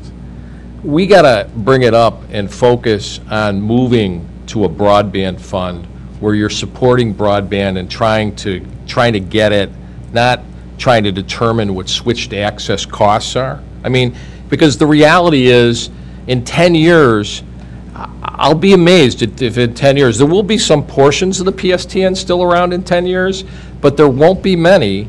And if, and if the FCC has, you know, really effectuated its national broadband plan goals, we're going to be dealing with a broadband environment that, that is going to be fundamentally different. And I think as you see next-generation technologies come to fore in terms of providing broadband, I think it's going to give you the opportunity to get out of the business of trying to determine at some minute level of detail what the appropriate costs are. I mean, Joel, Joel Lubin and I have been talking about, we, we used to talk about access costs all the time, right? But that day is so far beyond us, and if we, if we stay mired in, in trying to figure out what happened 10 years ago, we're never going to get to where we need to be in 10 years. And I, I respect the effort. Um, you know, we don't have local infrastructure in Iowa. Um, We're a long-distance provider there. I, I absolutely respect the effort, but the reality is, is the PSTN is going away, and all of those issues are embedded in the PSTN. And if we haven't figured them out yet, we oughta, we, we just gotta, we gotta create a proper infrastructure that supports broadband, that's disciplined by efficient technologies. We gotta get out of the business of subsidizing competition and really trying to address the real issues of what the cost of providing broadband in rural America is gonna be. I, I mean, Krista, you've got an unenviable position with the number of carriers you have in your state, but it is unusual. And if you back Windstream out of that couple hundred thousand lines, you're, I mean, th- they said this morning, let's not let the, you know, the perfect be the enemy of the good. Unfortunately, it leaves you in a worse position, but we're talking about a relatively small, these little tiny LECs that maybe are putting one over people and are making massive profits. There, there's just not that many of them. And in the grand scheme of what else we could, we could do with the, for the industry that could bring some more certainty and move forward, there's probably some other policy decisions. And if a couple of guys get through the cracks, then is what it is. That doesn't change your directive, I understand, but there, there's a, you know, if you look at it, as you're saying, from a big picture, there's, there, there's a lot more out here that needs to be addressed. Hey, Frank, I got a question for you, which is, how is putting the right framework in place gonna help solve, I mean, to me, I look at Iowa, and we've got 200 carriers in Iowa, and I gotta say that at some level, the word consolidation comes to mind, that we, do we really need 200 carriers in Iowa? I mean, I- but we've got to create a framework, I would think, that's gonna, that's gonna maybe do something to address that issue? Will this, I mean, i- i- is creating an appropriate framework for broadband going to get us to an area where we have a more manageable number of carriers? From, from what I see with the smaller carriers, they're generally family-owned. These, this gets to a very emotional issue. Mm-hmm. It's a family-owned business. Great-grandfather founded the business. They don't want to give it up. Is what it is. Yeah. Now, you make some changes that squeeze the business model, and that'll force some of them to, to, to change. They'll have no choice. There definitely should be consolidation. There's n- no reason for there to be that many carriers, no reason for them to be as many carriers as there, you know, besides that. But I- it's, it- when you you have a, a family-owned business, it's just harder to, harder to force that, that kind of consolidation. I know And- and Angie if- has a question, oh. and we only have about 10 minutes left. I'm sorry, Can go can I ahead, follow Krista. up real quick? I, I agree with you. I don't think we s- should spend a lot of time figuring out the proper intercarrier compensation rates. I mean, if, the, I, I I think they're going down, and that will be a moot point eventually. But my, my point is, is the lack of data. And there will likely be a recovery mechanism. It Probably won't be intercarrier compensation, but it might be a state USF. And there is a, there is a big problem at the state level, I don't know about the federal level, in getting the appropriate amount of data from the carriers to justify these costs. And how do we determine the appropriate recovery mechanism, if there is one, without, without any kind of data? Uh, if you put a low number out there, you might get some data. One, one there's, a- there's a- about 140 companies in Iowa, and a good chunk of them, I- I- I'm, I'm I'm thinking maybe half of them, are on what's called average schedules. And that is a somewhat of an incentive mechanism, and they don't do the separation cost studies, and their uh, return on access is based on formulas developed by NECA. So those guys probably don't have the data that you're looking for, and they're not on a cost basis, uh, they're on, on an average schedule basis. And I'm not so sure whether it'd be worthwhile to push all that to, uh, to get a really cost base separate between state and interstate and all that. But I, I would think the majority of those 140 companies in Iowa are on average schedules. And that's a different way of looking at things. I really didn't have a question. I just wanted to make a point, and that is when I heard Commissioner Tanner talk about the experience of tr- obtaining the information to understand what it is that you're replacing, to me, it's a lesson for all of us to be learning. And that is, every day, it seems, while I'm here at the office, someone is coming to me and saying, but we're going to need money for broadband build out. And the lesson that you've now had, well, how much money do they really need? And is it really being prudently spent? Is an important one because we do have a limited fund. We have a commitment not to grow the fund. And um, it's going to be a difficult task for all of us, but I think one that we need to listen very closely, go back to the transcript that's highlighted and underlined that Charles is going to have of what you had to say, because I think it's an important thing for all of us to be thinking about. We only have about 10 minutes left. Peter, did you have a question you'd like to ask? Yeah, I guess maybe it. One follows up a little bit on this point, but let me ask what maybe is a more um, threshold question, which is, my- my, my sense is that some of you guys are doing what you are doing because you're competing. You're competing against other providers. And I know that, you know, competition is, is everywhere. In, in, in Iowa, there apparently is enough competition to have the legislature relax uh, end-user rates. In, in New York, uh, we have long understood that there's a lot of competitive pressures such that 90-plus percent of the state, including a lot of rural areas, have uh, at least three platforms. So I guess there's a lot of competition out there, and I know that this reform is going to be painful, but the question I, I guess I want to ask is, should competitive carriers be allowed to get a contribution to supplement its cost recovery? And I guess with that question, I'm sort of assuming that there is increased flexibility on your end-user rates. So if you have increased flexibility on your end-user rates and your access charges are being reformed, are you saying that you have a claim for recovery from USF? I don't see a business case for a competitive carrier to go into some place where the revenue is so low that it requires a subsidy unless the carrier sees that subsidy as, as making it massively more profitable than going somewhere else. So I would say there's an arbitrage that's going on there just by definition. That would be my simple analysis, but I could be wrong. Yeah, I, I mean, from Sprint's perspective, if you've got competition in area, to your point, wh- why are you doing subsidies at all?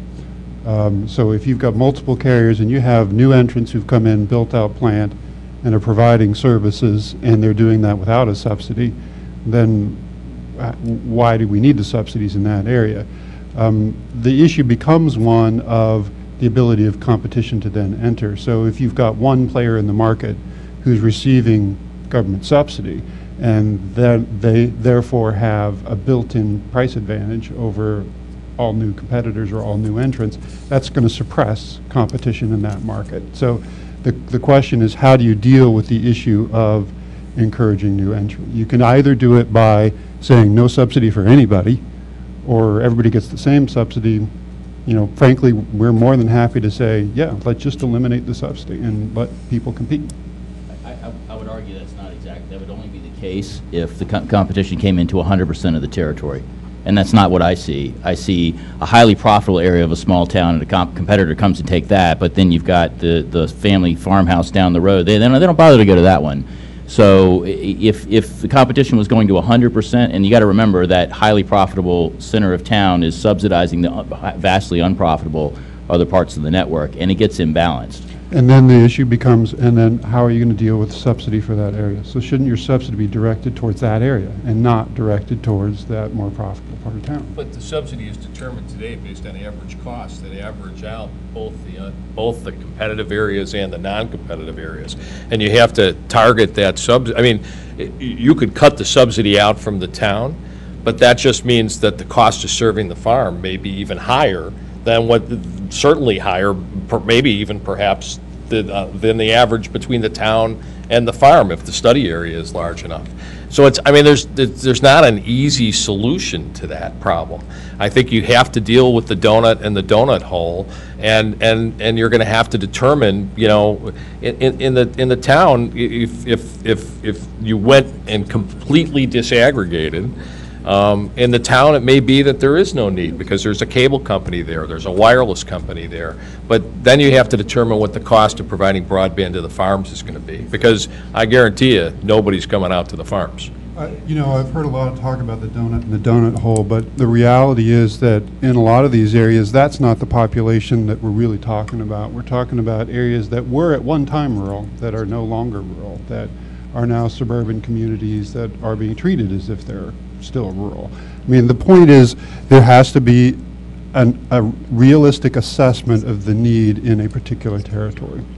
And, that- and, and, you know, that, there may very well be donuts and donut holes in certain areas, but that doesn't mean there doesn't need to be some more critical analysis of those costs. Uh, About, I think it was five or six years ago, I believe Embarq did such a study about, you know, getting rid of what they call the uh, implicit subsidy and averaging over a large area. And the way I read that study, that if you did that for that particular company, that they would need more money to support that area that they were supporting by averaging. I think the donut in the hole is a real issue. I think a lot of our companies, you know, some of them may be 50%, some of them 80%. We don't really, we haven't really looked at, but the donut in the hole is a real issue. If you disaggregate, and I think the FCC has looked at it rightfully so, that they want to disaggregate before they address that donut and the whole issue. I think that's something that really should be done. Disaggregate first, then you can have the data that you're looking for to make that decision. I think the important thing to point out, too, um, is when you, remember what we were doing here is we were subsidizing to provide voice service. And, and I, I think it's very instructive if you look at the last competition report, where I think it said that the ILEC, the share of ILEC voice access lines, it excludes wireless for reasons that are beyond me, but um, it excludes wireless, but the number, the percentage is down below 70%, it's 69 and change. In terms of the ILEC market share, if you will, for interconnected VoIP lines and wireline uh, traditional TDM voice lines, which if you accept what, uh, uh, what I consider to be a conservative number, that 25% of the market has gone wireless only, that's really translates into about a 55% market share. And I think if you looked at the minutes, the actual voice minutes, my guess is for the entire ILEC wireline industry, when we talk about voice as a service, I would say their market share is probably in the 30s. Um, And I think that's just, I, I think that just underscores the problem that we have. I think this is a great conversation, but we only have five minutes and I'd like to get one last question, and I think John Baker will ask our last question.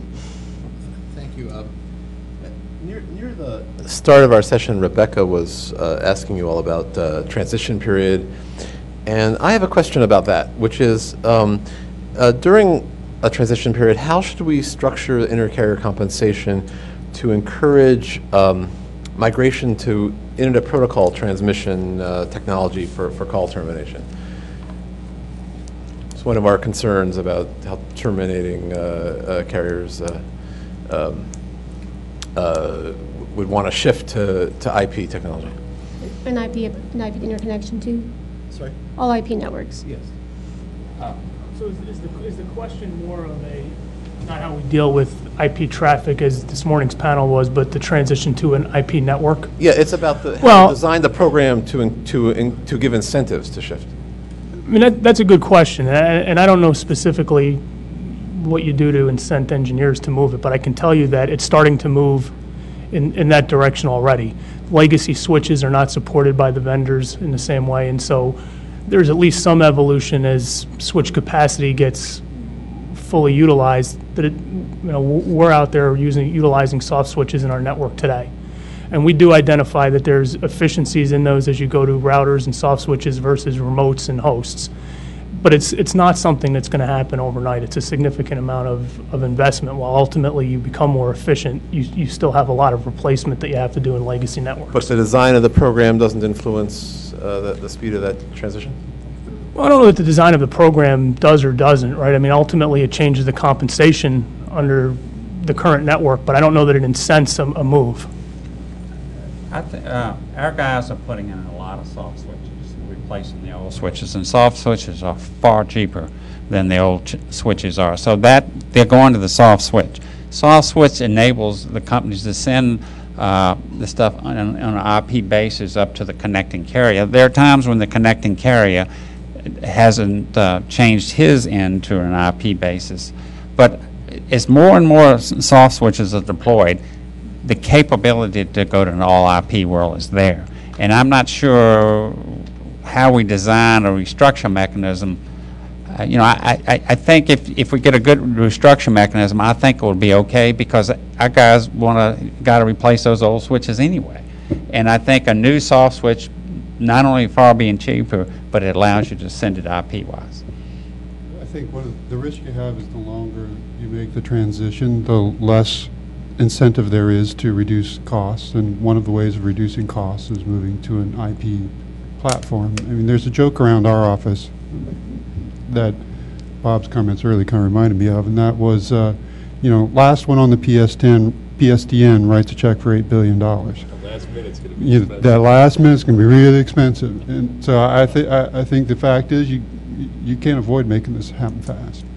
And I, I guess the last thing I would say is that if your process and results are going to be data-driven, one of the things you need to look at is the, the theme that's in the notice of proposed rulemaking, that high access charges have disincented the switch, the switch to a broadband network, when of course, it's exactly the smaller carriers that have had the higher access charges that have done more broadband build-out than the larger carriers.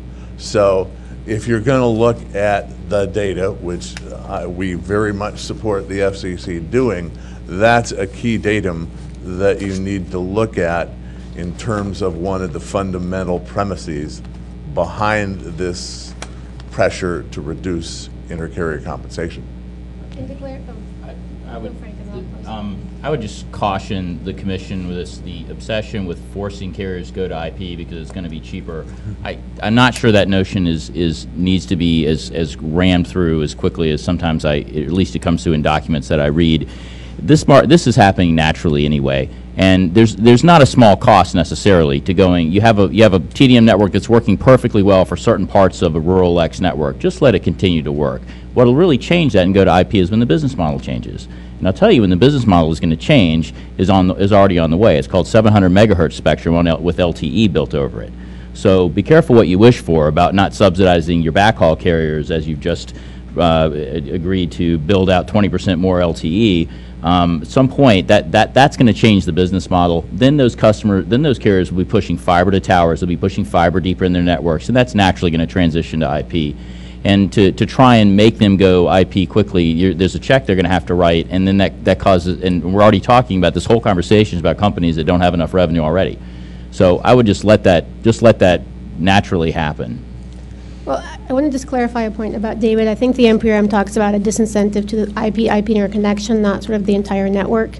And we're trying to promote goals to- to accelerate the transition. I don't think we, we recognize that these smaller carriers have been using USF and ICC to build out the last mile for the IP. But anyways, it's uh, a little over time, so I wanted to thank our panel today for coming. It was a very engaging discussion. Uh, We will have our second workshop, which will focus on universal service and the Connect America Fund on April 27th here at the FCC. So thank you.